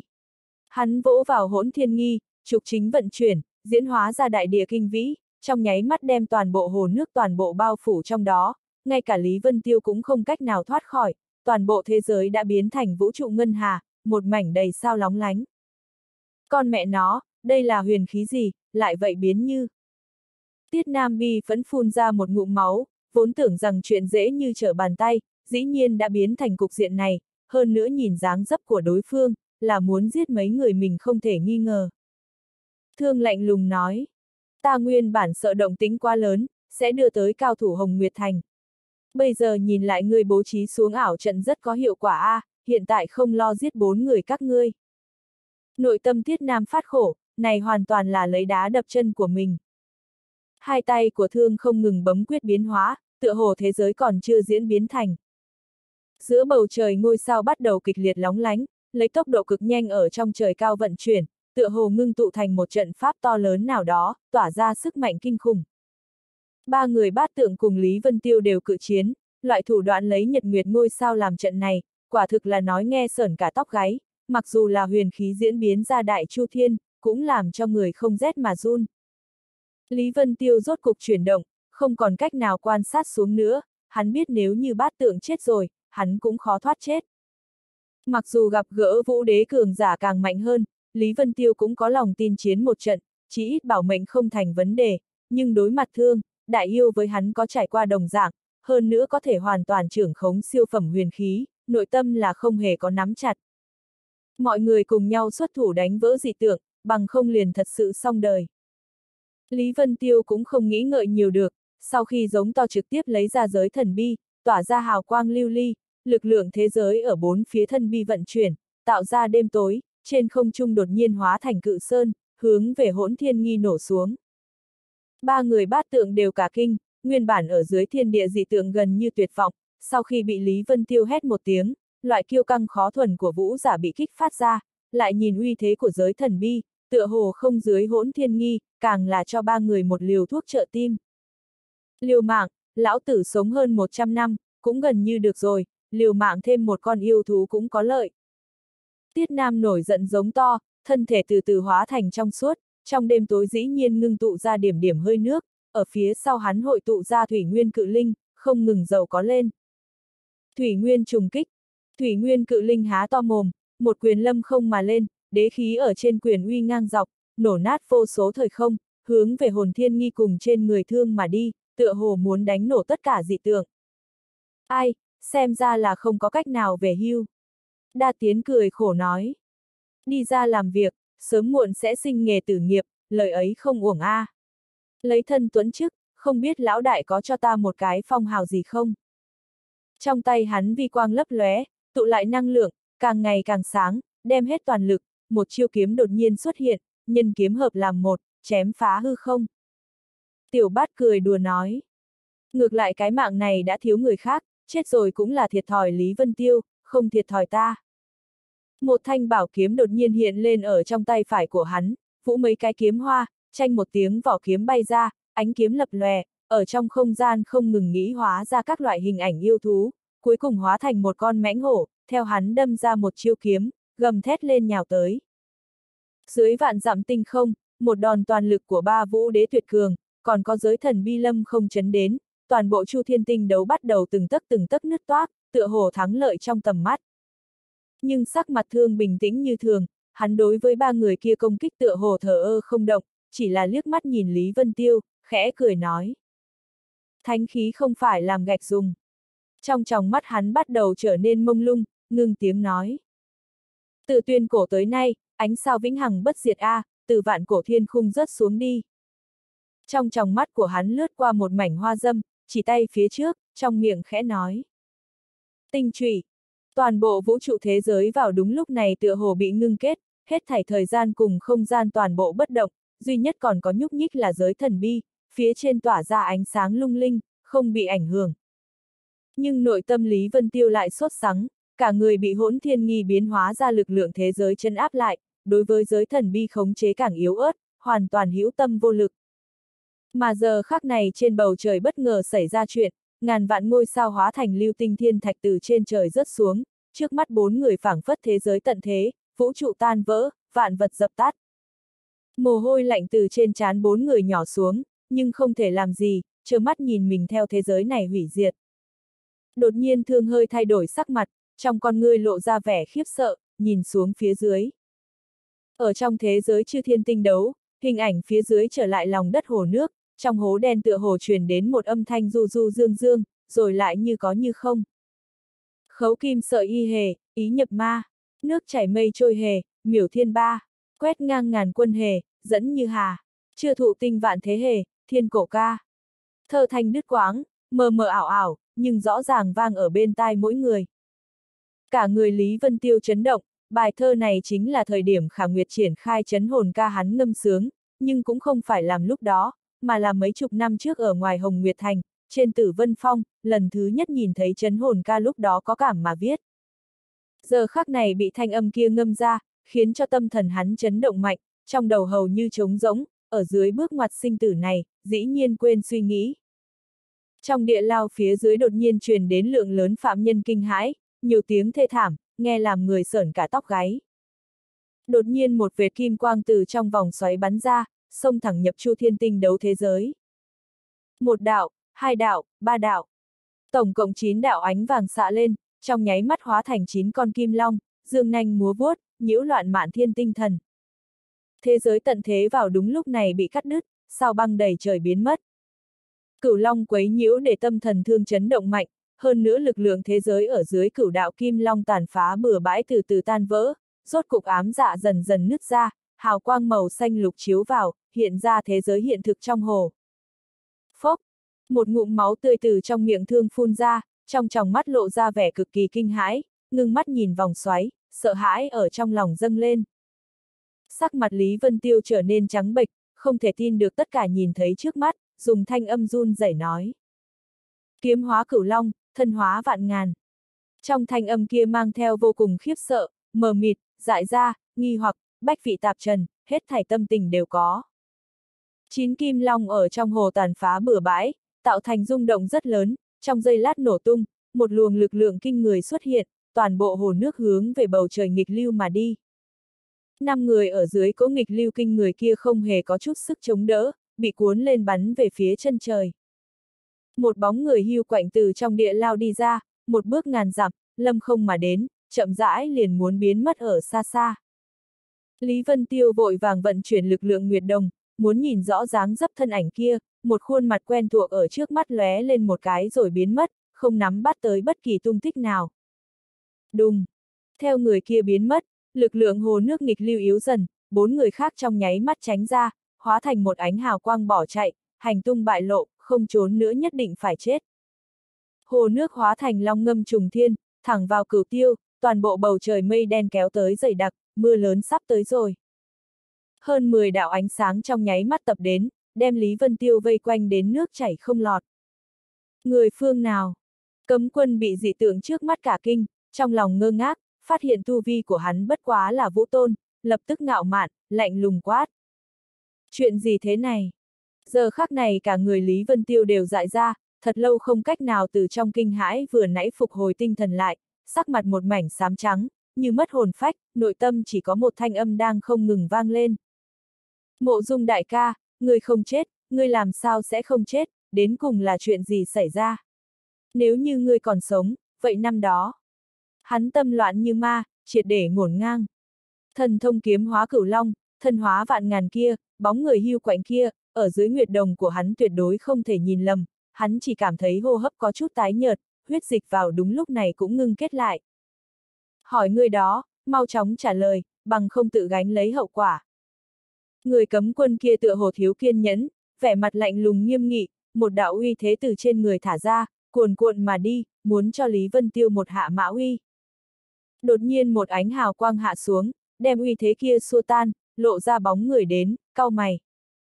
Hơn 10 tên cấm quân chấn động, vội vã tiến lên chắp tay nói. Quân thiếu đại nhân. Ninh Hàng Phong nhìn hồ nước cơ hồ bị lật ngược, sắc mặt có chút khó coi, ngưng tiếng nói. Lý Vân Tiêu, đến cùng xảy ra chuyện gì? Lý Vân Tiêu ngớ ra nửa ngày, dùng tay không ngừng đánh vào đầu của mình, nội tâm không ngừng nói, bình tĩnh, bình tĩnh, tỉnh táo lại. Ninh Hàng Phong nói, xem sắc mặt của ngươi cực kỳ không tốt, nhưng nơi này là vị trí địa lao, vì sao ngươi sẽ xuất hiện ở nơi đây, lại xảy ra chuyện gì, lập tức nói cho ta. Trong tiếng nói của hắn mang theo lạnh lùng bức thiết, còn có tức giận. Lý Vân Tiêu lấy lại bình tĩnh, lúc này mới nói. Yêu tộc cùng người của tử thần bát tượng đến cướp ngục, hiện tại như băng tiểu thư ở trong tay yêu tộc, mục đích chính là muốn trốn khỏi Hồng Nguyệt Thành. Hoang đường! Ninh Hàng Phong gầm lên một tiếng nói. Lập tức giới nghiêm toàn thành, bất luận người nào cũng không được ly khai Hồng Nguyệt Thành. Vâng. Hơn 10 tên thủ hạ trầm giọng đáp, lập tức hóa thành hơn 10 đạo ánh sáng tiêu tan trên không trung. Chờ mọi người đi xa, lúc này Ninh Hàng Phong mới ngưng tiếng nói. Lý Vân Tiêu, vậy ngươi đi địa lao là vì chuyện gì? Lý Vân Tiêu hơi sững sờ, này đúng là không tốt giải thích, chỉ có thể nói rằng. Việc này nói rất dài dòng, ta cũng là phát hiện như băng tiểu thư khả năng cùng những yêu tộc này cùng nhau, lại phát hiện người yêu tộc có dấu hiệu cướp ngục, vì lẽ đó mới theo tới. Ồ, nghĩa khí như vậy, cả thế gian hiếm có a. À. Ninh Hàng Phong lạnh lùng nói, trong ánh mắt để lộ ra vẻ mặt hoàn toàn không tin. Lý Vân Tiêu cũng biết cái giải thích này khó có thể phục người, nhưng tình huống thực tế cũng gần như vậy, chỉ là hắn không muốn sự tình siêu phẩm huyền khí bại lộ mà thôi, giờ khắc này tâm tình của hắn cực kỳ hỗn loạn, cũng vô tâm cùng Ninh Hàng Phong cái cọ, nói thẳng. Hừm, dù sao ta cùng như băng tiểu thư là bằng hữu. Quân thiếu đại nhân rảnh rỗi theo ta cái cọ, còn không bằng đi cứu nhị tiểu thư. Trong mắt Ninh Hàng Phong lóe ra vẻ tàn khốc, lạnh giọng nói. Lý Vân Tiêu, ta cảnh cáo ngươi, đừng tưởng rằng có nhị tỷ ta cho chỗ dựa là có thể không e rè, nếu như xúc động lợi ích của Hồng Nguyệt Thành, dù là nhị tỷ cũng không giữ được ngươi. Há, ta rất sợ. Lý Vân Tiêu châm chọc một tiếng, lấy ra một khối ngọc bội dơ lên, nói. Đây là ngọc bội của nhị tỷ ngươi cho ta, bằng không ta hủy nó, để nhị tỷ ngươi đến giải thích với ngươi. Ngươi! Ninh Hàng phong khí kết, cả giận nói. Ngươi mình tự lo lấy. Hắn phất ống tay áo một cái, liền xoay người rời đi.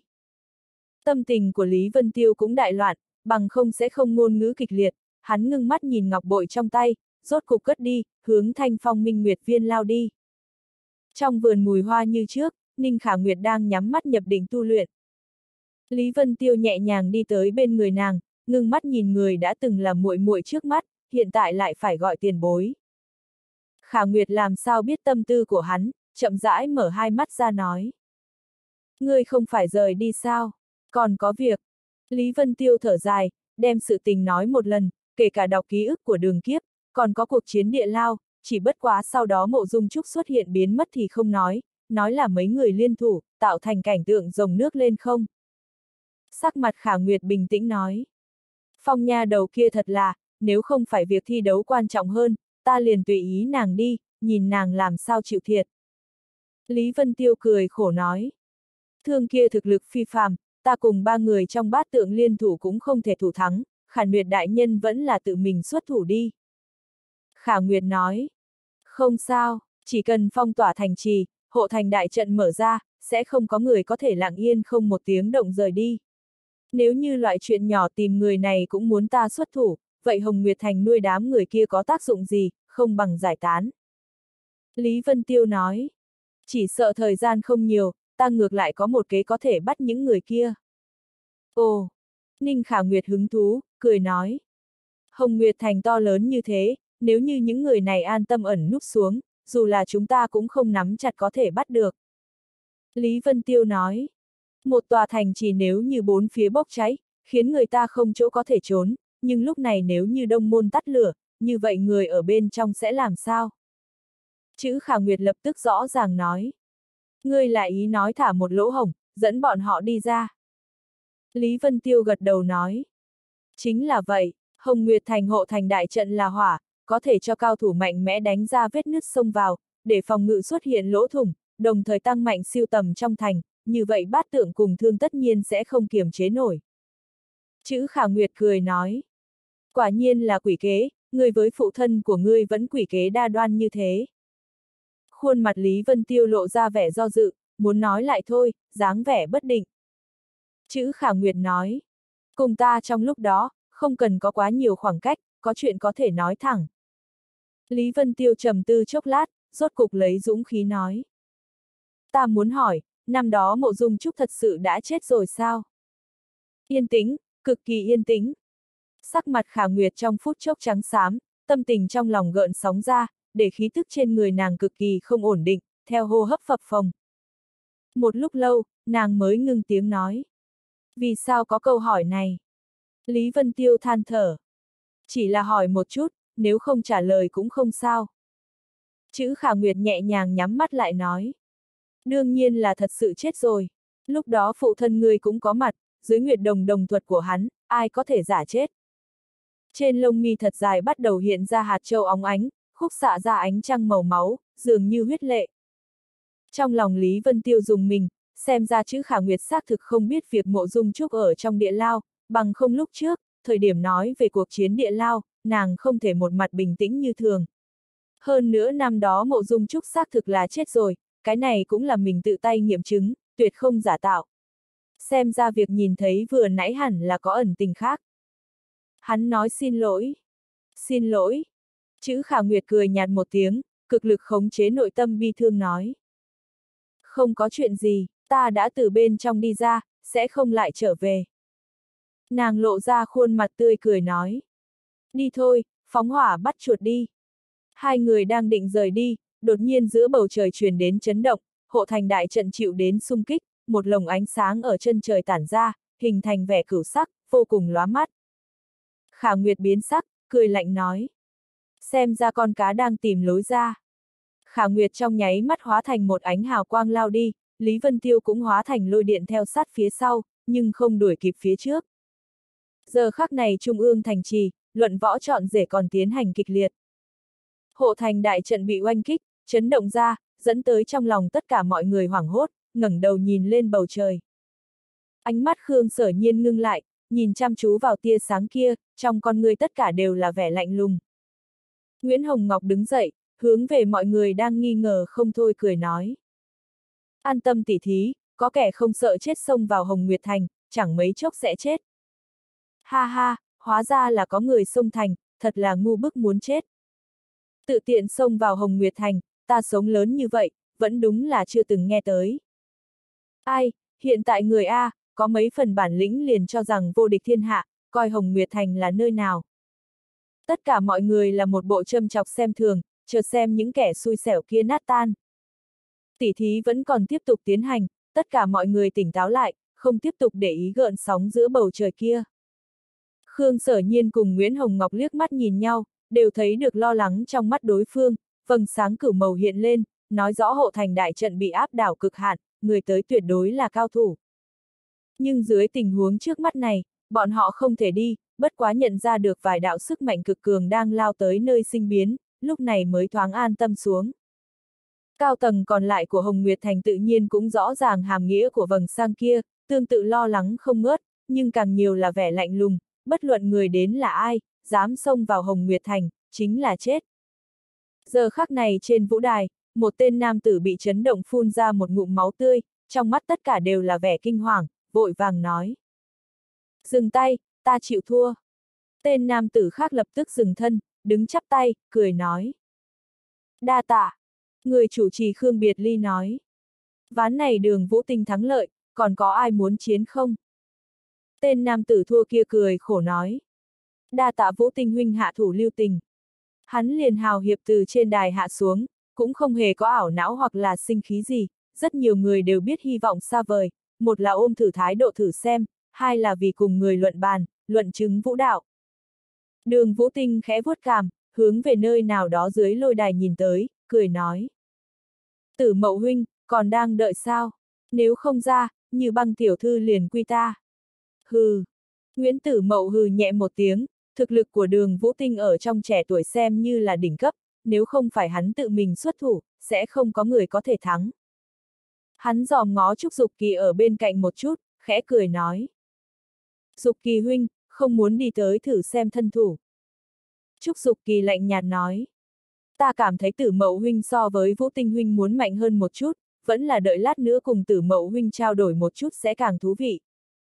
Hai người trò chuyện với nhau thật vui, giống như bạn cũ, nhưng chiến ý trong mắt càng ngày càng mạnh, đến trình độ như bọn họ, tuy nói lấy luận bàn làm chủ, nhưng khoảng cách đoạt quan cũng vẻn vẹn là cách xa một bước, không phải là việc không thể thành, vì lẽ đó mỗi một bước đều dị thường thận trọng.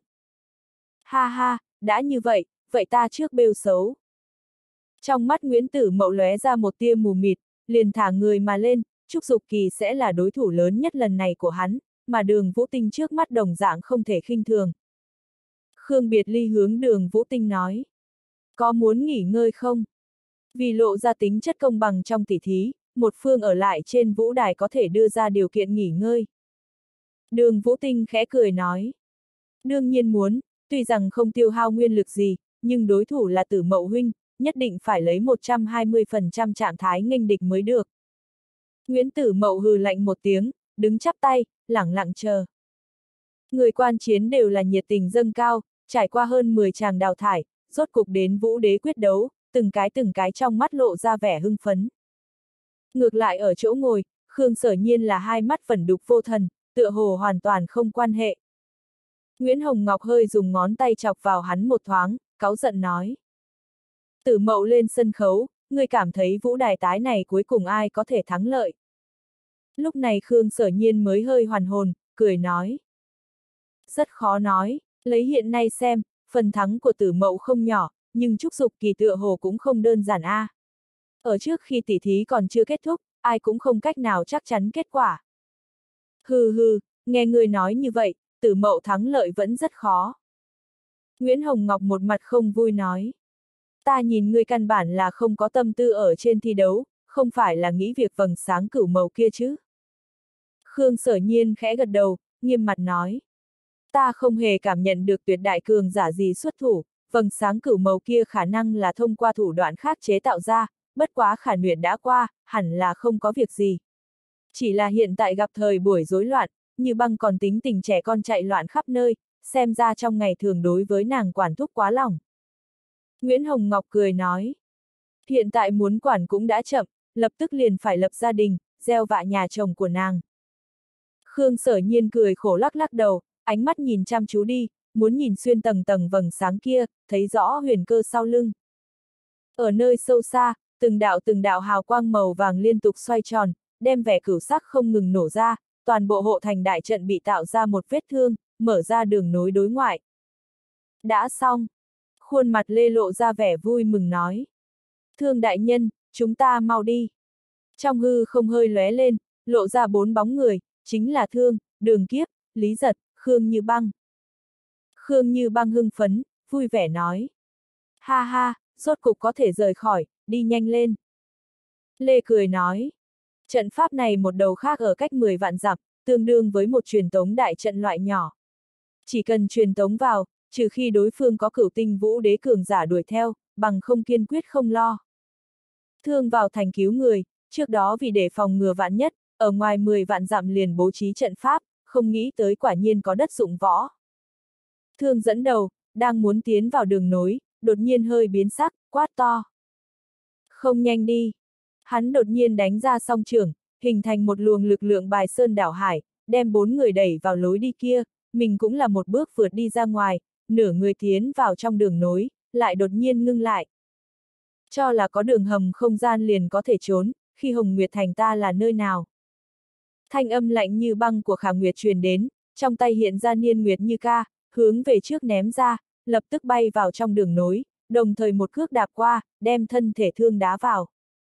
Thương nội tâm hoảng hốt, tiến vào trong thông đạo lập tức phát hiện tình hình không đúng, toàn bộ hành lang đen kịt, ở dưới quyền trượng màu vàng óng bắt đầu từng tấc từng tấc tan vỡ, năm người trực tiếp hiện lên ở thiên vũ giới, từ trên không trung rơi xuống.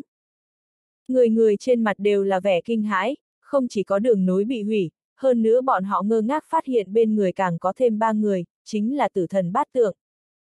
Tiểu bát cười khổ nói. Tiết nam tiền bối, ẩn độn thuật của ngươi thiên hạ vô song, lần này cũng bị người phát hiện rồi. Tiết nam khí kết, quát lên. Cái gì bị phát hiện, đều là do bầy yêu kia phiền phiền nhiễu nhiễu, bị người Hồng Nguyệt Thành đuổi theo, trực tiếp đánh nát đường nối, liên lụy chúng ta. Đường kiếp tức giận trùng thiên nói. Xúc sinh, các người chiếm tiện nghi của chúng ta, còn nói chúng ta liên lụy. Giết bầy xúc sinh các người này.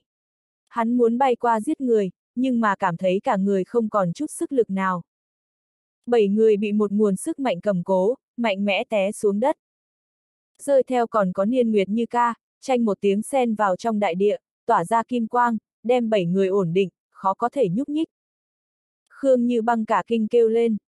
Song song, là quyền trưởng của sư phụ ta. Tiểu bát trả lời. Ngươi không xong cái gì, là chúng ta xong mới đúng, sư phụ của ngươi vừa đến, ngươi nhiều lắm ai vài tiếng trách cứ, chúng ta là muốn mất mạng. Khương như băng sốt sáng nói. Thương tiên sinh, làm sao bây giờ? Sư phụ của ta sắp đuổi theo. Sắc mặt thương cũng dị thường ngưng trọng, Khương Như Băng nói sư phụ tự nhiên chính là bóng người ổn định hắn, một cước đá hắn nhập vào đường nối, nguồn sức mạnh kia tuyệt đối là cửu tinh vũ đế không thể nghi ngờ. Hắn ngưng tiếng nói, nơi này hẳn là ở ngoài Hồng Nguyệt Thành, không biết bao nhiêu lộ trình, đại gia đồng tâm hiệp lực phá tan lực lượng huyền khí liền có thể đi, bằng không chờ bọn hắn đến liền xong đời. Audio điện tử võ tấn bền. Tiết Nam nổi giận mắng. Làm sao phá tan, nguyên lực toàn thân đều bị động lại, quyền trượng chết tiệt này. Ánh mắt hắn đột nhiên sáng lên, vội vàng nói. Thương tiên sinh, ngươi không phải có huyền khí rất lợi hại sao? Mau mau lấy ra phá tan quyền trượng này đi. Thương lạnh lùng nói. Toàn thân nguyên lực đều đông lại, làm sao thôi động hỗn thiên nghi. Ta hiện tại muốn biến hóa yêu thân cũng không thể ra sức. Tiết Nam chán nản nói. Vậy làm sao bây giờ? Ngồi chờ chết. Khương Như Băng vội hỏi. Không muốn không muốn, không muốn ngồi chờ chết, mọi người có thể dùng lực lượng thân thể di chuyển, cách quyền trượng này càng xa, chịu đến ảnh hưởng liền càng nhỏ, đến thời điểm là có thể lấy ra huyền khí, phá tan vật ấy. Tốt, liều mạng. Tất cả mọi người là cầu sinh cực cường, bắt đầu cắn răng hướng về nơi xa quyền trượng nhích đi, Khương Như Băng là ở một bên làm cổ động viên, không ngừng gọi nỗ lực lên. Trên bầu trời Hồng Nguyệt Thành, chữ khả nguyệt nhắm mắt tính toán, nhẹ nhàng hừ nói. Thành bắc ba ngàn dặm. Giờ khắc này mấy người ninh hàng phong cũng hội tụ đến, sau khi nghe vậy lập tức mang theo các cao thủ hướng về thành bắc bay đi. Khả Nguyệt nói, chúng ta cũng đi xem một chút đi, nhà đầu như băng kia cũng quá không hiểu chuyện, lần này ta làm sao cũng phải hảo hảo quản giáo nàng một phen. Nàng cùng Lý Vân Tiêu cũng hóa thành một ánh hào quang, hướng về thành bắc bay đi. Tốc độ của mọi người cực nhanh, rất nhanh liền phát hiện vị trí của đám người, đều đang liều mạng hướng xa xa nhích thân thể. Ninh Hàng Phong hừ lạnh một tiếng, hơn 10 người nhất thời hạ xuống, trực tiếp vây nhốt toàn bộ 9 người, từng cái từng cái cười gằn. Sắc mặt bọn người thương trắng bệch, biết lần này lại không may rồi. Ninh Hàng Phong nói, như băng tiểu thư, người cũng quá không hiểu chuyện, gây ra động tĩnh lớn như vậy. Khương Như Băng vội nói, nếu như người còn nhận ta là nhị tiểu thư, liền lập tức giúp ta đem quyền trượng này nhổ ra, sau đó mang theo người của ngươi trở lại. Làm càn. Không trung hơi vặn vẹo, Khả Nguyệt cùng Lý Vân Tiêu đi ra, sắc mặt chữ Khả Nguyệt âm lãnh, căm tức nhìn Khương Như Băng.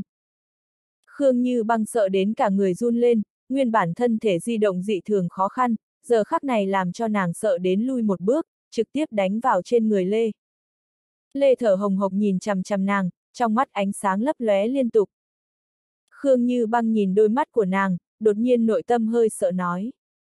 Lê tỷ tỷ, tất cả mọi người chen ra bên ngoài, ngươi làm sao hướng về ta chen. Lê cười khổ một tiếng nói. Trốn không thoát, chỉ có thể xin lỗi muội muội. Nàng nhẹ nhàng giơ tay lên, một tay liền bóp lấy cổ Khương Như Băng, móng tay lạnh lẽo ở trên gáy ngọc nàng xẹt qua, lạnh nhạt nói. Chư vị đại nhân Hồng Nguyệt Thành, chúng ta không thù không oán, duy nhất hay chuyện là tử thần bát tượng này, mong rằng đại gia có thể ở chung hòa thuận. Ngươi! Khương Như Băng quính lên, cả giận nói. Ngươi dĩ nhiên lấy ta làm con tin, thiệt thòi ta còn coi ngươi là tỷ tỷ. Lê bất đắc dĩ cười khổ nói. muội tử xin lỗi, có cơ hội lần sau lại bồi thường ngươi, ta có thể chết, nhưng thương đại nhân không thể, vì lẽ đó chuyện bắt con tin này chỉ có ta tới làm. Tiết Nam vỗ sau đầu một cái, áo não nói. Nữ yêu thú thật thông minh, làm sao chúng ta sẽ không nghĩ đến. Hắn liên tục áo não không thôi, bắt Khương như băng, có thể là cơ hội duy nhất. Người Hồng Nguyệt Thành đều kinh nộ liên tục, lập tức không biết như thế nào cho phải. Lý Vân Tiêu cười lạnh nói. Lê, nguyên bản là không thù không oán, nhưng người bắt Hồng Nguyệt Thành nhị tiểu thư, cũng đã là thâm cửu đại hận. Lê một mặt thản nhiên nói. Tình thế bức bách, ta cũng không muốn. Đổi là các ngươi, cũng sẽ làm như vậy. Khả Nguyệt lạnh lùng nói. Nàng tự mình phạm sai, tự làm tự chịu, có bản lĩnh ngươi liền giết nàng. Con ngươi lê đột nhiên áp xúc, quát lên. Dừng tay. Tiếng nói vừa dứt, năm ngón tay đã kháp nhập trong yết hầu, máu đỏ tươi chảy xuống, nhuộm đỏ y phục trắng noãn, nhìn thấy mà giật mình. Sắc mặt khả nguyệt trở nên âm trầm, vừa nãy nàng xác thực muốn dùng ngôn ngữ làm lê kinh sợ, lại xuất thủ đánh giết, không nghĩ tới bị đối phương nhìn thấu, nữ yêu này không đơn giản a. À. Lê lạnh lùng nói, tình thế bức bách, nếu bức ép, nhất định phải đồng quy vô tận, ta cũng không thể nói gì được.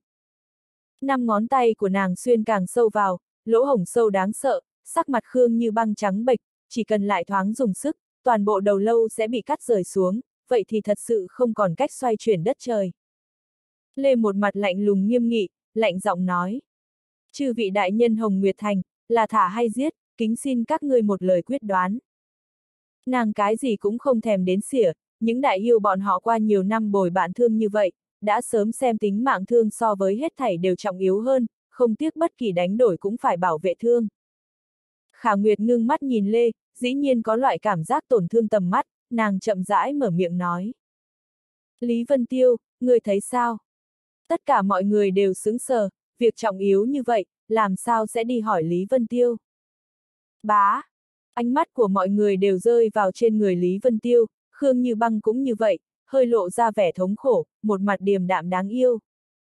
Lý Vân Tiêu cười khổ một tiếng nói. Những người này tuy rằng đáng ghét, nhưng tính mạng có thể nào cùng như băng tiểu thư so. Lần này thả bọn họ, lần sau còn có thể lại giết, chỉ là một ít lâu la mà thôi. Tuy rằng hắn cực kỳ hy vọng mượn tay Hồng Nguyệt Thành giết thương, thậm chí so với giết tử thần bát tượng còn muốn khát vọng, nhưng Khương Như Băng là không thể không cứu. Khả Nguyệt lạnh lùng hừ một tiếng nói. Khương Như Băng cấu kết người ngoài cướp ngục, chính là tội chết, vừa vặn giết xong hết mọi chuyện, làm sao còn muốn cứu nàng. Lý Vân Tiêu nhìn vẻ mặt ung dung khó có thể phát hiện trong con người khả nguyệt, nội tâm cảm thấy buồn cười, mắng thầm, cáo giả, rõ ràng mình rất muốn cứu Khương Như Băng, nhưng kéo không xuống mặt mũi cùng quy định của Hồng Nguyệt Thành, lúc này mới đến hỏi mình. Nếu nhìn ra ý đồ của Khả Nguyệt, Lý Vân Tiêu đương nhiên phải cực lực phối hợp, kinh hãi nói. Không thể Khả Nguyệt đại nhân, tuy rằng như băng tiểu thư có tội thì phải chịu, nhưng giờ khắc này nàng cũng nhận rõ khuôn mặt người xấu, hơn nữa cũng ăn vị đắng, không bằng trước tiên cứu nàng lại, chờ trở về thành lại dựa theo quy định tiến hành xử phạt. Khả Nguyệt vô cùng kinh ngạc nhìn Lý Vân Tiêu một chút, nơi sâu xa trong mắt lướt qua một tia tán thưởng không dễ phát hiện, thầm nghĩ tiểu tử này quả nhiên có thể so với phụ thân hắn, trả lời phù hợp khẩu vị ta như vậy, nàng giả vờ trầm ngâm nói. Hừ, như vậy chẳng phải là làm lợi cho nàng, Hàng Phong, ngươi cho rằng thế nào? Nội tâm Ninh Hàng Phong cũng mắng nàng một trận, thầm nghĩ, Lý Vân Tiêu đã nói như vậy, ta cũng không thể nói không để ý Khương như băng chết sống, chỉ phải nghiêm mặt nói. Lý Vân Tiêu nói như vậy cũng coi như có lý, dù sao phạm vào quy định của Hồng Nguyệt Thành, phải là chúng ta đến xử phạt, bằng không đó mới là làm lợi cho như băng tiểu thư, huống hồ chúng ta cùng những yêu nhân kia trong lúc đó xác thực không có thù hận, không cần thiết làm ra một mất một còn. Được rồi, đã như vậy. Khả Nguyệt liếc mắt nhìn Lê, lạnh nhạt nói. Thả như băng xuống, các ngươi đi thôi. Nàng lâm không chỉ tay, quyền trưởng nhất thời tranh một tiếng hóa thành một ánh hào quang, thu vào trong thân thể, ẩn mà không gặp. Lê Đại Hỷ, tầng tầng thở phào nhẹ nhõm, vội nói. muội tử đắc tội rồi, lần sau có cơ hội tỷ tỷ lại bồi thường ngươi. Không còn quyền trượng ràng buộc, thực lực của bọn họ lập tức khôi phục, Lê vỗ nhẹ nhẹ một thoáng, đem Khương Như Băng đẩy đi qua, trực tiếp đưa đến trước người Khả Nguyệt. Khương Như Băng như tiểu hài phạm lỗi lầm, cúi đầu ở trước mặt chữ Khả Nguyệt không dám hé răng, nhưng máu tươi ồ ồ còn từ trên cổ chảy ra, toàn bộ bạch y trắng noãn đều bị máu nhuộm đỏ, nhìn thấy mà giật mình, dáng dấp điềm đạm đáng yêu. Lý Vân Tiêu vội vàng đánh ra một đạo quyết ấn, điểm ở chỗ yết hầu của nàng, đem huyết ngừng lại. Thương phức tạp nhìn Lý Vân Tiêu một chút, hướng Khả Nguyệt nói. Chư vị đại nhân, liền như vậy từ biệt. Đúng rồi, tử thần bát tượng này cùng yêu tộc chúng ta không liên quan, không ở trong hàng ngũ trao đổi, chư vị muốn làm sao đối phó bọn họ, cùng mấy người chúng ta không quan hệ. Tiết Nam trong nháy mắt thay đổi sắc mặt, cả giận nói. Yêu thương, các ngươi không phải người. Thương lạnh lùng cười nói. Ta vốn không phải là nhân loại, gặp lại, chúc mấy vị chơi vui vẻ. Sắc mặt Lý giật cũng thay đổi mấy lần, sau đó than thở. Mấy vị đại nhân, ta cũng là thân bất do kỷ, không có năng lực cứu các ngươi rồi. Tiểu bát vội vã hét lớn. Thương tiên sinh, chuyện gì cũng từ từ A, mọi người nói thế nào cũng quen biết một hồi, cộng đồng tiến thối mới phải. Thương lười để ý đến bọn họ, hừ lạnh một tiếng, liền cùng đám người đường kiếp, lê, lý giật hóa thành một ánh hào quang, cấp tốc bỏ chạy. Chỉ cần còn ở trong phạm vi Hồng Nguyệt Thành, bọn họ liền không cảm giác được an toàn. Đi! Tiết Nam cũng trong nháy mắt hét lớn một tiếng, liền hướng về xa xa phi độn mà đi. Khả Nguyệt khẽ nhả hai chữ nói. Ngây thơ! Cũng không thấy nàng động tác làm sao, đột nhiên Tiết Nam va đầu vào một luồng lực lượng vô hình, kêu thảm một tiếng lại rớt xuống, phạm vi bốn phía tất cả đều là chữ Khả Nguyệt bày xuống cấm chế. Ba người tiểu bát một mặt cay đắng, lần này toàn bộ trở lại trong lao đi, tới không một hồi A, từng cái từng cái chán trường như gà chống đấu bại, không nhấc lên được nửa điểm tinh thần. Ninh Hàng Phong quát lạnh. Đem ba người bọn họ mang về trong địa lao. Ngay khi cấm vệ quân tiến lên bắt người, đột nhiên một thanh âm nhàn nhạt từ không trung truyền đến, tuy rằng nhẹ vô cùng, nhưng vang ở trái tim mỗi người nói. Đi! Tuy chỉ có một chữ, nhưng phảng phất mang theo vô cùng uy năng, phá tan cầm cố của chữ khả nguyệt, khí thức du du dương dương giữa bầu trời trong nháy mắt ngưng lại, khí thế hóa thành sát khí vô biên nhộn nhạo lên, bầu trời dần dần âm trầm, phong vân biến sắc. Trong lòng mỗi người đều thấy lạnh cả người, huyết dịch cơ hồ ngưng kết lại, không chỉ có như vậy, còn có sợ hãi vô ngần ở đáy lòng lan tràn. Lão đại! Tiểu bát kinh hô một tiếng, ở thời điểm tất cả mọi người sợ vỡ mật, hắn phảng phất nghe thấy âm thanh tươi đẹp nhất trên đời, đại hỉ hóa thành một ánh hào quang liền muốn rời đi. Hắn vừa la lên, để tất cả mọi người ở đây đều là tâm thần rung mạnh, từng cái từng cái sắc mặt trắng bệch, ai cũng rõ ràng hàm nghĩa hai chữ này. Thiên địa phong vân bảng xếp hạng đệ tứ, bị thánh vực ban tặng phong hào giả ảnh vũ đế đại nhân, người đứng đầu bát tượng lăng bạch y dĩ nhiên hiện thân ở ngoài Hồng Nguyệt Thành. Giờ khắc này thân thể đám người ninh hàng phong cùng Lý Vân Tiêu đều cứng, một thoáng cũng không dám động, sát ý kia như một loại võ đạo, đem bọn họ trấn áp tại chỗ, chỉ cần thoáng động sẽ hồn tiêu phách tán. Trong lòng Lý Vân Tiêu cũng giật mình, cái cảm giác này hắn không thể quen thuộc hơn được, chính là thanh lăng sát khí quyết của lăng bạch y năm đó hắn truyền thụ cho thiên thủy quốc đệ tử quân sát khí quyết, là năm đó thời chiến chiến đấu, học được một chút ra lông. Còn muốn chạy, hỏi qua ta sao? Thanh âm khả nguyệt lạnh lùng vang lên, bình tĩnh như nước, tuy rằng tâm trạng nàng cũng chấn động mạnh, nhưng vào lúc này không thể hoảng loạn, trong tay lóe lên kim quang, quyền trượng hiện lên ở trong tay, lâm không bay múa, một đạo uy năng không gian cực cường tản ra, đem ba người tiểu bát chuẩn bị đào tẩu lần thứ hai chấn áp xuống. Cùng lúc đó, trong tay nàng nhanh chóng hiện ra vài đạo quyết ấn quái lạ, trực tiếp đánh vào trong quyền trượng, phát sinh hào quang óng ánh.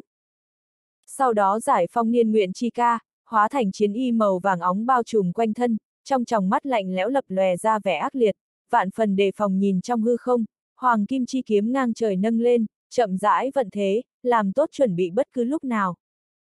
Nhân sinh chưa bao giờ gặp phải đại địch như vậy, để Khả Nguyệt không dám phân tâm. Theo Khả Nguyệt đánh phù hiệu quái lạ vào trong quyền trượng, xa xa bên trong Hồng Nguyệt Thành tựa hồ có cảm ứng. Ở ba địa phương không giống đồng thời bắn ra ba đạo cường quang, hiện ra hồng, hoàng, lam, ở trên không trung xoay tròn, là ba lão giả trang phục bất nhất, chịu đến quyền trượng kia triệu hoán, từ trong bế quan lao ra, bằng tốc độ kinh người hướng về ngoài thành xẹt qua. Trong vũ đài tái, bỗng nhiên trong lòng Khương sở nhiên hơi động, khiếp sợ ngẩng đầu lên, thấy ba đạo ánh sáng giữa bầu trời, thất sắc, đầu óc hắn phát mộng một thoáng, sau đó lập tức phóng lên trời, theo đuôi ba người kia. Ba tên trưởng lão này chính là cực lão trong Hồng Nguyệt Thành, xưa nay không hỏi đến bất cứ chuyện gì, một lòng tiềm tu võ đạo. Chỉ có quyền trưởng tượng trưng cho quyền lực cao nhất Hồng Nguyệt Thành mới có thể chỉ huy được bọn họ, giờ khác này ba người đồng thời hiện thân, tất nhiên là bị Khả Nguyệt triệu hoán. Mà thực lực của Khả Nguyệt, chắc chắn sẽ không vô duyên vô cớ triệu hoán ba tên trưởng lão kia đi chơi, nhất định là gặp phải đối thủ cực kỳ đáng sợ. Mọi người bốn phía vũ đài tái từng cái từng cái ngơ ngác nhìn, đều có chút không rõ vì sao. Trên sân Trúc Dục Kỳ cùng đường Vũ Tinh đang chiến không thể tách ra, Hồng Nguyệt Thành thành chủ liền không cáo mà từ như thế, đây là cái tín hiệu gì? Nguyễn Hồng Ngọc ngưng tiếng nói. Chư vị chớ nghi, tướng công xử lý một ít việc nhỏ mà thôi. Việc nhỏ. Trong lòng mỗi người đều cười khổ, khi mọi người là kẻ ngu si sao, việc nhỏ cần Hồng Nguyệt Thành thành chủ ở loại bước ngoặt này đứng ra xử lý. Hơn nữa vừa nãy ba đạo khí tức tuyệt cường kia cũng là hướng về hướng kia đi, cái gọi là việc nhỏ này, sợ là việc nhỏ kinh thiên đi. Hai người chém giết trên vũ đài cũng nhận ra được sự tình không bình thường, nhưng chỉ bất quá thoáng phân thần, lại hết sức chăm chú chiến cùng nhau, trời sập xuống cũng có cao thủ đẩy, hơn nữa nơi này là Hồng Nguyệt Thành, còn có thể xảy ra chuyện gì. Nguyễn Tử Mậu cũng trao mày, nội tâm có chút bất an, hắn nguyên bản toàn tâm suy tư chiêu thức của hai người, cũng bị động tác đột nhiên của Khương Sở Nhiên cắt đứt. Mấy cao tầng rõ ràng biết ba đạo ánh sáng kia đại biểu cái gì, từng cái từng cái sắc mặt trắng bệch, cần điều động ba vị trưởng lão này, rõ ràng chính là Hồng Nguyệt Thành đến thời khắc sống còn. Lần trước điều động ba người liên thủ chiến một trận, là mấy chục năm trước cổ phi dương đại náo Hồng Nguyệt Thành, đánh giết rất nhiều cường giả. Sau đó không thể không thỉnh cầu ba người này, liên thủ lại mới đuổi cổ phi dương ra ngoài. Cũng không có ít quý khách cũng nhìn ra đầu mối, từng cái từng cái trừ khiếp sợ ra, nội tâm cũng suy đoán không ngớt, đến cùng là người phương nào lớn mật như thế, dám trêu đến Hồng Nguyệt Thành thành chủ tự mình xuất thủ. Nhưng nếu Nguyễn Hồng Ngọc nói là việc nhỏ, mọi người biết rõ không phải việc nhỏ, cũng chỉ có thể coi là việc nhỏ đối xử, từng cái từng cái tiếp tục an tỏa quan sát tỉ thí, chỉ là nội tâm khó tập trung tinh thần. Giờ khắc này ở phía bắc Hồng Nguyệt Thành 3.000 dặm, ánh mắt khả nguyệt nhìn chăm chú, đột nhiên xuất hiện một đạo cực quang, đâm nhói con mắt người, càng lúc càng lớn. Một âm thanh xa xưa trong trẻo ở trong bạch quang vang lên, phảng phất đến từ nơi vô cùng xa, ngâm tiếng nói. Không phải ta nghĩa tứ cực, kinh tài mà thôi. Không phải ta cười thiên hạ, thiên phú mà thôi. Không phải ta tung cổ kim, cái thế mà thôi. Trong cực quang, chậm rãi hiện ra một bóng người, bạch y lâm không, toàn bộ ánh sáng trói mắt với hắn như ánh chiều tà, chân đạp lăng ba mà đến. Mọi người trợn to con mắt, nhẫn nhịn đâm nhói mãnh liệt, muốn nhìn rõ ràng dung mạo tên tuyệt thế vũ đế này, nhưng chỉ nhìn thấy bóng người hờ hững trong cực quang, phảng phất thân thể đã dung hợp ở trong tia sang kia. Theo lăng bạch hy từng bước một đạp tới, khả nguyệt cảm nhận được áp lực lớn lao, kim kiếm dương lên, từng cái từng cái phủ văn từ phía trên tràn ra, kiếm thế đã vận chuyển tới cực hạn. Lăng bạch hy dừng bước chân lại, đứng ở trên không trung, trong mắt lóe ra một vệt hàn ý, mở miệng nói. Khả Nguyệt, người dám theo ta động thủ. Hắn mỗi phun ra một chữ đều mang sát ý vô biên, như một loại vũ kỹ sóng âm, đánh rơi mà xuống, Hồng Nguyệt Thành cấm vệ quân đồng thời nhìn không được run rẩy, hầu như muốn tại chỗ quỳ xuống cầu xin tha thứ. Không dám, ngươi thật cho rằng mình vô địch thiên hạ. Trên mặt khả nguyệt một mảnh nghiêm nghị, ngoại trừ nghiêm nghị ra, còn có kiên quyết liều mình chiến một trận, chiến y cùng kim kiếm nhất thể, hóa ra từng cái từng cái phù hiệu to lớn, hướng về bốn phương tám hướng đánh văng ra, kiếm thế lần thứ hai tăng lên. Lăng bạch y nhíu đôi chân mày, quanh thân bắt đầu xuất hiện thanh mang nhàn nhạt, nhiễu lượn một vòng, hắn giơ một tay lên chỉ thiên, một dị tượng khủng bố hiện lên ở trên bầu trời, lôi điện màu đen như ác long lăn lộn, sát ý vô biên. Ở dưới khí thế kinh thiên của hai người, lan ra linh áp cực cường, mỗi người ở đây cả người run cầm cập, vội vàng vận công chống đối. Trong lòng Lý Vân Tiêu cũng ngơ ngác, cảm thấy hô hấp cực kỳ khó khăn, trong mắt lộ ra vẻ sầu lo. Giờ khắc này linh áp oai hắn còn có thể gánh vác, nhưng nếu như hai người thật sự toàn lực giao thủ, dư âm chấn động ra, cho dù là kim thân pháp tướng cũng biến thành cho bụi.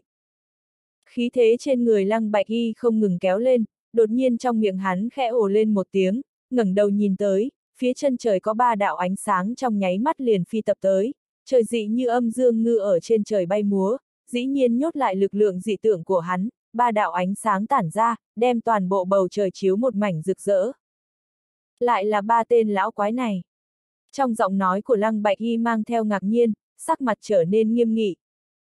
Lý Vân Tiêu cũng cảm thấy kinh ngạc, ba người này vẫn chưa chết, nhưng nội tâm thoáng thở phào nhẹ nhõm. Ba lão giả này thiên phú có hạn, ở vũ đạo lĩnh ngộ đã rất khó tinh tiến, chỉ có thể không ngừng thu nạp nguyên khí, ở trong quá trình tu luyện cầu đột phá một đường cơ duyên, thế nhưng hy vọng xa vời. Dù vậy, nhiều năm qua tích lũy xuống công lực nội tình, cũng là dị thường khủng bố.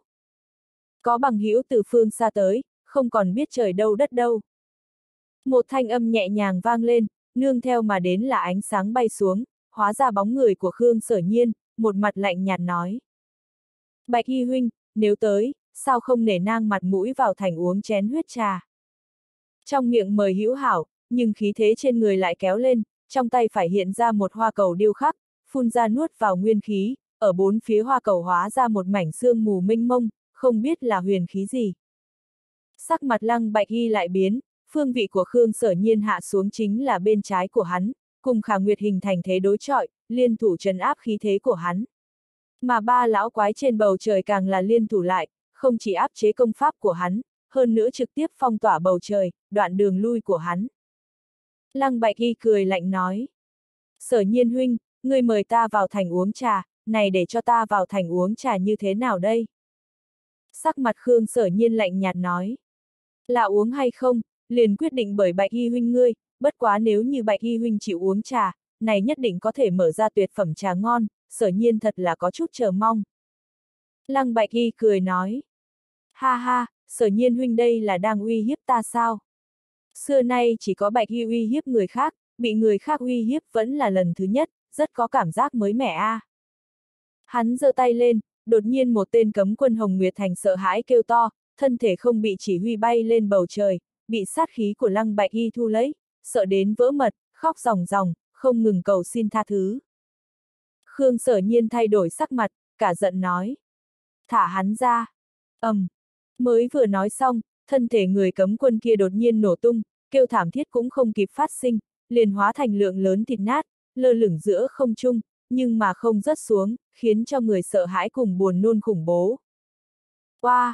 Khương Như Băng là cái thứ nhất bị loại thảm trạng này dọa sợ, sau khi kinh hô một tiếng đột nhiên che miệng mình, từng viên nước mắt sợ hãi từ trong đôi mắt đổ rào rào chảy xuống, cả người run rẩy không ngớt. Đừng nói là nàng, cấm quân ở đây cũng hoàn toàn thay đổi sắc mặt, sợ run tim mất mật, từng cái từng cái sắc mặt trắng bệch. Ở dưới năm đại cao thủ hàng đầu vây nhốt, còn có thể giơ tay nhấc chân, nhàn nhã giết người, phong hào vũ đế mạnh, này nơi nào còn là vũ giả, quả thực chính là thần linh A. Ngươi! Cả người Khương sở nhiên chấn động mạnh, tức giận nhìn, trong tròng mắt đầy giấy phẫn nộ cùng sát ý. Lăng bạch y hờ hững cười nói. Ta không thích phí lời, toàn bộ rút đi, để chúng ta rời đi. Toàn bộ bầu không khí trở nên dị thường nghiêm túc, cái chán mỗi võ giả đều bốc lên lượng lớn mồ hôi lạnh, trực tiếp kề sát ở mặt ngoài thân thể kết băng. Cả người Lý Vân Tiêu cũng rét run, nếu như vừa nãy đối tượng Lăng Bạch Y đánh giết là mình, sợ là ngay cả trốn vào giới thần bi cũng không thể, thủ đoạn thật ác độc, lấy tính mạng nhiều người như vậy làm uy hiếp, sợ là Hồng Nguyệt Thành không thể không đi vào khuôn phép. Ba lão giả ở trên không trung cũng bị thủ đoạn tàn nhẫn kia khiếp sợ không nhỏ, nguyên lực gợn sóng táo bạo truyền đến, tựa hồ nội tâm rất khó bình tĩnh. Làm sao, không phục, ha ha. Lăng Bạch Y lười biếng giơ mi mắt lên, lạnh lùng nở nụ cười nói. Các ngươi muốn những người này chết sao? Tiếng nói của hắn phảng phất đến từ cửu u, khiến cho người sởn cả tóc gáy, cấm quân Hồng Nguyệt Thành từng cái từng cái cả người rét run, linh hồn đều muốn tiêu vong. Tất cả mọi người là trong lòng sợ hãi đến tột đỉnh, ở dưới cỗ uy thế kia, hai chân từng cái từng cái như nhũn ra. Rời đi, giết người Hồng Nguyệt Thành ta, người đời này cũng đừng muốn rời đi. Ngay khi mọi âm thanh vắng lặng, thanh âm lạnh như băng của Khả Nguyệt đánh vỡ yên tĩnh. Nàng lâm không một chảo, Tiết Nam bị đế khí của nàng chấn áp trong nháy mắt bay tới, năm ngón tay nàng dùng sức sờ một cái. ầm, um, đầu lâu của Tiết Nam trong nháy mắt nổ tung, dường như tây qua, óc tiên đầy trời. Một cổ thi thể không đầu, ở dưới mọi người kinh ngạc ầm ầm ngã xuống đất, chết không thể chết lại. A Tiết Nam tiền bối. Tiểu bát bỗng nhiên kêu thảm một tiếng, khắp khuôn mặt là bi thống vô tận, sắc mặt đa tiến cũng trắng bệch, trong mắt lộ ra sợ hãi. Ngươi! Lần này đến phiên lăng bạch y kinh nộ, lạnh giọng nói. Ngươi thật sự muốn cho những người Hồng Nguyệt Thành kia chôn cùng. Khả Nguyệt không sợ chút nào ngưng mắt nhìn hắn, lạnh lùng nói. Có gan tiếp tục giết a, à, người lại giết một người, ta liền giết hai người còn lại này, Hồng Nguyệt Thành chịu thiệt một chút, cho ngươi giết nhiều mấy người mà thôi. Ninh Hàng Phong mồ hôi lạnh chảy dòng nói. Nhị tỷ, như băng tiểu thư. Khả Nguyệt lạnh lẽo lườm hắn một cái, trong ánh mắt kia hàn khí trực thấu linh hồn, sợ đến hắn giật mình không dám nói lời nào. Khả Nguyệt cười nhạo nói. Bất luận thân là người Hồng Nguyệt Thành, hay là đồ đệ của ta, cũng phải có tinh thần vì Hồng Nguyệt Thành hy sinh. Ngày hôm nay Khương Như băng chết, Ninh Hàng Phong cũng phải chết, thậm chí Khả Nguyệt ta, cũng sẽ chết, cho dù đều chết rồi, cũng sẽ không cùng kẻ địch thỏa hiệp nửa bước, các ngươi đều trả lời ta. Sợ chết không? Lời của nàng để mỗi người đều bình tĩnh lại, dòng máu bị sát khí ngâm lạnh lẽo dần dần khuấy động, Ninh Hàng Phong ngửa mặt lên trời cười to nói. Ha ha, không sợ, nhị tỷ, nhớ giết phong hào vũ đế này thay chúng ta chôn cùng. Các huynh đệ, có phong hào vũ đế theo chúng ta chôn cùng, đại gia sướng hay không sướng a? Sảng khoái. Mọi người chăm miệng một lời quát lên, cỗ hào khí này xông thẳng lên trời. Hàn ý bị sát khí quyết bước đến cả người rét run liền bị nhiệt huyết xua tan, mỗi khuôn mặt lộ ra dáng vẻ thấy chết không sờn, lạnh lùng nhìn chằm chằm lăng bạch y.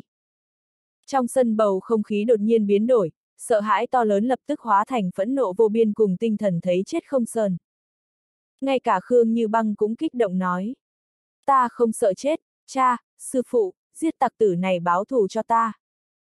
Nhân sinh tự cổ thủy vô tử, bất luận ngươi sinh ra hèn mọn, hay cao quý, thời điểm bước lên con đường võ đạo này, liền phải có giác ngộ vẫn lạc. Trong lòng Lý Vân Tiêu cũng âm thầm than thở, Khả Nguyệt quyết đoán, Lăng Bạch y không phải là thương, thương ở trong mắt Hồng Nguyệt Thành chỉ là tiểu lâu la, còn chưa xứng hy sinh tính mạng của Khương Như Băng, thả cũng không có người bàn tán. Thế nhưng Lăng Bạch y không giống, hắn là phong hào vũ đế, tồn tại thiên hạ kính ngưỡng, Hồng Nguyệt Thành cũng thế, vì lẽ đó ở trước mặt Lăng Bạch y, bất kể là thanh uy hay là an toàn, Hồng Nguyệt Thành cũng không thể thỏa hiệp. Mặc dù hy sinh Khương như băng, mặc dù hy sinh cấm quân cao thủ hơn nửa, cũng phải đem hắn chém giết. Khương sở nhiên ngưng tiếng nói. Không sai, đây mới là khí khái Hồng Nguyệt Thành cấm vệ quân ta nên có, đây mới là con gái tốt của ta, hôm nay, ta liền giết một tên phong hào vũ đế thay các ngươi chôn cùng. Vào đúng lúc này, hắn đột nhiên cảm thấy mình qua nhiều năm như vậy bó tay bó chân, chuyện gì cũng không làm được, cũng không phải là bởi vì mình là Hồng Nguyệt Thành thành chủ, mà là tính cách bản thân mình nhu nhược gây nên, nếu như tâm có mãnh hổ, phía trước đánh đâu thắng đó không gì cản nổi. Nếu như hôm nay cùng Lăng Bạch Hy thỏa hiệp, không chỉ có thanh uy của Hồng Nguyệt Thành xuống dốc không phanh, hơn nữa còn lưu lại đại họa tâm phúc. Không bằng hôm nay hy sinh mọi người, cũng phải chém giết, mặc dù sẽ để thực lực trong thành hạ thấp, nhưng có thể đổi lấy uy vọng như mặt trời ban trưa, trong thiên hạ còn có ai dám xâm chiếm. Tay phải hắn khoát lên vai trái, mở ra nút buộc áo choàng, phất tay đem áo choàng vứt lên, bị sát ý lạnh lẽo thổi đến mức bay phần phật. Chỉ cần Hồng Nguyệt Thành có loại tinh thần thấy chết không sờn, thà làm ngọc vỡ này, liền vĩnh viễn không có ai có thể uy hiếp đến chúng ta. Khương sở nhiên đánh vào tiểu cầu một đạo quyết ấn, từng đạo từng đạo khí thức màu xanh ở bốn phía tiểu cầu khuấy động ra, ở trong xương trắng mênh mông hóa ra các loại dị tượng. Trên kim kiếm của Khả Nguyệt bắt đầu lay động đạo đạo âm cổ, như oán như mộ, như khấp như tố, dự âm nhiễu nhiễu, bất tuyệt như lũ. Giữa bầu trời, ba đạo ánh sáng đồng dạng là uy thế chấn động mạnh, dần dần đem mây đen ác tướng nuốt chừng. Mọi người đồng tâm hiệp lực, sức mạnh như thành đồng, thế không thể đỡ. Sắc mặt lăng bạch y đột biến, hắn không nghĩ tới mình dùng thủ đoạn phích lịch, muốn uy hiếp Khương sở nhiên, bức Hồng Nguyệt Thành thỏa hiệp, nhưng đổi lấy kết quả như thế. Lấy tính tình của Khương Sở Nhiên chắc chắn sẽ không mạo hiểm lớn như vậy cùng mình cắt đứt, kẻ cầm đầu là Khả Nguyệt, lấy tư thế xét đánh không kịp bưng tai giết Tiết Nam, lấy uy nhiếp uy. Hiện tại tình cảnh của hắn dị thường bị động, trái phải có Khương Sở Nhiên cùng Khả Nguyệt, phía trên còn có ba vị Hồng Nguyệt thành lão quái phong tỏa bầu trời, năm đại cao thủ tuyệt thế liên thủ lại, mình đừng nói thủ thắng, có thể thoát thân hay không là cái vấn đề. Tung hoành thiên hạ nhiều năm như vậy, hắn lần thứ nhất cảm thấy mình khả năng muốn ngã xuống. Đa Tiến cười khổ nói. Nhiệm vụ lần này quá khúc chiết, cuối cùng vẫn là không thể chết già, kết thúc an lành, đây chính là ông trời cho ta trừng phạt, muốn về hưu cũng khó khăn a. À. Tiểu bát cười nói. Tiền bối, nhiều cao thủ như vậy theo chúng ta cùng tiến lên hoàng tuyền, đại gia nhiệt nhiệt nháo nháo có bạn, thật tốt a. À. Có khi lão đại cũng muốn theo chúng ta đi đó chứ. Đa tiến cười mắng. Ngươi không thể nói êm tai một chút sao. Nếu như lão đại chết rồi, bát tượng liền triệt để xong đời. Hai người bọn họ cũng coi như là kỳ hoa, dưới bầu không khí căng thẳng như thế này còn có tâm tư trêu đùa, khả năng là biết chắc chắn phải chết, trái lại trở nên ung dung đi. Sắc mặt lăng bạch y thay đổi mấy lần, sau cùng rốt cục mở miệng nói. Các ngươi thắng, ta thỏa hiệp, mở điều kiện đi, để ba người chúng ta rời đi. Cái gì? Tiểu bát cả kinh, vội vàng nói. Lão đại, người không thể thỏa hiệp A, không thể làm mất đi uy phong của bát tượng chúng ta, chúng ta chết không hết tội, người có thể giết nhiều một ít người Hồng Nguyệt Thành thay chúng ta chôn cùng. Lăng Bạch Y một mặt hắc tuyến, cả giận nói. Câm miệng, thỏa hiệp, hư, người không phải dưới tiểu thiên, tung cổ kim sao. Khả Nguyệt cười lạnh nói. Lăng Bạch Y là phong hào vũ đế, cái thỏa hiệp này Hồng Nguyệt Thành ta không dám thu a. À.